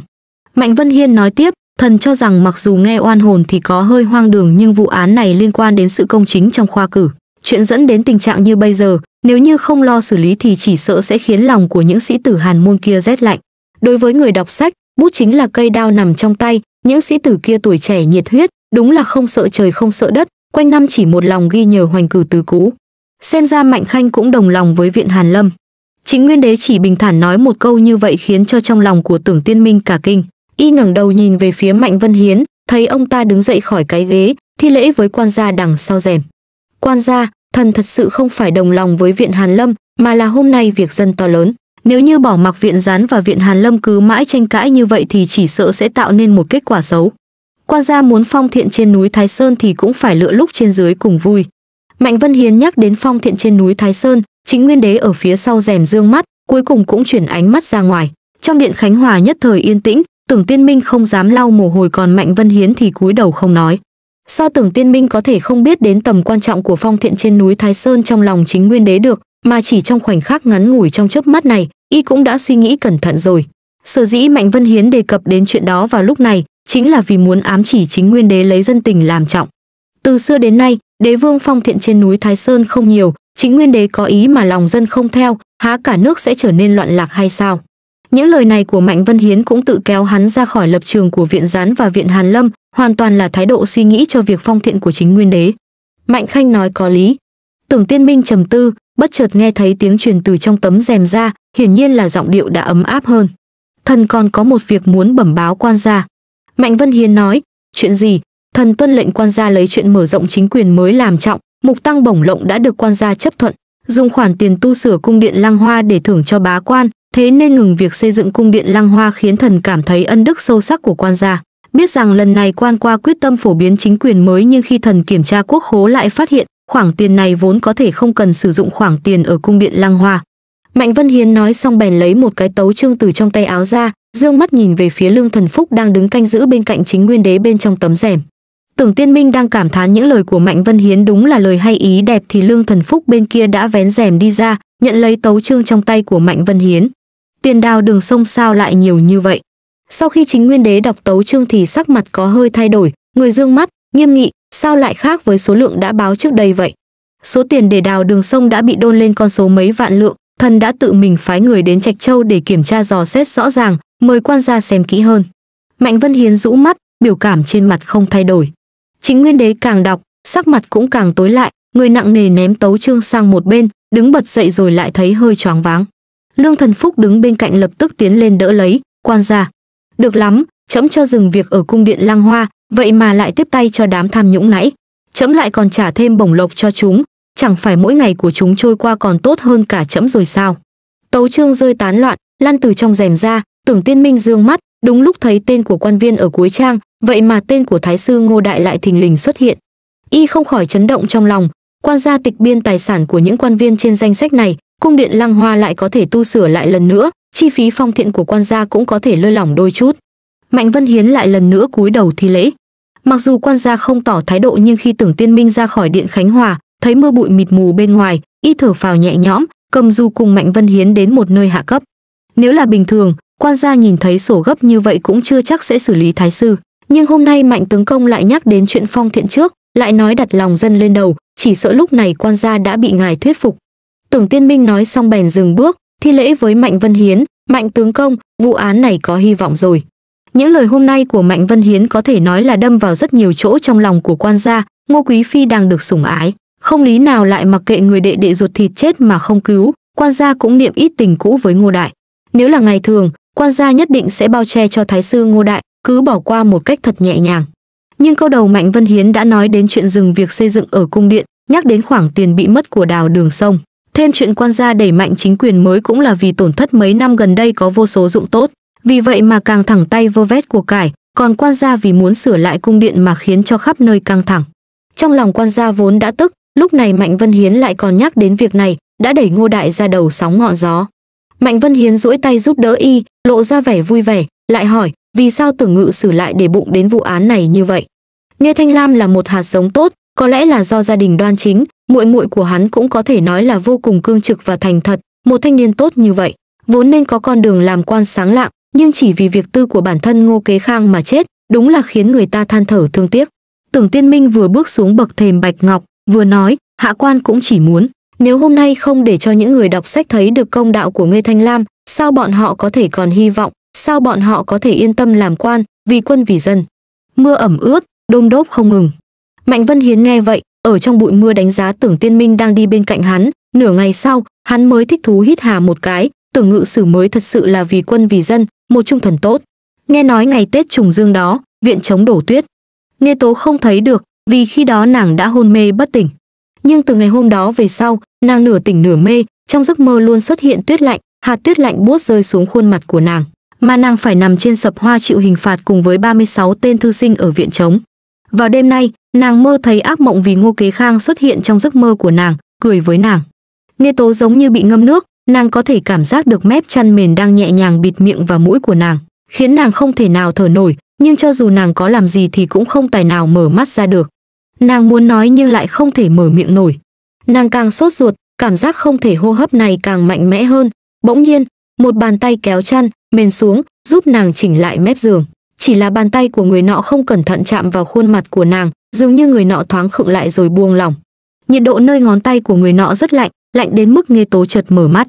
Đầu tiên là nàng nhìn về phía góc chăn, trông giống như vừa được người ta chỉnh lại gọn gàng, trong phòng im ắng, chỉ có một chiếc đèn trên bàn, Ngọc Văn cũng không ở trong phòng. Nàng loang thoáng nghe được tiếng nói chuyện trong sân. Thái Xuân Nhứ đang nói chuyện với Ngọc Văn. Ngày ấy Thái Xuân Nhứ đưa nghe Tố về, để Ngọc Văn và mấy thị nữ ở lại để chăm sóc nghe Tố. Ánh mắt của Nghê Tố chuyển lên cái chụp đèn. Môi nàng giật giật, nhẹ giọng nói, từ tử lăng, ngươi có ở đây không? Chờ lâu mà không nghe được tiếng đáp lại, Nghê tố bèn muốn cố chấp đứng dây, nhưng đột nhiên nàng lại nghe được tiếng gió lướt qua song cửa sổ. Nàng dương mắt thì thấy một luồng sương đêm luồng qua cửa sổ, nhanh chóng ngưng kết lại thành dáng người. Ánh mắt của hắn vô thần, trong mắt đen kịt mà trống rỗng, kiên nhẫn sờ soạng, từng bước một đi đến trước giường của nàng. Trời sắp tối rồi, ngươi nên bảo ta thắp đèn cho ngươi chứ. Nghe tố nhìn hắn, nói. Không cần. Hắn nương theo giọng nói của nàng, lắc đầu. Đèn trong phòng của ngươi đã tắt hết chưa? Vào ban ngày, nghe tố sai Ngọc Văn mang thật nhiều nến mang đến phòng cách vách. Mặc dù Ngọc Văn không hiểu lắm nhưng mà vẫn làm theo. Ừm, vậy ngươi lấy cái chản đèn trên bàn kia, cây đốt lửa cũng ở đằng kia. Nghe tố nói. Từ hạc tuyết không nói một lời, xoay người, duỗi tay hai mò mẫn về phía trước, người con gái ở sau lưng vẫn luôn trông chừng nhắc nhở hắn, bên phải, đi đằng trước, cẩn thận. Bước chân của hắn cẩn thận nhiều hơn, nhưng cuối cùng cũng mò được cái nến trên bàn và cái cây đốt lửa kia. Nghe tố dập tắt cây đèn, rồi lại nhanh chóng nhóm lên. Ánh đèn đốt sáng lên trước mặt nàng, khiến cho đôi con ngươi sáng long lanh ánh nến, cơn mê mang ngắn ngủi của hắn qua đi, nghiêm túc nhìn chăm chú vào khuôn mặt nàng. Có muốn uống nước không? Tầm mắt của hắn lại nhìn xuống bờ môi hơi khô khốc của nàng. Nghe tố lắc đầu, nhìn hắn cầm đèn đặt lên bàn lại, nàng cứ vậy mà lén lút nhìn theo bóng lưng của hắn. Cơ thể của hắn vẫn rất lạnh. Có lẽ phải dùng thật nhiều nhang nến mới có thể bù đắp. Nghe tố nhớ đến giấc mộng tuyết rơi, nhớ người trong mộng vẫn luôn trong suốt mỏng manh, tựa như rất nhanh thôi sẽ biến mất không sót gì, còn Ngô Kế Khang đang đứng trước mặt nàng.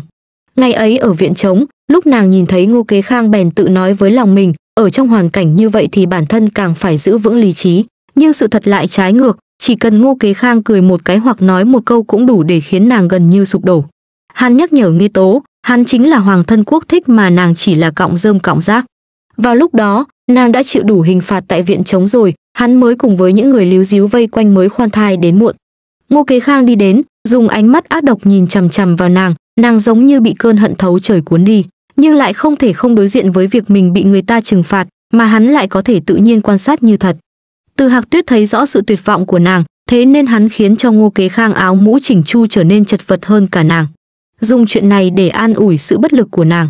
Một người đã chết, máu của hắn rõ ràng đã trở nên rét lạnh từ thuở nào, thế nhưng hắn lại nói với nàng, có một vài người máu nóng.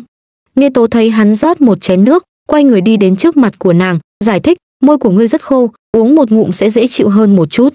Vốn dĩ muốn nói không uống thế nhưng khi nghe Tố nhìn hắn cầm chén nước quay ra, nàng lại không muốn từ chối ý tốt của hắn, nàng muốn đứng dậy nhưng trên cơ thể lại không có bao nhiêu sức. Từ Hạc Tuyết dùng một tay giữ chặt lấy vai của nàng, giúp nàng ngồi dậy. Nghe Tố miễn cưỡng uống vài ngụm nước, nàng ngửi được mùi tuyết động xen lẫn với một ít mùi máu tanh ở trên người hắn, nàng ngẩng đầu, kinh ngạc nhìn đường cong đẹp đẽ nơi cằm của hắn. Sao vậy? Giọng nói của Từ Hạc Tuyết dường như có hơi yếu ớt. Ngươi có ổn không? Không có gì đáng ngại. Từ Hạc Tuyết dùng giọng điệu thờ ơ đáp. Nghe Tố cúi đầu rũ mắt, sao lại không có gì đáng ngại chứ? Ngươi đã giúp ta như vậy, ta thật sự không biết phải làm sao mới có thể. Có thể cái gì?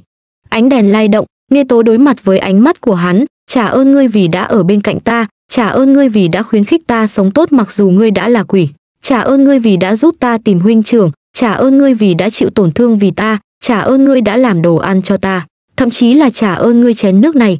Nghe Tố, mắt của Từ Hạc Tuyết hơi rũ xuống, nhẹ nhàng lắc đầu, bờ môi vừa lạnh lùng vừa có hơi vui vẻ. Mọi chuyện trên đời này không phải thứ nào cũng đều cần phải có ngươi, nếu ta muốn ngươi trả ơn chỉ vì một chén nước như vậy, vậy thì ta thành cái gì chứ? Nếu như ta muốn như vậy thì sao? Ánh mắt của nàng quá nghiêm túc, từ hạc tuyết im lặng một lúc, cuối cùng ngước mắt lên nhìn nàng, bộ trang phục mà ngươi làm cho ta đã xong chưa? Vẫn còn một chút nữa, nghe tố vô thức nói. Từ hạc tuyết ừng một tiếng, nói, chỉ như vậy đã đủ rồi. Thật ra nghe tố chỉ muốn biết rốt cuộc nàng có thể giúp gì cho hắn không, thế nhưng hắn luôn như thế, lúc ở trước mặt nàng luôn che giấu bản thân thật kỹ. Nàng lại không thể ép buộc hắn, vì nàng không biết chuyện khi hắn còn sống, không biết rốt cuộc tại sao hắn lại chết khi 19 tuổi. Hắn không nói, nàng cũng không thể hỏi. Giống như lúc này, nàng biết mình đã không thể tiếp tục nói tiếp nữa, Thái Xuân Nhứ ở ngoài phòng có lẽ đã đi rồi, nhưng Ngọc Văn lại không bước vào. Hắn yên tĩnh đứng trước giường của nàng, gió luồng vào khiến tay áo của hắn phe phẩy. Khuôn mặt tái nhợt nhưng lại thanh tú. Vậy ngươi đợi ở đây đi, nghe tố khẽ nói. Từ hạc tuyết giật mình, lập tức nói, ta có thể cầm cái đèn này đi. Hắn cho rằng nàng đang lo lắng sau khi trở về phòng cách vách thì hai mắt của hắn không thể nhìn thấy gì. Không phải, nghe tố dầu dĩ nói, ta luôn mơ thấy ác mộng. Trong giấc mơ đó luôn có tuyết rơi, ta mơ thấy ngươi chút giận lên ngô kế khang thay ta, sau đó ngươi lại biến mất không thấy đâu, ta đốt rất nhiều nhang, rất nhiều nến nhưng vẫn không tìm thấy ngươi. Cơn tuyết đó là tả dày đặc, lấp đầy trong giấc mơ của nàng. Sau tấm bình phong có một cái giường êm, trên giường của ta cũng có dư một cái chăn mền, có thể đưa cho ngươi. Vốn dĩ từ hạc tuyết nên từ chối. Hắn không thể ở cùng phòng với nàng, nhất là trong một đêm như thế này. Từ hạc tuyết nhìn phía nàng, thoáng suy tư. Đêm dần tối. Cách một cái bình phong, từ hạc tuyết nằm trên giường êm, trên người đắp chăn vẫn còn giữ lại hơi ấm của nàng. Tất cả điều này khiến hắn trong chớp mắt nhớ về lúc mình từng làm người cũng có độ ấm như vậy. Từ tử lăng, giọng nói của nghe tố truyền đến. Cái bình phong vải trắng rất gần với giường của nàng, từ hạc tuyết dương mắt, ánh sáng từ chiếc đèn khiến cho bóng người phía sau bình phong lờ mờ, hắn không thấy rõ. Cơ thể của ngươi thật lạnh, có phải ngươi đã quên ấm áp là như thế nào không? Nàng hỏi, ừm, hắn lên tiếng nhưng không biết vì sao nàng lại hỏi như vậy, một giây sau hắn lại nghe nàng nói, vậy ngươi duỗi tay đây. Ánh sáng màu vàng ấm áp chiếu lên trên bình phòng. Từ hạc tuyết thấy tay của nàng chạm lên phía trên lớp vải trắng, cái bóng kéo dài. Ngươi duỗi tay ra thì sẽ biết thôi, giọng của nàng vang lên. Dưới ống tay áo, mu bàn tay của từ hạc tuyết gân cốt rõ ràng, đốt ngón tay thon dài khuất sau thả lỏng. Từ hạc tuyết duỗi tay ra, đốt ngón tay thon dài tái nhợt của hắn gập lại, chạm vào phía trên bình phong, cách một lớp vải trắng, trồng lên cái bóng bàn tay mờ ảo của nàng. Cái chạm rất đỗi nhẹ nhàng, hắn nhìn chăm chú cái bóng trên bức bình phong. Bình phong không thể ngăn lại hơi ấm từ bàn tay nàng, có lẽ là nàng vẫn chưa hạ sốt nên nhiệt độ rất cao. Đột nhiên trong lòng từ hạc tuyết cảm thấy có hơi kính nể cô nương này, từng phải chịu gậy giảm uy của phủ quang ninh, lại chịu trượng hình của viện đăng văn, một nữ tử yếu đuối như vậy lại đang dùng cả tính mạng của mình để trả thù giải oan cho huynh trưởng. Chỉ riêng sự can trường này, nàng không thua bất kỳ binh sĩ từng chinh chiến xa trường cùng hắn năm xưa. Ngón tay ở trên bình phong vải mỏng kia bỗng nhúc nhích, từ hạc tuyết lập tức hoàn hồn, hắn chợt nhớ rằng trước khi nàng ra khỏi lao ngục vào đêm khuya, lúc tiến vào phủ thái úy, hắn đã từng chạm nhẹ tay lên vầng trán của nàng, giúp nàng hạ nhiệt.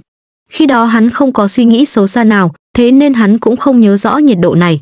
Nhưng mà tối nay, rõ ràng đã cách một tấm bình phong, rõ ràng chỉ là hai tay chạm nhau nhưng nhiệt độ ấm áp từ tay của nàng lại truyền đi khắp toàn bộ cơ thể của hắn.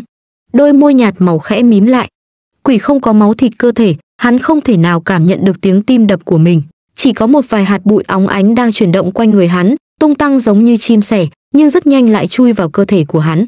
Một cái đèn lung lay, lặng im sửa chữa chút tàn hồn tan hoang của hắn. Tay của ngươi lạnh như tuyết vậy, nếu đến gần thứ gì nóng, liệu ngươi có cảm thấy ấm áp hơn chăng? Nữ tử sau tấm bình phong tò mò hỏi hắn. Không biết, hắn chỉ nói vậy. Nếu trong ngày hạ tất nhiên sẽ ấm, vào ngày đông sẽ lạnh, cho dù là ấm hay lạnh, chẳng phải đều là nhiệt độ sao. Nghe tố nhìn cơ thể to lớn của hắn sau tấm bình phong, hắn giống như đồng cỏ hoang bị núi tuyết bao phủ. Chỉ nằm trong bóng dâm u tối, dường như chẳng ai có thể đến gần được, không ai có thể phá vỡ sự tĩnh lặng đó của hắn. Nhưng bỗng nhiên nàng rất muốn làm như vậy. Nghĩ vậy, ngón tay của nàng áp thật sát lên tấm bình phong, kề sát với lòng bàn tay của hắn, chạm đến đốt ngón tay thon gầy, cố ý chạm vào chỉ tay của hắn, một cái chạm thật nhẹ. Lông mày của hắn khẽ nhướng lên, nhìn bóng người phía sau bình phong, hắn nhanh chóng rụt tay lại. Nghe tố nhìn thấy tay áo của hắn hơi lay động, giống như đã quay lưng đi, giọng nói lạnh lùng của hắn lập tức truyền đến, nghe tố, ngủ đi. Trên ngọn núi tuyết có chú chim hoảng sợ đang hót vang, sải cánh mà bay, mặc dù cảnh tượng có hơi bối rối nhưng dường như tòa núi trống rỗng này đã trở nên sinh động hơn, giống như có chút sức sống vậy.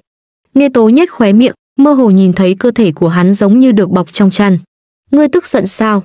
Nghe tố chống cằm trên cái gối mềm, không có, hắn không quay người, vẫn lặng lẽ trốn trong bóng tối.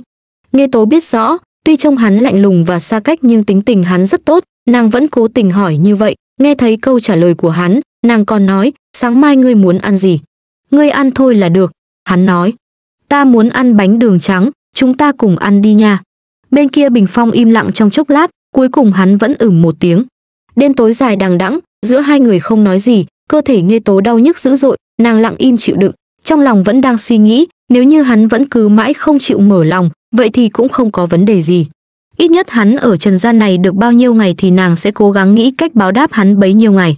Hắn thích ăn bánh đường trắng, cho dù có đến đỉnh tạ xuân bao nhiêu lần cũng được, đi tìm chút tiền riêng hắn chôn dưới gốc cây năm xưa cũng được. Sau nửa đêm, cơn mưa thu đã gột rửa cái sân nhỏ sạch sẽ, Ngọc Văn nhẹ chân nhẹ tay mở cửa sổ ra, nghe tố ngủ không sâu lập tức bừng tỉnh. Đầu tiên là nàng nhìn về phía sau bình phong, chăn mền trên giường êm rất ngăn nắp, người nằm ở trên đó vào đêm qua đã biến mất. Nghe tiểu nương tử, thuốc đã được sắc xong rồi, buổi sáng hôm nay người muốn ăn gì? Ngọc Văn quay đầu lại, thấy người con gái trẻ đang mở hai mắt nằm lì ở trên giường bèn đi đến, dùng khăn nhẹ nhàng lau đi mồ hôi trên trán nàng. Bánh đường trắng, nghe tố mở miệng, lúc này mới nhận ra giọng của mình hơi khàn. Vâng, nô tỳ sẽ sai người đi mua. Ngọc Văn nhanh nhẹn bưng đến một thau nước ấm giúp nghe tố rửa mặt, rồi dùng lược giày chải tóc cho nàng. Đến khi nhìn thấy nghe tố uống hết chén thuốc, nàng ta mới ra ngoài tìm một gã sai vặt để ra đường mua bánh đường trắng. Vừa ra khỏi cửa, gã sai vặt đã nhanh chóng quay về, bánh đường trắng vẫn còn nóng, có vẻ như là vừa mới ra lò. Cơn mưa bên ngoài đã dứt nhưng sương sớm vẫn còn ẩm ướt lờ mờ. Nghe tố đưa một miếng bánh đường trắng cho nam tử trẻ tuổi ngồi ở mép giường, nàng cũng cầm một miếng cẩn thận cắn. Thi thoảng nàng còn thổi ngón tay phù phù. Nghe tố dương mắt lên, hôm nay hắn mặc một bộ áo bào cổ tròn màu xanh sẫm, bên trong vạt áo hơi lộ ra cổ áo trong trắng nõn. Màu sắc như vậy làm nổi bật cái cổ và khuôn mặt trắng nõn như ngọc lạnh của hắn. Màu trời chiếu lên lớp vải áo bóng lóng của hắn, lấp lánh chỉ vàng thêu hoa văn chìm. Bánh đường trắng phỏng tay đối với hắn mà nói dường như cũng không quá nóng, đôi mắt dài hẹp của hắn cụp xuống, rất nghiêm túc ăn miếng bánh đường trắng kia, nhưng Nghe Tố không thể phát hiện được biểu cảm thỏa mãn hay sung sướng hiện lên trên mặt hắn. Dường như hắn chỉ đang không ngừng lặp lại một động tác. Nghe Tố, ngươi không ăn sao?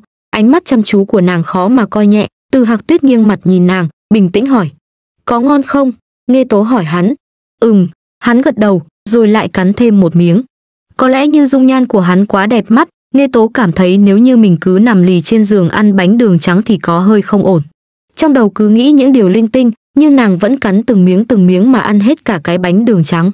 Ngày thứ hai sau khi Nghe Tố rời khỏi viện chống đã nhờ Thái Xuân Như lấy tiền của mình mua chút thuốc trị thương và thuốc bổ cho bọn Hà Trọng Bình. Không ngờ hôm nay Hà Trọng Bình đã cầm quà của những người khác và của hắn đến, ngày đó đột nhiên Ngô Kế Khang phát điên, Hà Trọng Bình chỉ chịu mấy gậy thì công đường đã vội vàng kết thúc.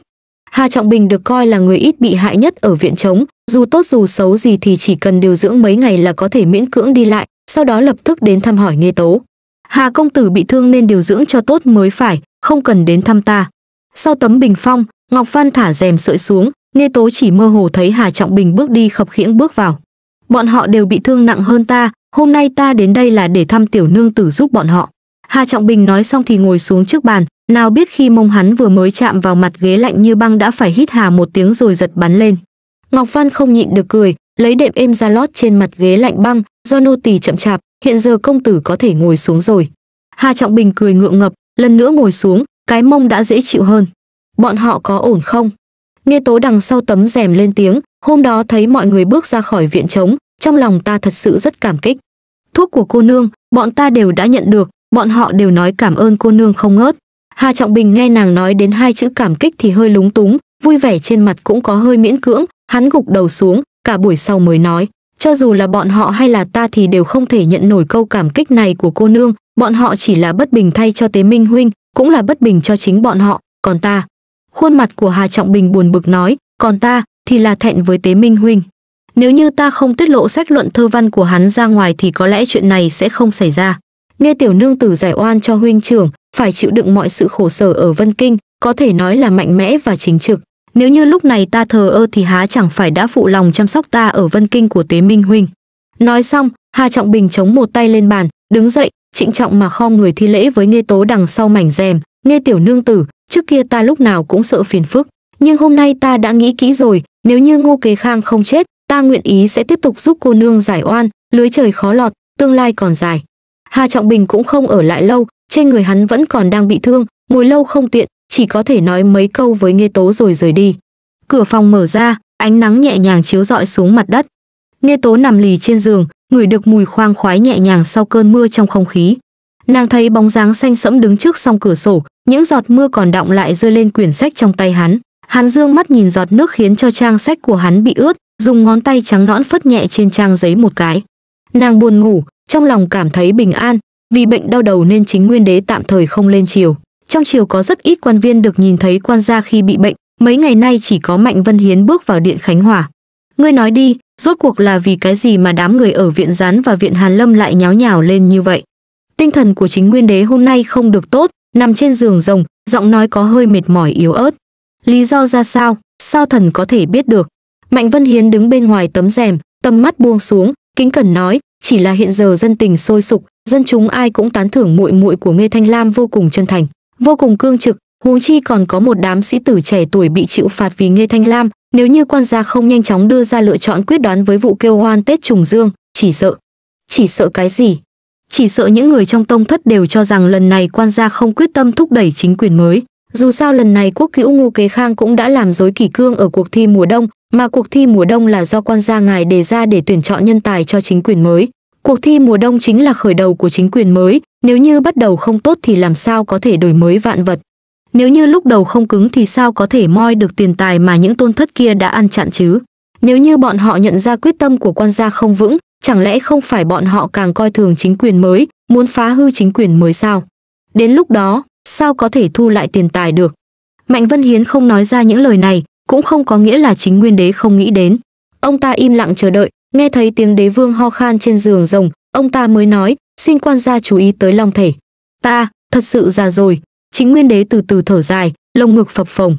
Nếu không phải lúc lên chiều chính nguyên đế sẽ không sưng chẫm. Trương kính và tưởng tiên minh dâng lên một đống sổ con, phản đối chuyện phong thiện. Đổi một chủ đề, giọng điệu của chính nguyên đế trở nên vô cùng thâm thúy, nhưng ta thấy có vẻ như mạnh khanh ngươi có cái nhìn khác với bọn họ. Quan gia nhân đức, phải gánh cả bốn biển trên vai, nặng như núi thái sơn sao lại không làm đại lễ phong thiện? Mạnh vân hiến nói xong lại cúi người thi lễ, chỉ sợ trương tướng công và tưởng ngự sử lo hao người tốn của. Nhưng nếu hôm nay quan gia có thể thu lại số tiền bạc đã bị tham ô lúc đào đường sông thì cũng có thể giải nguy ngay lập tức. Chính nguyên đế không nói, chỉ dương mắt nhìn ông ta cả buổi. Nghe nói, năm đó trương khanh và ngươi đã cắt đứt với nhau ở cửa thành, nhưng ta thấy ngươi vẫn có tình thâm giao với trương khanh. Mặc dù cắt đứt nhưng cũng không cắt đứt tình đồng liêu. Mạnh vân hiến không hề hoang mang, thong dong trả lời chỉ là đồng liêu chứ không phải trí cốt. Cánh môi của chính nguyên đế giật giật, ngón tay đặt lên mép giường, thi thoảng gõ nhẹ. Mạnh vân hiến cúi đầu, nghe thấy động tĩnh thật nhỏ này một lúc, vô cùng kiên nhẫn mà chờ đợi. Cho đến lúc này chính nguyên đế đã không thể tiếp tục lảng tránh vụ án ở viện đăng văn rồi. Trong lòng trẫm đã có quyết định, mạnh khanh hãy về đi. Giọng nói của chính nguyên đế có vẻ bình thản. Thần cáo lui, mạnh vân hiến lập tức thi lễ, sau đó rời khỏi điện khánh hòa. Hôm nay trời không mưa nhưng trong cung vẫn có nước mạnh vân hiến bước xuống bậc thềm bạch ngọc, dẫm lên nước động khiến cho đôi giày quan bị ướt, nhưng ông ta cũng không quan tâm đến. Chính sự đường to như vậy, đang là lúc dùng cơm nhưng cũng không có mấy quan viên ở trong. Mạnh vân hiến bước vào đã thấy một tên quan đường hậu đang thu dọn một đống sách, ông ta bèn hỏi, những thứ này là cái gì? Mạnh tướng công. Quan đường hậu vội vàng khom người, nói, là trương tướng công muốn những thứ này, đây là chiến tích ở những cuộc thi bao năm qua trong năm chính nguyên. Lão ấy cần những thứ này làm gì trong lòng mạnh vân hiến cảm thấy kỳ lạ. Quan đường hậu lắc đầu, hạ quan không biết. Được rồi, để ta đưa cho lão ấy. Mạnh vân hiến bước đến nhận lấy rồi lập tức rời đi. Trương kính không thích những nơi ồn ào, cũng không ăn cơm cùng với những quan viên khác. Học sĩ hàn lâm hạ đồng cầm một cái hộp đựng thức ăn đến, trương kính một mình ăn cơm trong hậu đường. Cơ thể ngươi vẫn còn chưa khỏe, sao lại ăn những thứ này? Mạnh vân hiến đi đến, liếc mắt thấy trên bàn ăn sáng chỉ có cháo loãng. Trương kính ngẩng đầu thấy ông ta ôm một đống sách ở trong ngực, ánh mắt dần u ám, lập tức rũ mắt, phối hợp hút cháo, ta quen ăn những thứ này rồi, ăn mấy cái khác không tiêu hóa nổi. Vậy ngươi cần những thứ này để làm gì? Mạnh vân hiến đặt hết sách ở trên bàn, đừng với với ta, ngươi muốn chỉnh đốn lại chị đấy nhé. Ngươi quay về không thể đẩy mạnh chính quyền mới cho đến nơi đến chốn, bây giờ không cho ta làm mạnh tay sao? Trương kính còn chẳng thèm nhấc mí mắt lên. Trước mắt vẫn chưa phải lúc. Mạnh vân hiến vội vàng từ điện khánh hòa trở về ông ta cũng không quan tâm trà trên bàn còn nóng hay đã nguội, vừa cầm lên đã uống. Vậy thì lúc nào mới phải lúc? Trương kính vừa hút cháo vừa nói, mạnh trác, ta thấy ngươi bị giáng chức một lần, ngay cả dũng khí cũng bị mài mòn đến nỗi không còn. Quan gia muốn phong thiện, ngươi bèn kiếm tiền cho ngài ngài đúng là càng ngày càng muốn làm quan. Trên khuôn mặt của mạnh vân hiến lộ ra vẻ bất đắc dĩ, trong lòng quan gia, phong thiện còn quan trọng hơn chuyện kiên quyết muốn đẩy mạnh chính quyền mới ngày đó ta nhắc đến chuyện phong thiện ở điện khánh hòa cũng là vì muốn quan gia nhìn thẳng vào vụ án kỳ thi mùa đông. Lúc đó tưởng ngự sử cũng ở trong điện nhưng hắn lại không mở miệng phản bác mà là sau đó mới viết tấu chương phản đối phong thiện. Y là cận thần duy nhất mà quan gia có thể dễ dàng tha thứ nhất, sao ngươi bắt trước làm gì? Ngươi mới về được bao lâu đâu chứ? Quan gia vẫn còn nghi ngờ ngươi, vì sao ngươi lại lựa lúc này mà đánh vào mặt quan gia? Khi trương kính nghe ông ta nói những lời như y là cận thận duy nhất mà quan gia có thể dễ dàng tha thứ ông ta nắm chặt cái muỗng thành nắm đấm dường như còn hơi run rẩy. Chợt trương kính dương mắt nhìn về phía mạnh vân hiến ngươi nên biết y làm cận thần như thế nào. Mạnh vân hiến khẽ giật mình. Đương nhiên là ông ta biết rõ. Vào năm mà ngọc tiết tướng quân từ hạc tuyết chết cũng chính là năm tưởng tiên minh bay lên thẳng mây xanh. Chẳng lẽ chỉ vì quan gia dễ dàng tha thứ cho hắn nên những người như chúng ta không thể nói ra lời thật lòng sao? Đạo làm quan là như thế sao? 13 châu ở phía Bắc vẫn chưa được thu hồi, đại tề còn muốn cướp đoạt đất của nước khác, hàng năm người Hồ đều phải giao 10 vạn tiền tiếng cống. Mấy năm gần đây càng đàn áp thì nạn trộm cướp càng không ngớt, tình cảnh như thế mà quan gia còn muốn hao người tốn của làm phong thiện trên núi Thái Sơn sao? Trương Kính quăng cái muỗng xuống, đứng bật dậy, "Mạnh Trác, ta hỏi ngươi, nếu như ngươi không chịu nói ra thì làm sao thắp sáng điện ngọc, giữ gìn xã tắc? Ta không bảo ngươi không được nói, chỉ là thời cơ chưa chín mùi." Đôi lông mày Mạnh Vân Hiến nhíu lại. "Sao lại chưa chín mùi? Hôm nay ngươi ở trong điện Khánh Hòa, quan gia đã hỏi ngươi rồi đúng không? Ngươi có nói mấy câu vì ta đúng không? Ngươi đang đứng trên lập trường để mà thay ta nói chứ?" Mạnh Vân Hiến há to miệng, ông ta đối diện với ánh mắt của Trương Kính, ít hầu có hơi khô. Đồng Liêu chứ không phải trí Cốt. Vì quan gia không muốn hai người bọn họ lại thân thiết, tốt nhất bọn họ vẫn nên đối đầu với nhau như vậy, quan gia sẽ không cần lo lắng hai người sẽ tức giận mà tính toán chuyện gì. Ngươi không có lập trường thì đừng có lên tiếng thay ta. Cho dù ông ta không nói, nhưng Trương Kính cũng biết ông ta đã xử sự như thế nào ở trước mặt quan gia, ta muốn làm gì, phải làm như thế nào cũng không có liên quan gì đến ngươi. Ta là thần tử của quan gia, cũng là thần tử của đại tề, ta vì quân cũng là vì nước, ta không thể làm giống như ngươi, chỉ dựa vào chút yêu thích của quan gia mà lên giọng. Trương Kính. Mạnh Vân Hiến sợ Trương Kính nói ra những lời như vậy, vẻn vẹn chỉ là hai chữ đồng liêu, trước khi Mạnh Vân Hiến nói ra từ đó là đã tự làm tổn thương mình, nhưng ông ta vẫn có thể chịu được. Trải qua 14 năm bị giáng chức, ông ta có thể cam chịu nhiều hơn trước, nhưng khi đứng trước người bạn cũ vẫn luôn luôn quan trọng trong lòng ông ta như vậy. Ông ta cam chịu đến mấy cũng không thể nhịn được nữa, 14 năm trước, hậu quả mà ta muốn cải chính lại chị chính là ngươi và ta cắt đứt với nhau, là ngươi mất vợ mất con, cơ thể thương tật. Không phải ta thay đổi, mà là ta đã biết cẩn thận suy xét mọi chuyện hơn, ta biết có một số chuyện không thể gấp gáp. Mạnh Vân Hiến rằng co với Trương Kính, sau cả buổi ông ta mới nhắm mắt lại, nói ra một câu đại nghịch bất đạo nằm ngoài dự đoán của Trương Kính. Quân nhân từ, thần chính trực. Quân có nhân từ, thần dám chính trực. Nếu quân không nhân từ, thần chính trực cũng vô ích. Hết phần 3.